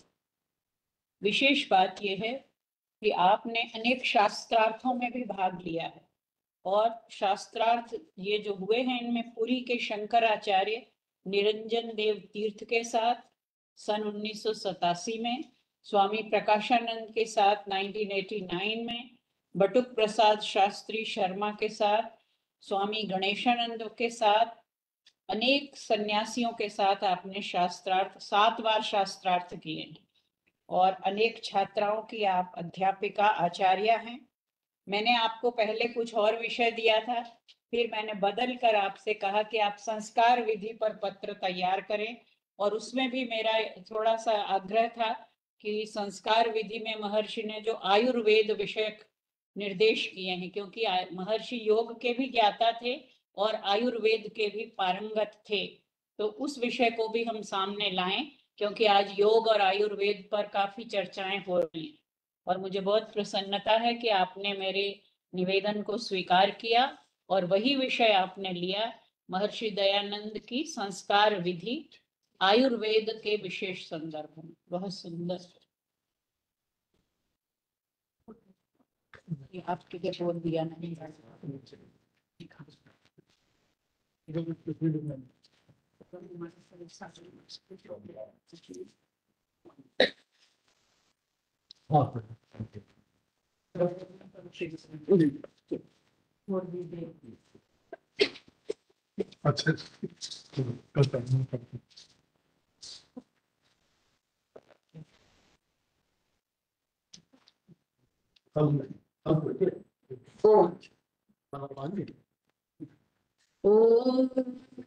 तद्विष्णुः परमं पदं सदा पश्यन्ति सूरयः।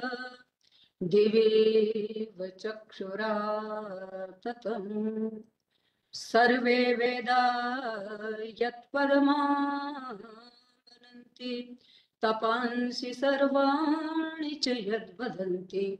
यदिच्छन्तो ब्रह्मचर्यं चरन्ति तत्ते पदं संग्रहेण द्रवीमि विद्येत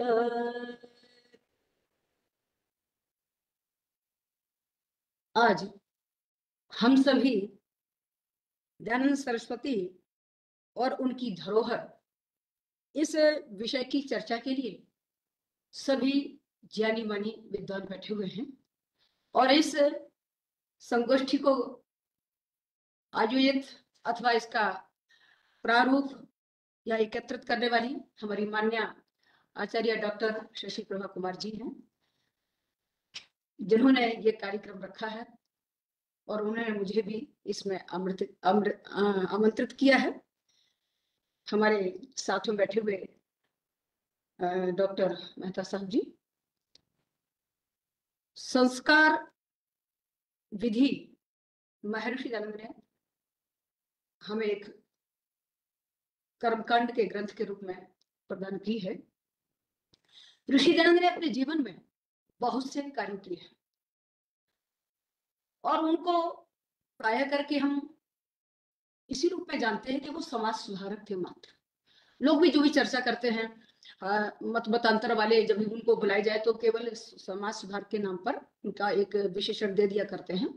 लेकिन ऋषि दादा ने जो काम किया है, कहीं से भी उठाए हैं, कहीं से भी मनुष्य के निर्माण से लेकर के, शास्त्रों को लेकर के, अथवा समाज को लेकर के, अथवा पशु पक्षियों को लेकर मतलब कोई से भी, कोई सा भी हमारे सामने पक्ष हो गए लेकिन ऐसा कोई भी पक्ष नहीं है जहाँ पर ऋषि ने कोई कलम न चलाई हो अथवा कोई व्याख्या न दिया हो अथवा कोई उसमें परिचर्चा न की हो लोगों को सचेत न किया हो ऐसा कोई विषय ही नहीं संसार में। इसी प्रकार से आयुर्वेद विद वो तो पढ़ते पढ़ाते भी नहीं है सुनते सुनाते भी नहीं है और इस विषय में ज़्यादा चर्चा भी नहीं करते हैं। आ, अपने लोग बहुत ऋषिराज से अनुप्राणित जन बैठे हुए हैं इतर लोग तो बहुत कम यहाँ पर। इसलिए हम जानते हैं, उनको ग्रंथों को पढ़ते हैं, आयुर्वेद के लिए क्या क्या उन्होंने कहीं पर भी किस प्रकार से दर्शन के रूप में वो तथ्य दिए हैं, उनको हम जानते भी चले आते हैं। लेकिन हम इस बात को समझें कि ऋषि ने जो कर्मकांड की विधि दी है, उसमें आयुर्वेद कितना समाहित है। सोलह संस्कार है। सोलह संस्कारों में से जो संस्कार हम कर रहे हैं उनके तीन उद्देश्य हैं। हम अपने अपने शब्दों में भी समझ लें। एक तो उद्देश्य है दोष मार्जन जो है, उन दोषों को हटा दिया जाए। और दूसरा है, हीनांग पूर्ति जो नहीं है, उसकी पूर्ति कर दी जाए। और तीसरी बात यह है, जो है, उसमें कुछ बढ़ोतरी कर दी जाए। अतिशय धन कर दिया जाए उसमें। ऋषि ने स्वयं भी संस्कारों की चर्चा करते हुए ये लिखा है कि वो संस्कार विधि क्यों लिख रहे हैं और संस्कार आवश्यक क्योंकि जब अपने लोग कहीं पर संस्कार कराने जाते हैं तो एक परिपाटी समझ लेते हैं लोग। और परिपाटी समझ करके वो सतर का है यही तो करना, सामग्री डालनी है, स्वाहा करना है, और इतनी प्रक्रिया होनी, प्रक्रिया मात्र को जन समुदाय समझ रहा है। पढ़े लिखे समझ रहे हैं?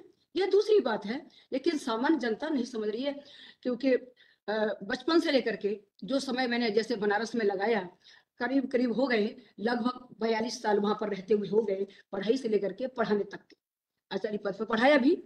तो उस समय में बहुत गृहों में जाना पड़ता था तो वो लोग ये सोचते थे कि ये संस्कार किए जा रहे हैं, केवल परिपाटी मात्र है, किए जाने चाहिए इसलिए हैं, और कोई इसका उद्देश्य या कुछ भी, मैंने कोई लाभ कोई नहीं है, इस प्रकार का करते चले आए। ऋषिकानंद ने जब संस्कार विधि बनाई और उसकी भूमिका में जो श्लोक लिखे, आप उनसे सब सुपरिचित हैं, वो वहाँ कहते हैं कि संस्कार ही संस्कृतम यद्यत, मेध्यम अत्र तदुच्यते, असंस्कृतम तु तल्लोके, यदा मेध्यम प्रकीर्त्यते, वेदादि शास्त्र सिद्धांत माध्याय परमाधरात, आर्य पुरस्कृत्य शरीरात्म विशुद्धये। अतः संस्कार करणे क्रियताम उद्यमो बुधई शिक्षयौषधिभिर्नित्यम सर्वथा सुख वर्धन श्लोकों के अर्थ बहुत ही स्पष्ट हैं। फिर भी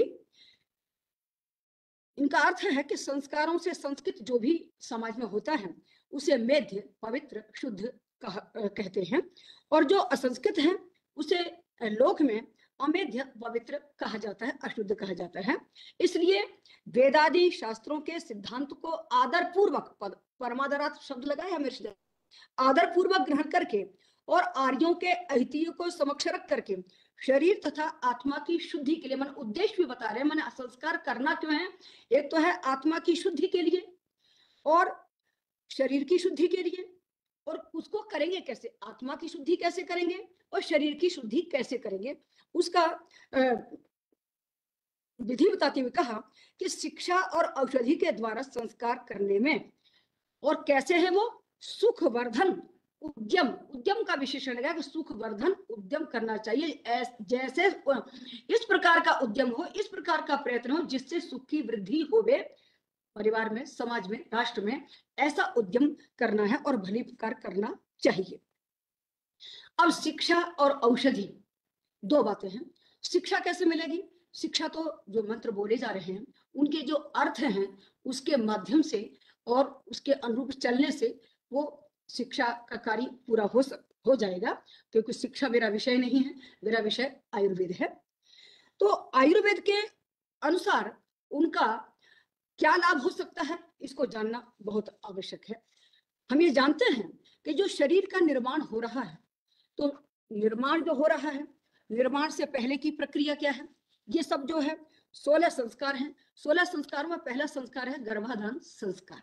और उसमें एक शरीर का निर्माण होना है।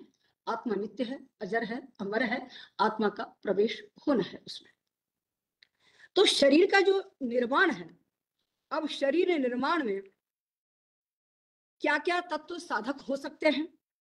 इसके लिए यास्क महर्षि ने बहुत अच्छी बात कही है और वो लिखते हैं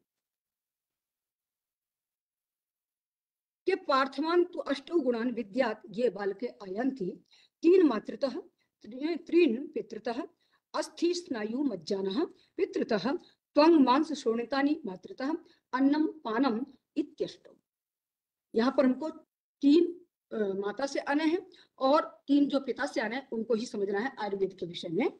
कहा गया यहाँ पर कि प्रत्येक व्यक्ति को शरीर निर्माण को समझने में आठ तत्व समझने हैं। और उनमें से तीन माता से आने हैं। और जो तीन माता से जो आने हैं, वो है अस्थि। जो मैंने बालक का शरीर बनना है, वो अस्थि माता के शरीर से बननी है। स्नायु जो नसें हैं, वो बननी है। मज्जा चर्बी बननी है। इस प्रकार से ये तीन पिता से आ रहे हैं और माता से जो आने वाले हैं, त्वचा, मांस, शोणित, रुधिर, ये तीन माता से आ रहे हैं। और दो और हैं जिससे शरीर निर्माण होना है। जी। हाँ पिता से आना है, अस्थि, स्नायु, मज्जा। जी और जी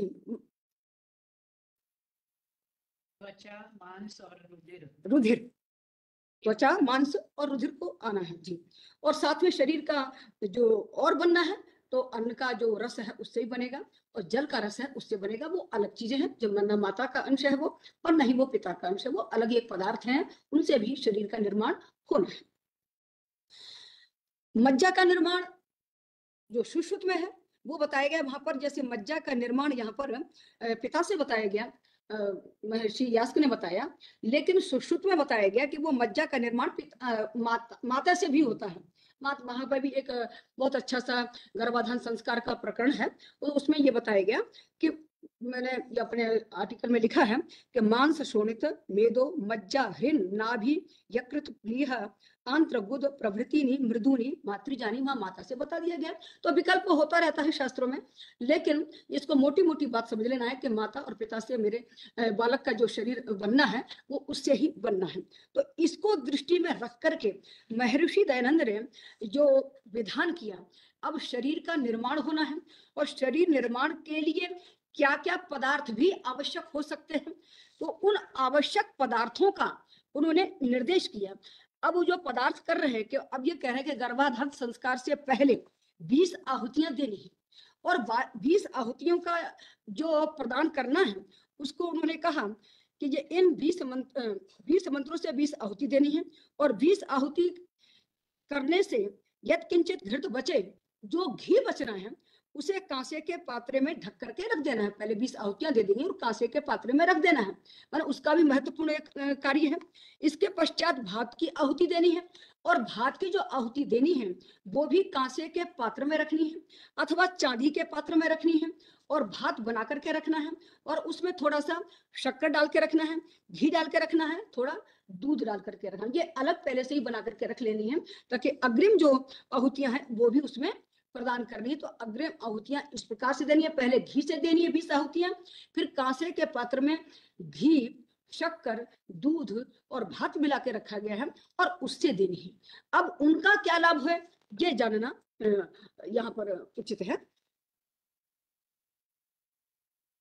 तो जो महर्षि ने जो औषधियाँ लिखी हैं, उनका मैंने जब विवरण पढ़ना शुरू किया, सारी अगर तगर सुगंधित आहुतियों से लिखा है, बीस आहुतियाँ जो देनी है उन सारे द्रव्यों के साथ, माने सुगंधित द्रव्य हों, रोगनाशक हों मिष्ट कारक हों पुष्टि कारक हों जो जो पदार्थ हैं और जो जो गिनाए गए हैं महापदार्थ, उनसे बीस आहुतियाँ दे दी जा चुकी है, फिर इनके साथ इनको करना है। तो यहाँ पे जो सुगंधित पदार्थ हैं, जैसे कस्तूरी है, कस्तूरी से क्या है? गर्भ धारण में लाभ होना है उससे तो वो स्नायु मंडल को पुष्ट करती है, कस्तूरी जो है, और धातु को पुष्ट करती है, केसर जो है विष को नष्ट करती है त्रिदोष नाशक है, मस्तिष्क के रोगों को दूर करती है, अगर जो है कांति को बढ़ाने वाला है, उन्माद रोग को दूर करने वाला है, इसी प्रकार से चंदन की जो आहुति दी जाएगी, चंदन का चूड़ा लिखा हुआ है श्वेत चंदन लिखा हुआ है तो उससे चर्म रोगों को दूर होना है, इलायची का जो किया गया है तो उससे शांति प्रदान होगी तो गर्भ धारण करने में सहायता मिलेगी जायफल हृदय को पुष्ट करेगा। सावित्री जो है, रंग रूप को निखारती है, इसलिए उसकी आहुति प्रदान करनी है। इसी प्रकार से घृत का जो संयोजन है, घृत डाल करके भी घी को रखना है और घृत की आहुतियाँ भी देनी है, भात की आहुतियाँ देनी है। तो घृत के लिए तो सुश्रुत में बहुत अच्छी तरह से कहा है कि विपाके मधुरम शीतम वात पित्त विषपहम चक्षुष्यम अग्र्यम वल्यम च गव्यम सर्पी गुणोत्तरम। क्योंकि घी तो किसी का भी हो सकता है महिषी का हो सकता है अभी का हो सकता है अजा का हो, हो सकता है उष्ट्रा का हो सकता है इस प्रकार से किसी का भी हो सकता है। लेकिन जितना गुण और लाभ वहाँ बताया गया है सुश्रुत में या भाव प्रकाश में अथवा ये जो है वरुषधि चंद्रोदय में है उनमें मेरे पास जो ग्रंथ थे निघंटु रत्नम था और वनौषधि चंद्रम थे और इसी प्रकार से भाव प्रकाश था। और ये थे, उनको ये सुश्रुत था चरक था, उतने ग्रंथ मैंने पढ़े, जो थे मेरे पास उपलब्ध थे उस समय, उनसे ही मैंने इसको स्पष्ट करने का प्रयास किया है। तो ये घृत जो है मधुर होता है, शीत को निवारण करने वाला होता है, बात पित्त को हरण करने वाला होता है, नेत्रों के लिए हितकारी होता है। इस प्रकार से इनका जो प्रभाव है तो गर्भाधान संस्कार करने पर प्रभाव किस पर पड़ेगा? तो उसके लिए है, तीन विधि है। एक तो श्वसन है। अभ्यंग मर्दन है और हवि है, ये।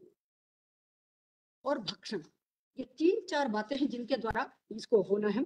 तो महर्षि दयानंद ने श्वसन, अभ्यंग मर्दन और भक्षण, ये तीन प्रकार इसमें निर्दिष्ट किए अपनी संस्कार विधि में कि एक तो यज्ञ किया गया, श्वास ले रहे हैं तो माता पिता के श्वास प्रश्वास के सही होने से और उनके अंदर जो बात, पित्त और कफ है उनके जो दोष हैं, उनके दोष का मार्जन हो जाने पर फिर जो शरीर बनने वाला है, उसका एक शरीर का भी दोष मार्जन संभव है और उसी प्रकार का शरीर उनका निर्माण होगा। तो ये श्वसन की बात हो गई। अभ्यंग मर्दन की भी चरक संहिता में बहुत कहा गया है कि जिस प्रकार से स्नेहा भंगात यथा कुंभ चर्म स्नेह विमर्दनात् जैसे चमड़े का कोई भी पदार्थ है, पात्र है, उसको जिस प्रकार से बना देते हैं, दृढ़ हो जाता है इसी प्रकार से जो महिला है, क्योंकि उसके बाद जो शुद्ध घी बनाया गया है और बनाने की जो प्रक्रिया है, प्रक्रिया बनाने के बाद फिर उससे आहुतियाँ भी दी जा रही हैं।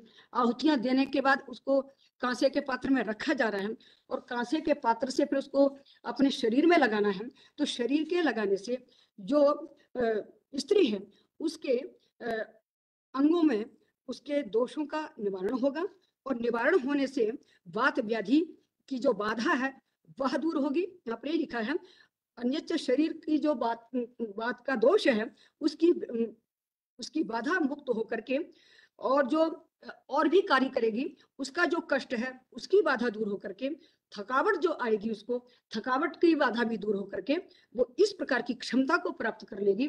कि ये अपने शरीर में किसी भी प्रकार का कष्ट अनुभव नहीं करेगी। जो कष्ट अनुभव नहीं होगा, वो इन कारणों से ही संभव नहीं है। तो महर्षि दयानंद ने कितनी गहराई से इन बातों को देखा होगा और किया होगा। इसी प्रकार से एक योग भी लिखा है, गर्भाधान संस्कार में टिप्पणी के रूप में लिखा है और जिसके जो द्रव्य हैं बहुत सारे बताए गए हैं। मैंने ग्यारह हैं, जो सर्वौषधि नाम से लिखा गया है। दो खंड आवा हल्दी है, खाने की हल्दी है, चंदन है, मुरा है, कुष्ठ है, जटामासी है, मोरबेल है, शिलाजीत है, कपूर है, मुस्ता है, भद्रमोथ है कूलर के पात्र हैं, मथनी है। उनमें दही को जमाना है और मथना है। इसका प्रयोग मैंने स्वतः किया। लखनऊ के पास एक संजीला स्थान है। वो एक दंपति रहते हैं। उन्होंने मेरे पास फ़ोन किया कि हम ये चाहते हैं कि ऐसी ऐसी संतान हो। तो मैंने कहा ऐसा ऐसा करिए। तो मैंने कहा कि, आपके बगीचे में गूलर है। गूलर की एक टहनी कटवाइए उसकी मथानी बनवाइए और उसका कठौती, मानी जो काट का पात्र है, वो बनवाइए जिसमें के दही जमाया जा सके और इतना इतना दही लेना है और जो सामग्री लिखी गई है तो उसको उसी सामग्री के अनुसार जैसे आवा हल्दी है दसवा से और औषधियाँ हैं सभी जो और हैं, जटामासी वगैरह, उनको पाँच पाँच माशे लेना है। इसी प्रकार से सब वो मिला करके और गाय का एक शेर दूध लेना है, उसमें और उदंबर की जमा देना है जमा करके मथना है। तो इस प्रकार का जो प्रयोग किया गया, प्रयोग करने से उनका जो संतान है, वो बहुत उत्तम हुई और है भी एक बालिका है। दोनों बार इसी प्रकार का कार्य किया और दोनों प्रकार, दोनों बार इसी प्रकार से हमारे बालिका भी एक बार उत्पन्न हुई, एक बार बालक पैदा हुआ और यही प्रक्रिया पूरी इसी प्रकार की हुई। मतलब मैंने भी सोचा कि संस्कार विधि में लिखा गया है और ऋषिदान ने लिखा है तो प्रयोग में भी लाना चाहिए इसको। तो प्रयोग में ला करके भी देखा, अब तो बच्चे वो बड़े हो चुके हैं और एक तो जो बालिका है, वो डॉक्टर भी बन गई है और चिकित्सक है। उसका प्रैक्टिकल कर रही है और बच्चा भी छोटा है। वो उसके बहुत दस वर्ष के बाद उत्पन्न हुआ हुआ तब उन्होंने कहा कि ऐसा करना है तो मैंने कहा, फिर वही प्रक्रिया करिए तो ऐसा संभव है। तो इस प्रकार से ये हुआ।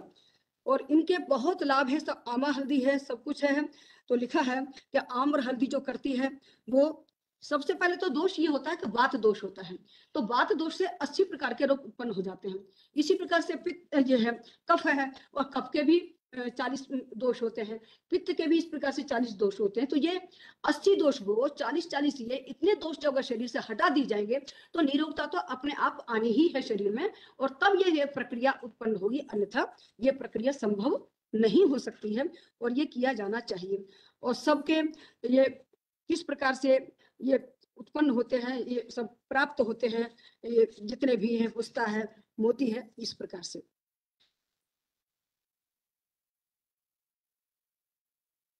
का। और भात जो है, भात के खाने से जो लाभ होना है। तो भात के खाने के जो लाभ हैं, आहार का निर्देश है कि मोदक है, वो खाना चाहिए। मादक द्रव्यों का निषेध किया है, ये सब जो किया है तो ऋषिदानंद ने बड़े सोच समझ करके इनको किया है। तो इस पूरे विधि विधान का तात्पर्य यह है कि जो संतान उत्पन्न होने वाली है, बड़ी सुशील होवे चंद्र ने ही वाक्य लिखे वहाँ पर। विद्वान होवे, दीर्घायु होवे, तेजस्वी होवे, सुदृढ़ होवे और निरोग संतान होवे, इसके लिए ये कार्य किया जाना चाहिए। शरीर तभी ही अच्छा बन सकता है जब इस प्रकार के कार्य किए जाते हैं। जो गूलर की लकड़ी है और उसमें जो जमाया जाता है तो गूलर की लकड़ी जो है, दृढ़ता प्रदान करने वाली होती है। बाहर से भी और आंतरिक रूप से भी और अगर बाहर से भी अस्थि अगर टूट जाती है ना तो उसको भी जोड़ने में बहुत लाभ होता है। जैसे आज मैं यहाँ खड़ी हूँ मंच के आगे, इसी प्रकार से मैं बनारस में येचू के पास एक जगह स्वामी दयानंद के जन्मदिन, दिन के दिन ही मैं भाषण दे रही थी, इतने में वो ईटे थी धस गई मेरा पैर उसमें गया, तीन हड्डियाँ टूटी पंजे की। तत्काल और मैं उसको ठीक करने के लिए राजस्थान में आई थी तो भेड़ भेड़ का दूध और गूलर की जो अंदर का ऊपर त्वक है उसको हटा के अंदर का एक और त्वक है जो सफ़ेद है उसको डाल करके, उसका मैंने जब उसका लेप सा बनाया और हर रोज मैंने ग्यारह घंटे के बाद बदला और चौबीस चौबीस दिन में वो मेरी अस्थि जो जुड़ गई और मैं चौबीसवें दिन जेएनयू में थी, एक सेमिनार में, सीधे। जेएनयू में पहुँच गई थी मैं, और मैं, मैंने दिया, क्योंकि मेरा एक लेक्चर स्त्रियों का अधिकार पर सुना था, उन्होंने बीएचयू में? तो यहाँ से भी मेरे को गया कि आइए तो मैं वहाँ पर आई थी तो मैं उसी अवस्था में, मैं आ गई चौबीसवें दिन चौबीसवें दिन में फ्रैक्चर होने वाला व्यक्ति, चलता नहीं है, सूजन रहती है, मेरे पैर में कहीं सूजन नहीं है, एक भी सूजन नहीं रही उससे। तो ये गूलर की इतनी महत्ता है तो गूलर का जो प्रयोग कराया गया है तो वो इसीलिए किया गया है कि जो अस्थियाँ हैं वो बहुत अच्छी रहे और क्योंकि उसका दही फिर खाना भी है और जो घृत को, पति पत्नी को भी खाना है ताकि दोनों ही इतने स्वस्थ हो जावे, इतना दृढ़ हो जावे, उनके जो, उनके अंदर जो अस्थि है, मज्जा है, मांस है, शोण है, शोणित है, ये सब कुछ जितना उत्तम होगा तो जो दोष मार्जन पहले से ही हो जाएगा तो अच्छी प्रकार से वो कार्य सिद्ध हो सकता है। इसके लिए ही ये विधान किया है ऋषि दादू ने। इसी प्रकार से बहुत सी विधियाँ हैं।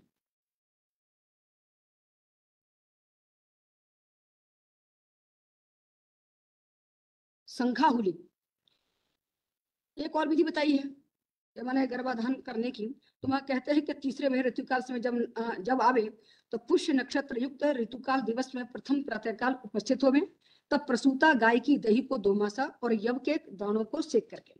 यव माने जो जौ है, उसको तवे में सेकना है। और तेक सेक करके उसको उसमें डाल देना है, दही में डालना है और नहीं, औषधि में डालना है, जो शंखा होली है, भटकटाई है, उसके रस में डालना है। ऋषि ने जो विधि बताई है तो वहाँ बताया कि गो दधि यव के भक्षण की और विधि है। नष्ट विधि है तो नष्ट विधि में वो बताने लगे हैं, ये प्रभाव ऐसा ही होता है।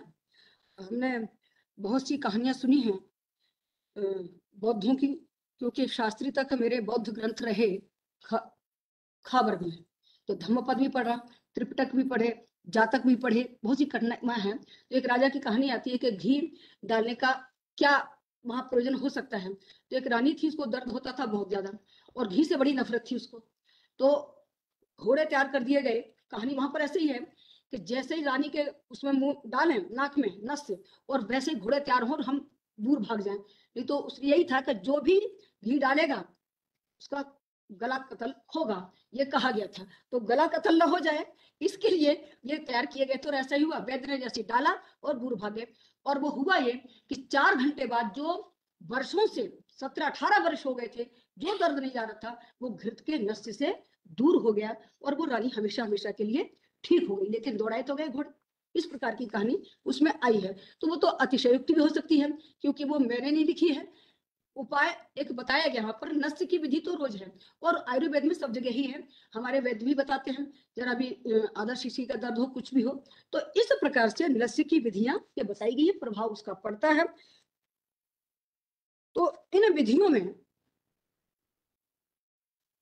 जो है, जो अपने पारस्कर गृह सूत्र है वहाँ कुछ दूसरे ढंग से लिखा है, कहीं दूसरे ढंग से लिखा हुआ है। लेकिन ऋषि दयानंद ने उसको हमको बिल्कुल ही उस जंजाल से हटा करके हमको एक शुद्ध एक विधि प्रदान की है कि क्या डालना है और क्या नहीं डालना है। और डाल करके हमें बता दिया है, जो भुना, जो जौ है और जो वो अग्निदीपक होता है, बलदायक होता है, वीर्यवर्धक होता है, दाह निवारक होता है और वो भेदक भी होता है। इसी प्रकार से जो अपने आप में कैसा होता है? वो पवित्र तो है ही है वो और शीतल भी होता है और बलकारक भी होता है। मुझे बता दीजिएगा हाँ तो इस प्रकार से औषधियाँ का बहुत वो लाभ है। और पुंसवन की चर्चा में यह है कि लोग सोचते हैं कि पुंसवन माने पुरुष के उत्पन्न होने के लिए संस्कार किया जा रहा है। पर ऐसा नहीं है। पुंसवन संस्कार के लिए स्वामी दयानंद ने स्वतः ही लिख दिया है कि हमारे ये संस्कार किस लिए किया जा रहा है? उसमें लिखा है कि यह पुंसवन संस्कार जो किया जा रहा है, जिससे पुरुषत्व अर्थात वीर्य का लाभ हो तो वीर्य लाभ के लिए कर रहे हैं वो। इसलिए नहीं कि पुरुष उत्पन्न होना है, इसके लिए नहीं कर रहे हैं। तो इसका लाभ क्या है कि मैंने दोनों को ही अब गर्भाधान संस्कार हो चुका है तो होने के बाद पति को भी, पत्नी को भी संयत रहना है और उनके संयत रहने से बालक पर भी अच्छा प्रभाव पड़ेगा। जिससे कि जो पुरुष वीर्यवान होगा, स्त्री वीर्यवान होगी तो संतान भी वीर्यवान होगी। संतान स्वस्थ होगी, सुंदर होगी, सुदृढ़ होगी। माता के मस्तिष्क में ये बात दृढ़ हो जाएगी कि मुझे वह संतान उत्पन्न करनी है जो बहुत ही स्वस्थ हो निरोग हो, बुद्धिमान हो, बलवान हो। तो इस प्रकार से ये संस्कार भी किया गया है। लेकिन हाँ उस संस्कार में, पुंसवन संस्कार में ये वट वृक्ष के कोपल कोपल और गिलोय के रस को डालने की एक विधि बताई गई है। ये बहुत जो वट है वट वृक्ष का जो है निग्रोध है जो जटा है, उसको नाक में डालना है। उसके भी बहुत से लाभ बताए गए हैं। वट वृक्ष से लाभ क्या होती है, लाभ क्या होता है? तो उसका लाभ बताते हुए बताया गया है हाँ बस कर रही हूँ, बस अं- अंत में ही जी।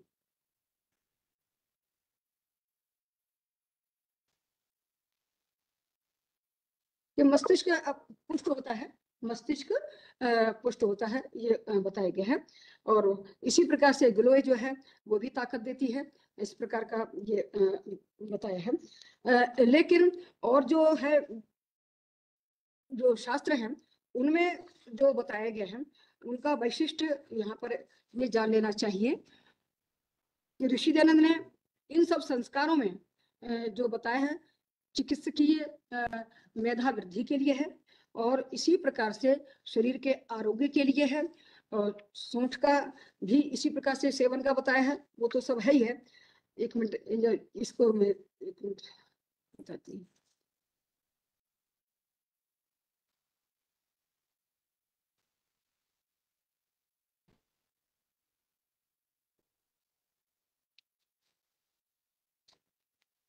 तो ये सबसे मेधा वृद्धि के वृद्धि के लिए सब ये बताया ऋषिजन ने तो ऋषिजन की इतनी हमारे ऊपर कृपा है और अनुग्रह है कि वो बहुत ज्ञानी थे, आयुर्वेद के भी, और उन्होंने जान करके ही सब हमारे सब लिखे हैं और उनको जानना चाहिए और जान करके ही हम इस संस्कार को अच्छी प्रकार करके अपने घरों में सुख शांति की समृद्धि कर सकते हैं। सुख शांति की समृद्धि के लिए संस्कार बहुत आवश्यक है। बहुत बहुत धन्यवाद प्रिया देवी जी। आपने दिए गए विषय को बहुत ही मुझे तो पता नहीं था कि आप तो उस पर प्रयोग भी कर चुकी हैं। और आपने आयुर्वेद के शास्त्रीय ग्रंथों को पढ़कर भी उसमें ये सब सामग्री जोड़ी। ये कुछ ऐसा ही दिव्य संयोग होगा कि वो आपके लिए विषय मेरे मन में आया और मैंने पहले इनको मैं स्त्रियों वाला ही विषय दिया था। फिर मैंने बदल दिया कि नहीं, आप इस पर करिए, उस पर वो प्रियम्बदा जी करेंगे तो ये आयुर देखिए महर्षि दयानंद केवल वेद भाष्य नहीं कर रहे, व्याकरण के पंडित थे वो, योग उनका सिद्ध था और आयुर्वेद के भी वो पारंगत थे। संस्कारों में से आपने सोलह संस्कारों में केवल गर्भाधान संस्कार के द्वारा ये निदर्शन किया कि उसमें किस प्रकार वनस्पतियों औषधियों के प्रयोग से प्रभाव पैदा किया जा सकता है। आज हम इन संस्कारों को पूरी तरह भूल चुके हैं तो अच्छी संतति के निर्माण के जो सूत्र हमारी परंपरा में हैं उनको भी हमें फिर से प्रचारित करना चाहिए। कोई टिप्पणी कोई प्रश्न हो तो ठीक नहीं तो हम अंतिम पत्र की ओर बढ़े। आपकी नहीं है? चलिए बहुत धन्यवाद। सबके हाँ सबके लिए यही सबके लिए प्रेरणा है कि आगे अब अपने अपने संतानों को आप ये सब बता दीजिए ताकि अगली पीढ़ी जो हो वो स्वस्थ हो और मेधावी हो।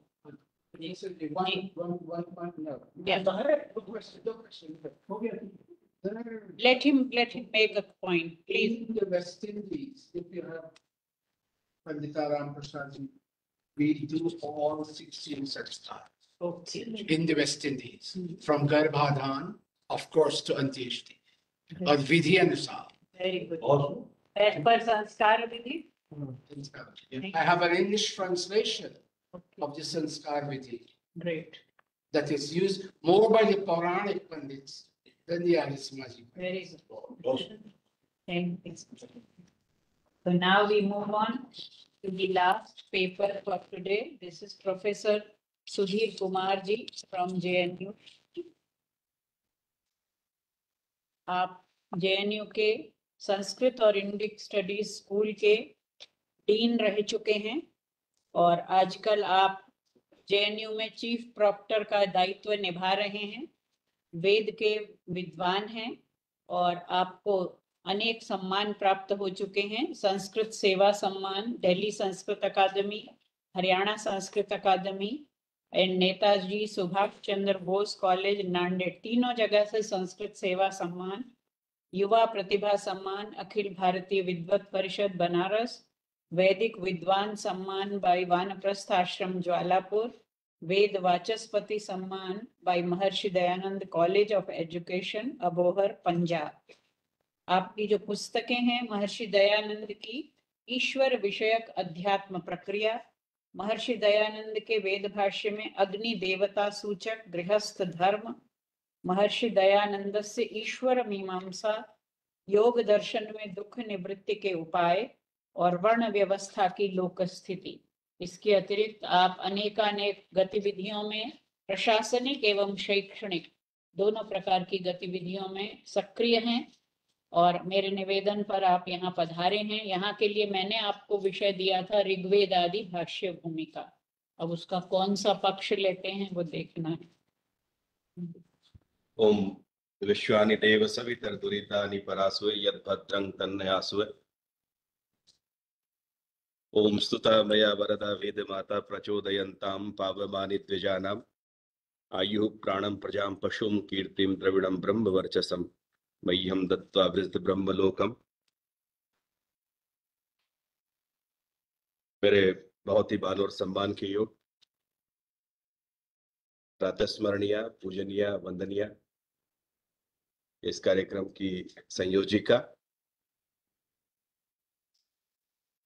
मैं समझता हूँ मैडम के महर्षि दयानंद की इससे बड़ी कोई विजय हो नहीं सकती कि Indian institute of advance studies में महर्षि दयानंद के ऊपर सेमिनार हो और उसका संयोजन कोई वैदिक विदुषी, कोई सरस्वती कर रही हो। ये मैं समझता हूँ ऋषि दयानंद की जय है। क्योंकि जिस विषयों को ले, जिन जिन विषयों को लेकर के ऋषि दयानंद चर्चा करते हैं, उसमें एक एक विषय स्त्री का विषय भी आता है। और मेरे यहाँ तक की यात्रा में मैडम आपकी अत्यंत अनकंडीशनल हेतु की कृपा मेरे ऊपर रही है।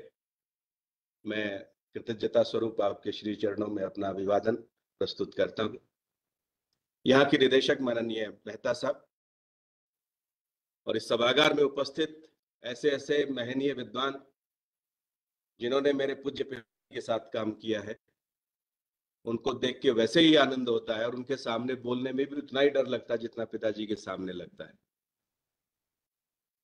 पुनरअपि मैडम शशि प्रभा जी ने मुझे आदेश दिया कि सुधीर ऐसे कार्यक्रम है और आपको इसमें रहना है। और विषय भी एक बहुत सुंदर सा विषय ऋग्वेद आदिभाष्य भूमिका। मैं समझता हूँ मैडम, कि महर्षि दयानंद सरस्वती के समक्ष एक भाष्य तो उपस्थित न था। अभी तो अनेक भाष्य ऋषि दयानंद के सामने उपस्थित थे। और उन भाष्यों को देखकर के महर्षि को लगता था कि ये भाष्य उस उद्देश्य की पूर्ति तो नहीं करता है, जिस उद्देश्य को लेकर के इन वेदों का आविर्भाव इस संसार में हुआ होगा। अग्निवायु आदित्य अंगिरा की चर्चा जब वहाँ मिलती है, और जब वहाँ वेद के विषयों की चर्चा मिलती है,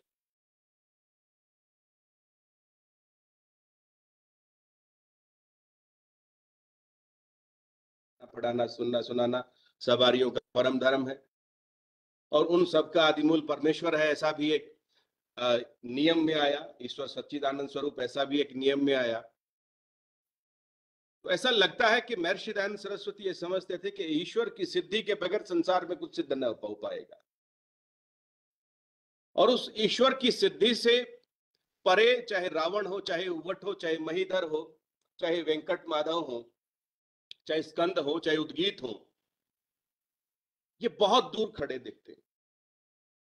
और एक ऐसी परंपरा हमारे सामने आकर के खड़ी होती दिखती है कि जिसके समक्ष ऋषि अपना भाष्य लेकर के आने का साहस करते हैं। मैं जब ये विषय तैयार कर रहा था, मेरी कई सारे विद्वानों से चर्चा हुई।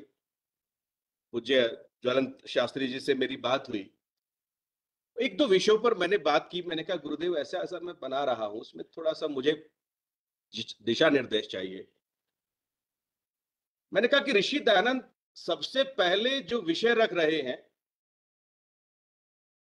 मेरे पास कोई बच्चा पढ़ने के लिए आ जाए और वो वेद पढ़ने की बात करे तो मैं पहले उसको वेद शब्द का अर्थ समझाऊँगा। वेदों की उत्पत्ति कैसे हुई, क्या हुई, वेद के अंदर कौन कौन से देवता हैं, वेद के कितने सारे विषय हैं, और ऐसे करके धीरे धीरे धीरे करके उसको ईश्वर की तरफ़ लेकर के जाओ लेकिन महर्षि दयानंद सरस्वती सीधा ही एक विषय उतार करके ले आते हैं। ईश्वर का विषय सीधा। क्योंकि महर्षि को ईश्वर इतना प्रिय है। तो उनको लगता है कि ईश्वर की स्थापना किए बगैर यहाँ बात न बनेगी। इसके लिए जो एक और वेद भाष्य का नमूना महर्षि दयानंद सरस्वती प्रस्तुत करते हैं वो भी इस बात का उद्घोष है कि जब कोई आदमी अपना, अपने मत की स्थापना करना चाहता है तो उसको विद्वान को, विद्वानों के समक्ष एक बार रख के देखता है। जैसे आधुनिक काल में यदि कोई बड़ा डीलर एक दुकान खोलना चाहे, कहीं हल्दीराम की एक शॉप खोलना चाहे गुरुजी तो वो पहले कुछ सर्वे करा के देखते हैं। कि यहाँ ये दुकान चलेगी कितनी? तो महर्षि दयानंद सरस्वती वेद भाष्य का नमूना करके विद्वानों के बीच रख देते हैं और ये जानना चाहते हैं कि वेद, ये विद्वान किस तरीके का वेद भाष्य चाहते हैं। और इस पत्र के व्याज से एक लाभ ये हुआ, एक तो थोड़ा सा ऋग्वेद आदि भाष्य भूमिका को गंभीरता से पढ़ने का अवसर मिला। दूसरा, दिमाग में कई सारी चीज़ें ऐसी आ गई जो आगामी शोध के लिए कई सारे मार्ग प्रशस्त करने वाली हैं। और उसके साथ ही कुछ ऐसी पुस्तकें जो महर्षि के नमूने पर खड़ी थी, उसमें चाहे भ्रांति निवारण है, चाहे वो ब्रह्मोच्छेदन है या अनुब्रह्मोच्छेदन है, इन पुस्तकों को भी एक बार देखने का अवसर मिल गया। हुआ क्या कि जब महर्षि व्याख्यान प्रस्तुत करने लगे और एक नमूना वेद भाष्य उन्होंने सामने रखा तो बहुत सारे विद्वान, जिसमें क्वींस कॉलेज बनारस के प्रिंसिपल ग्रिफिथ और संस्कृत कॉलेज कलकत्ता के कार्यवाहक प्रिंसिपल पंडित महेश चंद्र न्याय रत्न इन लोगों ने महर्षि दयानंद सरस्वती के नमूना वेद भाष्य पर बहुत सारे सवाल उठा दिए। सवाल की एक प्रक्रिया जो ब्रह्मोच्छेदन में जहाँ मिलती है, मैं थोड़ी सी चर्चा उसकी ज़रूर करना चाहूँगा। महर्षि दयानंद अग्नि शब्द के संदर्भ में महर्षि वेदांग को लेकर चलने वाले व्यक्ति हैं। वो शिक्षा को भी लेकर चलते हैं, जिन स्वरों की चर्चा मान्य दिमान साहब कर रहे थे। वो कल्प को लेकर भी चलते, व्याकरण निरुक्त छंद और ज्योतिष इनको लेके चलते। लेकिन विद्वानों के अर्थ महर्षि के गले न उतरे, जब अग्नि का केवल अग्नि, भौतिक अग्नि अर्थ मिला तो महर्षि को लगा कि अग्नि का मतलब केवल एक अग्नि तो नहीं हो सकता है, और आचार्य यास्क ने भी अग्नि का अर्थ अग्नि मात्र तो नहीं ही किया है। वहाँ लिखा कि अग्नि कस्मात अग्रणी भवती। आग कहाँ है इसमें? अग्रम यज्ञेशु प्रणीयते यदि कर ले तो जिस प्रकार से मान्य मैडम कह रही थी, यज्ञ के तो कई प्रकार के अर्थ देव पूजा संगतिकरण और दान। ये संविधाएँ और सामग्री और ये तो अवान्तर भेद है उसके। तो वहाँ जो महेश चंद्र न्यायरत्न और स्वामी जी के बीच में जो डायलॉग होता है मैं समझता हूँ कि शोधार्थियों को तो ज़रूरी पढ़ लेना चाहिए। पूरे का पूरा अग्नि और ईश्वर के बीच में जो महर्षि कहते हैं कि इसका एक अर्थ अग्नि हो सकता है, मैं आपकी बात स्वीकार करता हूँ। लेकिन एक अर्थ यदि इसका परमेश्वर अर्थ यदि हम न करेंगे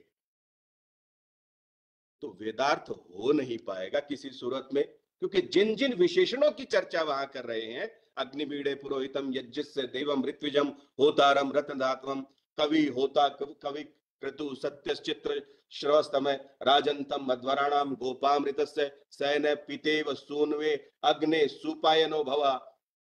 वो पिता और पुत्र का संबंध उस आग के साथ बनेगा नहीं। फिर वहाँ जो संगतिकरण, जो आचार्य लोग करते हैं कि तुम ही न पिता वसो तुम माता शतक्रतो बभुविता, कैसे संगतिकरण बात बने? कैसे अदिति देव और अदिति माता, कैसे कैसे उसका संगतिकरण बैठा करके लगा देंगे? तो वहाँ महेश चंद्र न्याय रत्न जो उपस्थित करते हैं वो कहते हैं कि भाई ये नहीं मानूँगा मैं। क्योंकि वहाँ भी उन्होंने एक, एक सवाल ये उठा दिया कि ये जो इताद अक्ताद दग्धाद नीताद और अक्ताद दग्धाद नीताद पे कहा कि ये ठीक है आप इसको सिद्ध करना चाहते हैं लेकिन दग्धाद में दह भस्मी करने का अर्थ यज्ञ से बिना आप ले नहीं सकते। महर्षि दयानंद सरस्वती, जिस बुद्धि से, जिस निरुक्त की बुद्धि से उसका बहुत बढ़िया तरीके से अर्थ करते हैं, उसका एक छोटा सा नमूना मैं आपके सामने प्रस्तुत करता हूँ। महर्षि कहते हैं कि अथ प्रथमत ईश्वर एव अर्थो अग्नि शब्देन गृह्यते। अथ प्रमाणानि। इंद्रम, मित्रम, वरुणम, अग्निम, आहुर, अथो, दिव्य, सुपर्णो स गरुत्मान एकम सद विप्रह बहुधा, वदंती। सुबह भी चर्चा ये चल रही थी, महाभाग्य से देवता एक आत्मा बहुधा स्तूयते एक ही आत्मा को भिन्न भिन्न प्रकार की से स्तुति की जाती है। और वहीं पर महर्षि लिखते हैं, एकस्य सतह पर ब्रह्मण है। इंद्र आदिनी, बहुधा, नामानी संति वेदितव्यम तदेव अग्नि, तदादित्य, तदवायु, तदु चंद्रमा तदेव शुक्रम तद ब्रह्म, आपस, तत् प्रजापति।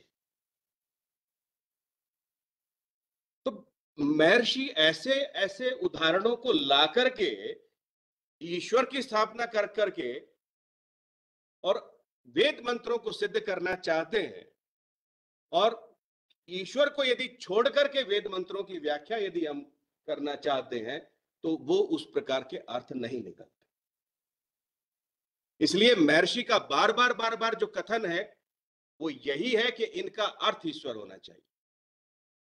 इसी प्रक्रिया को लेकर के जब महर्षि एक एक शैली, वेद एक शैली में बात नहीं करते हैं कहीं प्रवचन शैली में बात करते हैं कहीं संवाद शैली में बात करते हैं कहीं प्रश्नोत्तर शैली में बात करते हैं कहीं प्रहेली का शैली में बात करते हैं।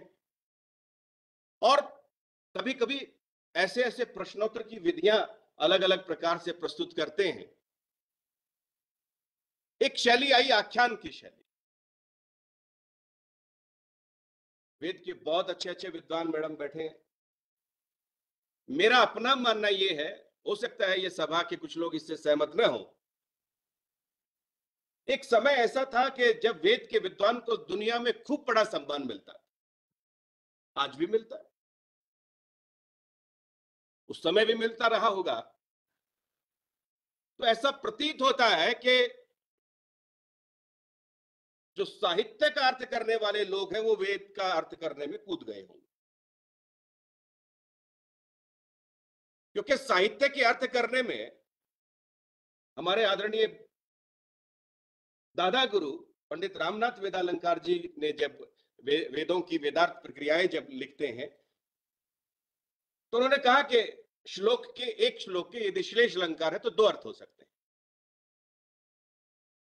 लेकिन वेद है तो वेद के उसके प्रकरण के अनुसार बहुत सारे अर्थ उसके हो सकते हैं। क्योंकि आचार्य यास्क स्वयं तेरह चौदह प्रकार की व्याख्याओं की चर्चा करते इतने सारे अर्थों में एक एक वेद मंत्र जाएगा और उसके लिए जब तक आपको शिक्षा कल्प व्याकरण निरुक्त छंद और ज्योतिष का ज्ञान न होगा, तब तक आप उस उस वेद के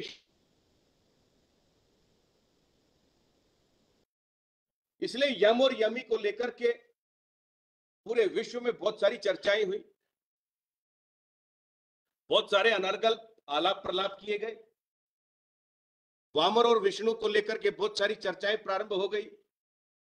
और ऐसे ऐसे अनर्गल चीज़ें प्रस्तुत कर दी गई, जबकि चारों वेदों में वामन शब्द ही नहीं है, केवल बलि उसकी चर्चा मिल, विष्णु की चर्चा मिलती। इदम विष्णु विचक्र में त्रेदा निदे पदम जिसकी चर्चा महर्षि दयानंद सरस्वती स्वयं ऋग्वेद आदि भूमिका में करते। हैं और ऋग्वेद आदि भाष्य भूमिका में कहते हैं कि मैं केवल ऋग्वेद की व्याख्या नहीं है ये। ये चारों वेदों की भूमिका केवल एक ही है, जिसकी जिसको मैं यहाँ प्रस्तुत कर रहा हूँ। और वहाँ बिना यास्क को देखे हुए वेविष्टि व्यापनोति चराचरम जगत, जब तक उसको हम नहीं देख लेंगे, तब तक विष्णु समझ में नहीं आता। इदम विष्णु विचक्र में त्रिधा निदे पदम, तीन प्रकार के पग कौन से हैं? महर्षि कितनी सुंदर कमाल की व्याख्या लिखते हैं।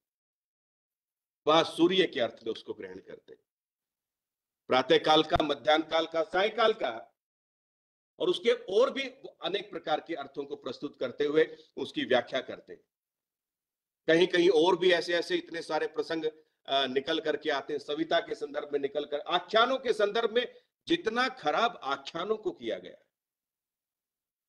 आप सब एक एक विषय से बड़े परिचित हैं। बच्चा जा तो रहा है गुरुकुल में।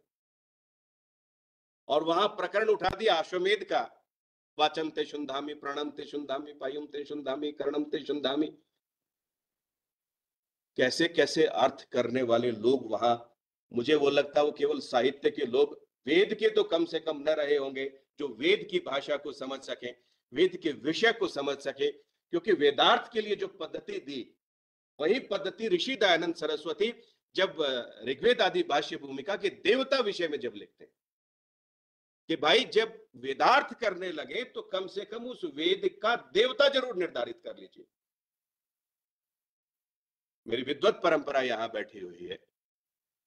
वेद के देवता के साथ सबसे बड़ी समस्या यह है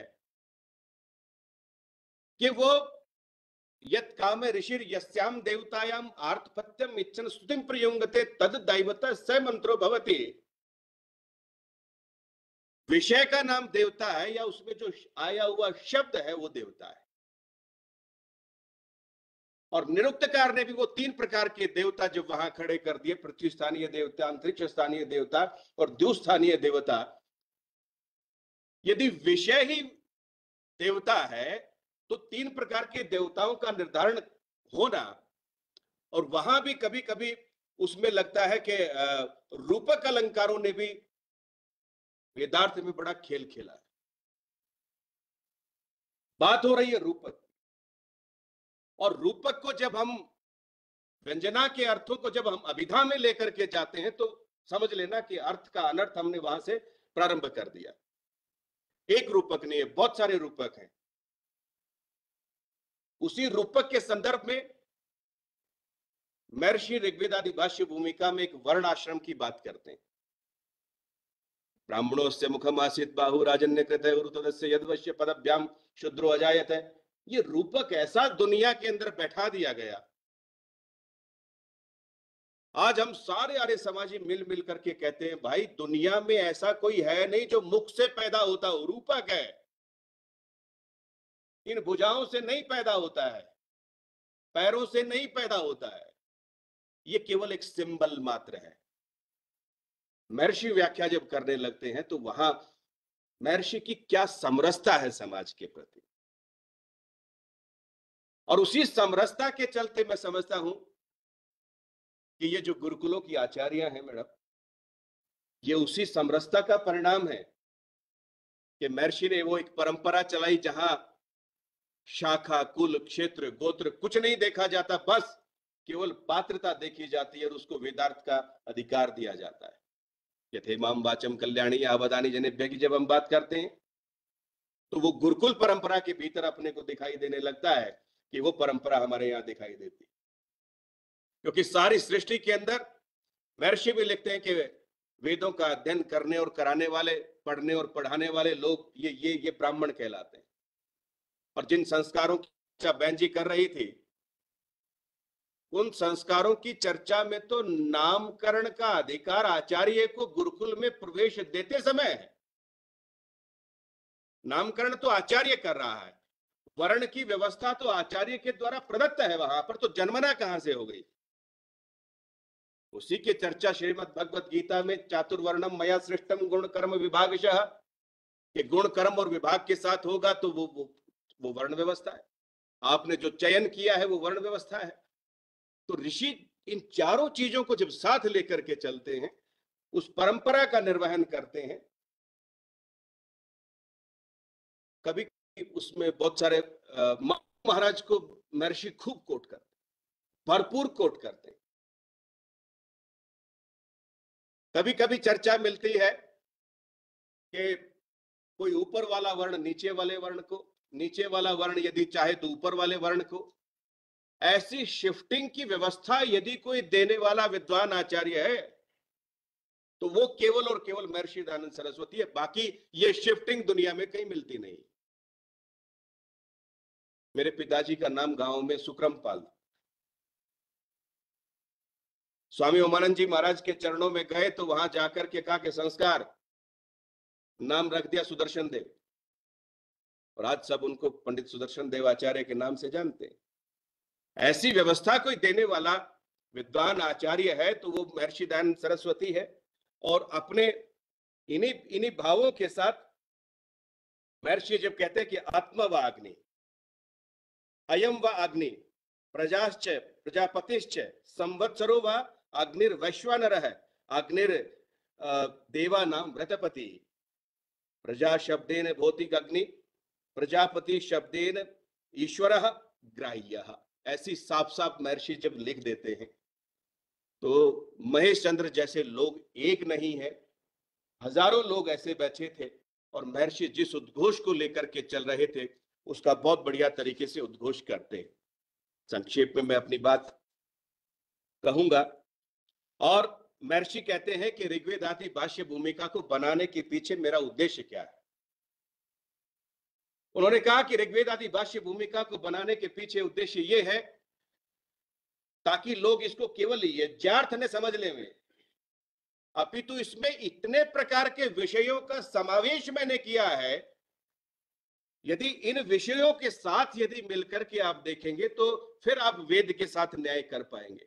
इसलिए ऋग्वेद आदि भाषा, भाष्य भूमिका में ईश्वर प्रार्थना विषय, वेदोत्पत्ति विषय और वेद संज्ञा, ब्रह्म विद्या, सृष्टि विद्या और गणित विद्या, उपासना विद्या, मुक्ति विषय नव विमान विषय, तारा विद्या विषय, वैद्यक शास्त्र, पुनर्जन्म, विवाह, नियोग।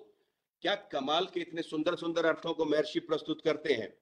और कहा कि राज राज प्रजा धर्म विषय, वर्णाश्रम विषय, ग्रंथ प्रमाण्य प्रमाण्य विषय, ये सारे इतने सारे सुंदर विषयों को उठा करके महर्षि का उद्घोष केवल कोई नवीन मत चलाने का नहीं है। अभी तो महर्षि ये चाहते हैं कि लोग जब वेद पढ़ने लगे तो इन इन विषयों को अपने मन मस्तिष्क में, अपने हृदय के अंदर धारण करके चले कि इन इन मंत्रों के ये ये इस इस प्रकार के विषय हो सकते हैं। पुनरअपि महर्षि दयानंद सरस्वती ने जिन विषयों को उठा करके कहा कि देखिए, एक अग्नि के लिए उन्होंने लिखा, जिस पारमार्थिक और व्यवहारिक व्याख्या की महर्षि दयानंद सरस्वती बात करते हैं। तो कहा कि अध्यात्म पर, परक यदि हम अर्थ करेंगे अग्नि का तो हम उसका परमेश्वर अर्थ करेंगे। और यदि उसके अध्यात्म में शरीर परक यदि हम अर्थ करेंगे तो उसका जीवात्मा और जठराग्नि अर्थ करेंगे। और अधिदैवत में यदि करेंगे तो पार्थिव अग्नि विद्युत और सूर्य इन अर्थों के अंदर भी हम उसकी व्याख्या कर सकते हैं। और अधिभूत प्रक्रिया में जब हम करेंगे तो विद्वान सभाध्यक्ष राजा सेनापति वैद्य योगी ये यदि हम अर्थ करते हैं तो ठीक अर्थ बैठता है। अन्यथा अग्नि पुरोहित कैसे होगा? वो दुनिया की कोई ताकत उसको अग्नि को पुरोहित नहीं बना सकती। उसको कोई ऋत्विज भी नहीं बना सकती, उसको कोई होता होता होता नहीं बना सकती है। इसलिए महर्षि के जब अर्थ हैं, वो बड़े सटीक प्रतीत होते हैं।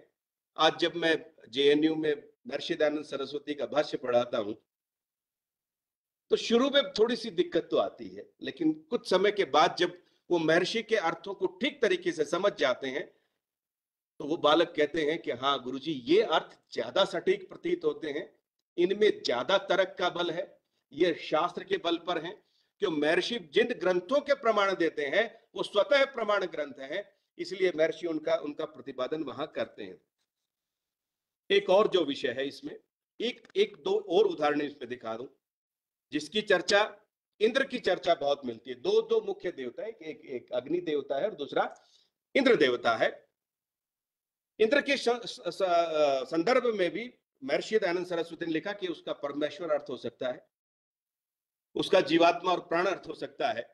उसका सूर्य, वायु और विद्युत अर्थ हो सकता है और उसका सम्राट, शूरवीर, विद्वान, सेनापति, शिल्पी, गृहपति, धनिक, विवाह, हितपति, अध्यापक, उपदेशक, कृषक और वैद्य ये इसके इतने सारे अर्थ हो सकते कम से कम महर्षि दयानंद सरस्वती ने एक देवता को अनेक अर्थों में देखने की एक दृष्टि तो थी और उसको विशेषणों के आधार पर कम से कम उसको अपने वेदार्थ के अंदर उतारा तो सही। उनके घटकों को कम से कम अपने भीतर उतार कर को तो लेकर के तो आए। तो बहुत सारी भ्रांतियाँ जो यम और यमी के संदर्भ में फैली हुई थी, उसका तो नाम ही यम है।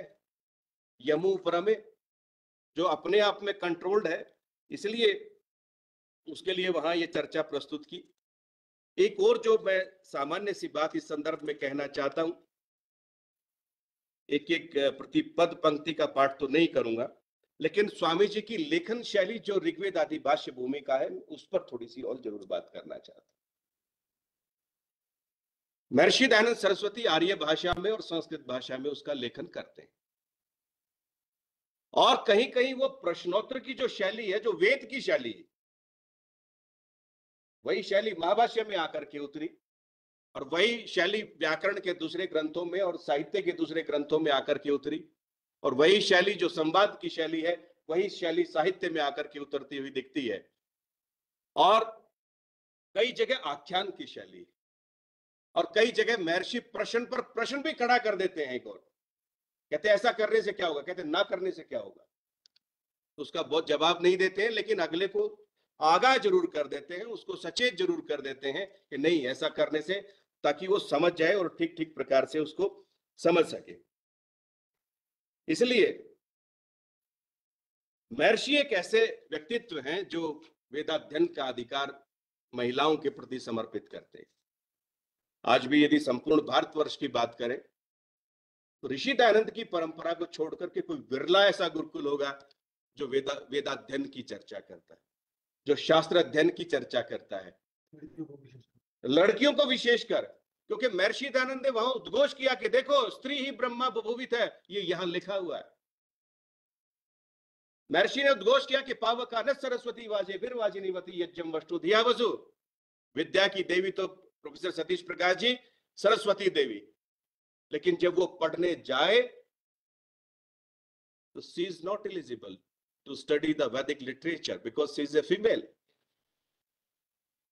इसलिए वहाँ जब ऋषि व्याख्या करते हैं, पंडित रामनाथ वेदालंकर जी क्या कमाल की व्याख्या करते हैं इस मंत्र की। कहा कि पावकार ने सरस्वती, विद्या की देवी जो सरस है, अनेक प्रकार के रसों से युक्त करने वाली है, और वो तो पवित्र कर देती है। जो कोई उसको पढ़ता है, वो पवित्र हो जाती है। और कहा कि कैसी है? वाजे फिर वाजिनीवती बड़ी सुंदर व्याख्या करते हैं महर्षि दयानंद के ग्रंथों के आधार पर। वाजे फिर वाजम वा, आचार्य यास्क ने वाजम इति अन्न नाम सुपठितम वाजम इति धन नाम सुपठितम। तो वहाँ लिखा के अन्नों से अन्नवती वाजे फिर वाजिनीवती अन्नों से अन्नवती बलों से बलवती विद्या से विद्यावती प्रकाश से प्रकाशवती और सभी प्रकार के बलों से बलवती। कौन? जिसने विद्या का ग्रहण कर लिया है। और यज्ञम वस्तु दिया वसु। यज्ञ करने का अधिकार भी वहाँ साफ़ साफ़ उसी उसी मंत्र के भीतर दिख रहा है। तो ऐसे मंत्रों को ऋषि उठा करके समाज में लेकर के आए, जिनको बहुत जाकर के पीछे उठा करके रख दिया गया था। एक और जो मैडम, मैं अंतिम सी बात कहूँ। इस ग्रंथ को पढ़ने से, इसके साथ मैंने सत्यार्थ प्रकाश को भी एक जगह जोड़ने का प्रयास किया। हालाँकि मेरा विषय केवल ऋग्वेद आदि भाष्य भूमिका के विषय को लेकर के था। लेकिन मैंने ये देखा कि महर्षि दयानंद सरस्वती ऋग्वेद आदि भाष्य भूमिका में तो केवल एक आइडियलिज्म स्टैंडर्ड खड़ा कर रहे जैसे कोई आदमी बढ़िया सी दुकान खोल ले धीमान जी, और दुकान छोटी हो तो उसमें बार बार दो तीन चार आइटम बढ़िया से लगा देता है। लेकिन उसका गोदाम पता नहीं कहीं गली वली में जाके ऊपर नीचे कहीं दूर होता है। तो ऋग्वेद आदि भाष्य भूमिका तो महर्षि दयानंद सरस्वती का वो छोटा सा शोरूम है, जहाँ वो केवल और केवल इन पैंतीस प्रकार के विषयों का प्रतिपादन करके, कि इसमें आयुर्वेद का भी विषय है, विज्ञान का भी विषय है, पहला विज्ञान की घोषणा करने वाला यदि कोई ऋषि पैदा हुआ तो वो महर्षि दयानंद सरस्वती है। और उसका यदि एक्सटेंशन यदि हमारे को कहीं देखना हो, मैडम तो वो फिर सत्यार्थ प्रकाश में अपनी बात खुल करके कहते हैं। जहाँ उन्होंने ईश्वर प्रार्थना का छोटा सा विषय ऋग्वेद आदि भाष्य भूमिका में रखा। वही समानांतर रूप में विषय, मंगलाचरण ऐसा भी मान ले ऋग्वेद आदि भाष्य भूमिका का मंगलाचरण है, वो इसलिए ईश्वर की व्याख्या करके, पूजा करके, उपासना करके, पाठ करके, यो भूतम च भव्यम च सर्वम यश्चादि तिष्ठति, स्वर्यस्य च केवलम तस्मय ज्येष्ठ। कितनी सुंदर मंगलाचरण की चर्चा महर्षि वहाँ कर रहे हैं। और उसी का एक्सटेंशन यदि हम देखें तो सत्यार्थ प्रकाश में ईश्वर के सौ नामों की चर्चा। सत्यानंद वेद वाकी जी ने एक बहुत सुंदर ग्रंथ लिखा। और उनका शोध इस बात पर था कि महर्षि दयानंद सरस्वती को यह प्रेरणा कहाँ से मिली कि मैं इन इन शब्दों के अर्थों को यहाँ लेकर के आऊँ? वहाँ अग्नि का अर्थ किया, वहाँ रुद्र का किया, शिव का किया। महर्षि दयानंद ने सौ नामों की ईश्वर के सौ नामों की व्याख्या वहाँ प्रस्तुत की। तो उन्होंने बहुत सारे वेद के मंत्रों को उठा करके साइमल्टेनियसली एकदम से उनके बराबर कोट किया। कहा कि महर्षि को ऐसा लगता है, इन मंत्रों से प्रेरणा मिली होगी, जिसकी चर्चा में इंद्रम, मित्रम वणुम अग्निमथो दिव्य, सुपूर्णो सह गुरुत्मान वो सारे के सारे शब्द वहाँ पर मिलते हैं। तो एक बड़ा सुंदर सा संग्रह उनका वहाँ मिलता है। तो ऐसे करके एक कंपेरेटिव स्टडी मैडम इस पर भी होना चाहिए ऋग्वेद आदि भाष्य भूमिका और सत्यार्थ प्रकाश के जो विषय हैं, वो साइमल्टेनियसली बराबर समानांतर रूप से ऐसे खड़े दिखते हैं कि जैसे ऋग्वेद आदि भाष्य भूमिका में स्वामी जी सूत्र मात्र में बात कहते हैं और वहाँ जाकर के अपनी बात प्रमाणों के आधार पर पुष्ट करना चाहते हैं, चाहे वो ईश्वर प्रार्थना का विषय हो, चाहे वो वेदोत्पत्ति का विषय हो, उधर वो ईश्वर व्याख्या विषय नाम से है, उधर वो ईश्वर विषय के नाम से है, ब्रह्म विषय वेदोक्त विषय स्तुति प्रार्थना याचना समर्पण उपासना। अब महर्षि दानंद सरस्वती मैडम ऋग्वेद आदि भाष्य भूमिका में के प्रथम उद्घाटन में भी इनकी चर्चा कर देते हैं। लेकिन आगे फिर दोबारा से ऋषि को लगता नहीं कुछ रह गई बात। तो फिर प्रार्थना विषय उठा लेते हैं फिर ईश्वर विषय उठा लेते हैं फिर दोबारा से उपासना विषय उठा करके भी अपनी बात को वहाँ उसके बाद भी आर्या भी आर्या भी विनय में भी उठा करके एकदम ठीक है। जहाँ वर्ण की बात करते हैं उधर भी वर्णाश्रम की बात करते हैं इधर भी वर्णाश्रम की बात करते हैं इधर भी राजधर्म की बात करते हैं और सत्यार्थ प्रकाश में भी राजधर्म की बात करते हैं। वहाँ पूरा एक्सटेंशन दिखा करके चलते हैं। इधर भी पंचमायत जी की चर्चा करते हैं और उधर भी पंचमायज्यों की चर्चा करते हैं। तो ऐसे करके एक, एक कितना सुंदर सा एक बढ़िया सा रिसर्च इस पर आकर के खड़ा हो सकता है। इस पर भी यदि कोई अच्छी योजना बने और एक बढ़िया सा काम इस पर हो एक छोटी सी चर्चा और ऋषि पर आ, मेरे ख्याल गुरु जी कर रहे थे। री गतऊ करके आप कर रहे थे सर। सर मुझे तो ऐसा लगता है री गतऊ से ही करके। आर्य की करते करते री गतऊ ऋष गतऊ और ऋषि जिससे हम सिद्ध करते हैं। री गतऊ और ऋष गतऊ करके करते हैं। और आपने कहा कि अनुसंधाता है वो। तो मैं सर अंग्रेज़ी में भी ऋषि और रिसर्चर को यदि हम थोड़ा सा ऋषि ऋषि, रिसर्चर रिसर्चर, ऋषि करके देखें तो वो पदपाठ तो मुझे कहीं ना कहीं वैसे दिखता है, क्योंकि वो भी बेचारा कभी पहाड़ पे, कभी नीचे, कभी ऊपर बैग उठा करके सर्च में ही लगा रहता है। उसी के लिए गवेषणा शब्द का भी प्रयोग कर दिया कि गुरुकुल में गायक हो गई तो उसको ढूँढने के लिए सारा गुरुकुल उसके, उस गौ की अन्वेषणा में लग, उसके रिसर्चर के लिए प्रयोग है। गवेषक है वो, बड़ा तगड़ा गवेशक सारा गुरुकुल लगा गाय खो गई है। ढूंढ के लेकर के आया जाए। तो ऐसे ही वो जो जो रिसर्चर है, वो नए नए विषयों को नए नए शब्दों को ढूंढ करके लाता है। आचार्य अंतिम शब्द ये है कि जहाँ आचार्य शब्द की व्याख्या करने लगते हैं, आचार्य अकस्मात तो कहा कि आचार्य आचारम ग्राह्यति आचिनोति अर्थान, मेरा इसी पर बात है। आचिनोति शब्दान नहीं लिखा वहाँ। क्योंकि आचार्य का मूल उद्देश्य ये है कि भाई सूत्र तो तुमने याद कर लिए। अधिक गुण एको गुण वृद्धि न, धातु लोबार धातु के किंग दिव्य विटम वो ठीक है। इससे क्या? स्थाणुरयम बार आर किला बुधादित्य वेदम न विजानाति यो अर्थ। है यो अर्थज्य इत सकलम भद्रम उष्णते ज्ञानम एति ज्ञान विधुत पापमा की चर्चा वो। तो दोहरा ठीक है सारा कुछ। इसलिए आचार्य को ये ये ज़िम्मेदारी दी गई और वहाँ भी ची धातु का प्रयोग किया। चुन चुन के लेकर के आएगा, अपनी टोकरी में शब्दों को चुन करके नहीं लेके आता। शब्द तो उसके सामने पुस्तक में रखे। शब्द तो उसने रट लिए हैं। मुख्य बात वहाँ अर्थ की है। आचिनोती अर्थान अच्छे अच्छे विषयों को चयन करके उसको देता है और आपस्तम धर्म सूत्र में बड़े में एक बहुत सुंदर सा वाक्य लिखा है, आचिनोती धर्मान इति दोते केवल यही नहीं देता है। अपितु धर्म की शिक्षा भी उस उस अपने बालक को, अपने विद्यार्थी को ला करके देता है। ऐसा सुंदर सा प्रकल्प वहाँ रखा गया है और महर्षि जितने सुंदर ढंग से इन ग्रंथों को तैयार करते हैं, महर्षि की मूल भावना ये है, समाज में समरसता बने, एक रूपता बने, सब समाज के लोग अच्छे ढंग से मिलकर के रहें। जैसे संगच्छध्वम संबद्धध्वम संभो मनांसी जानताम की बात करते हैं ये है कहा? वेद में गुरुजी बड़ा कमाल का एक एक मंत्र है। समाने प्रपा, सह वो अन्न भाग है समाने योक्त्रे, सह वो युनज। कहाँ है? नहीं, वो तो ठीक है जी अथर्वेद धरती पे कहा है समानी प्रपा? सबकी प्याऊ एक जगह। सह वो अन्न भाग, कहा समाज के सारे लोग मिलकर के एक अन्न के भाग में शेयर करें, ऐसी क्या उदात्त भावना है वेद की? और कहता है, लाओ, तुम्हारे को एक जुए में जोड़ देता हूँ, ना तुम इधर भाग सको, ना तुम इधर भाग सको। ऐसे जुए में जोड़ने वाला यदि कोई ऋषि है तो वो महर्षि दानंद सरस्वती। और मैं समझता हूँ, ये संगोष्ठी हमारे को किसी एक जुए में ज़रूर जोड़ने वाली हो, ताकि हम ऋषि के इस बैलगाड़ी को खींच करके ले जाएँ, और महर्षि के जो इतने सुंदर विषय हैं जिसमें समरसता की बात है, वर्ण की बात है, आश्रम की बात है, अनेक विवाहों की बात है पति पत्नी के साधर्म्य की बात है, क्या जाया पत्ते मधुमतिम वाचम वधु शांतिमाम, कितनी बढ़िया सी चर्चाओं, इतनी सुंदर सुंदर चर्चाएँ वहाँ पर मिलती हैं। तो ऐसी चर्चाएँ, ऋषि दानंद का साहित्य तो एक अमूल्य ग्रंथ है और उसको बार बार पढ़ना चाहिए। मैडम, इसके पढ़ने से बहुत कुछ नवीन सीखने को मिला। स्वास्थ्य भी बहुत ठीक नहीं था लेकिन आदेश आपका था तो गुरुनाम आज्ञा अनुलंघनीय और मुझे तो सरस्वती देखनी होती तो मैडम आपको देख लेता हूँ। मेरा तो काम उससे पूरा हो जाता है। इन्हीं भावनाओं के साथ सर्वे भवंतु सुखिनः सर्वे संतु निरामया सर्वे भद्राणि पश्यंतु माँ कश्चित दुख भाग भवे ओम शांति है? जी।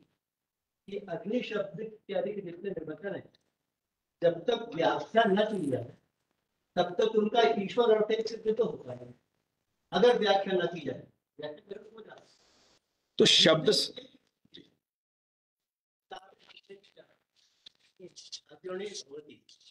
आगे लेकाने वाला होता है। तो होता ही है। पुराने जमाने में ऐसे ही होता था। आगे मशाल कुछ भी रखते थे प्रकाश हो गया आगे चल रहा है वो। तो अग्नि में आदर्श क्यों नहीं है? पुराने जमाने में तो यही होता था। कैसे बनेंगे आप अंधेरा इतना होता था। अभी कुछ न कुछ तो सामने रखना पड़ेगा है तभी तो ले चलेगा चर्चा को आप चलाते रहिएगा। देखिए आचार्य जी आज के आज की संगोष्ठी की अग्रणी है मैडम और ये है अग्नि।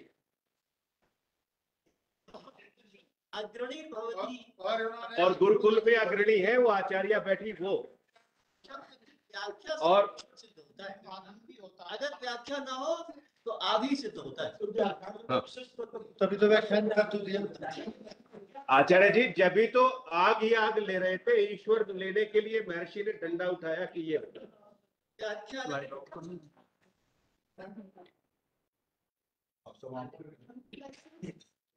यस समय मुझे लगता है समय हमारा जो घोषित समय था वो पूरा हो चुका है। तो अब चर्चा को यही विराम देते हैं।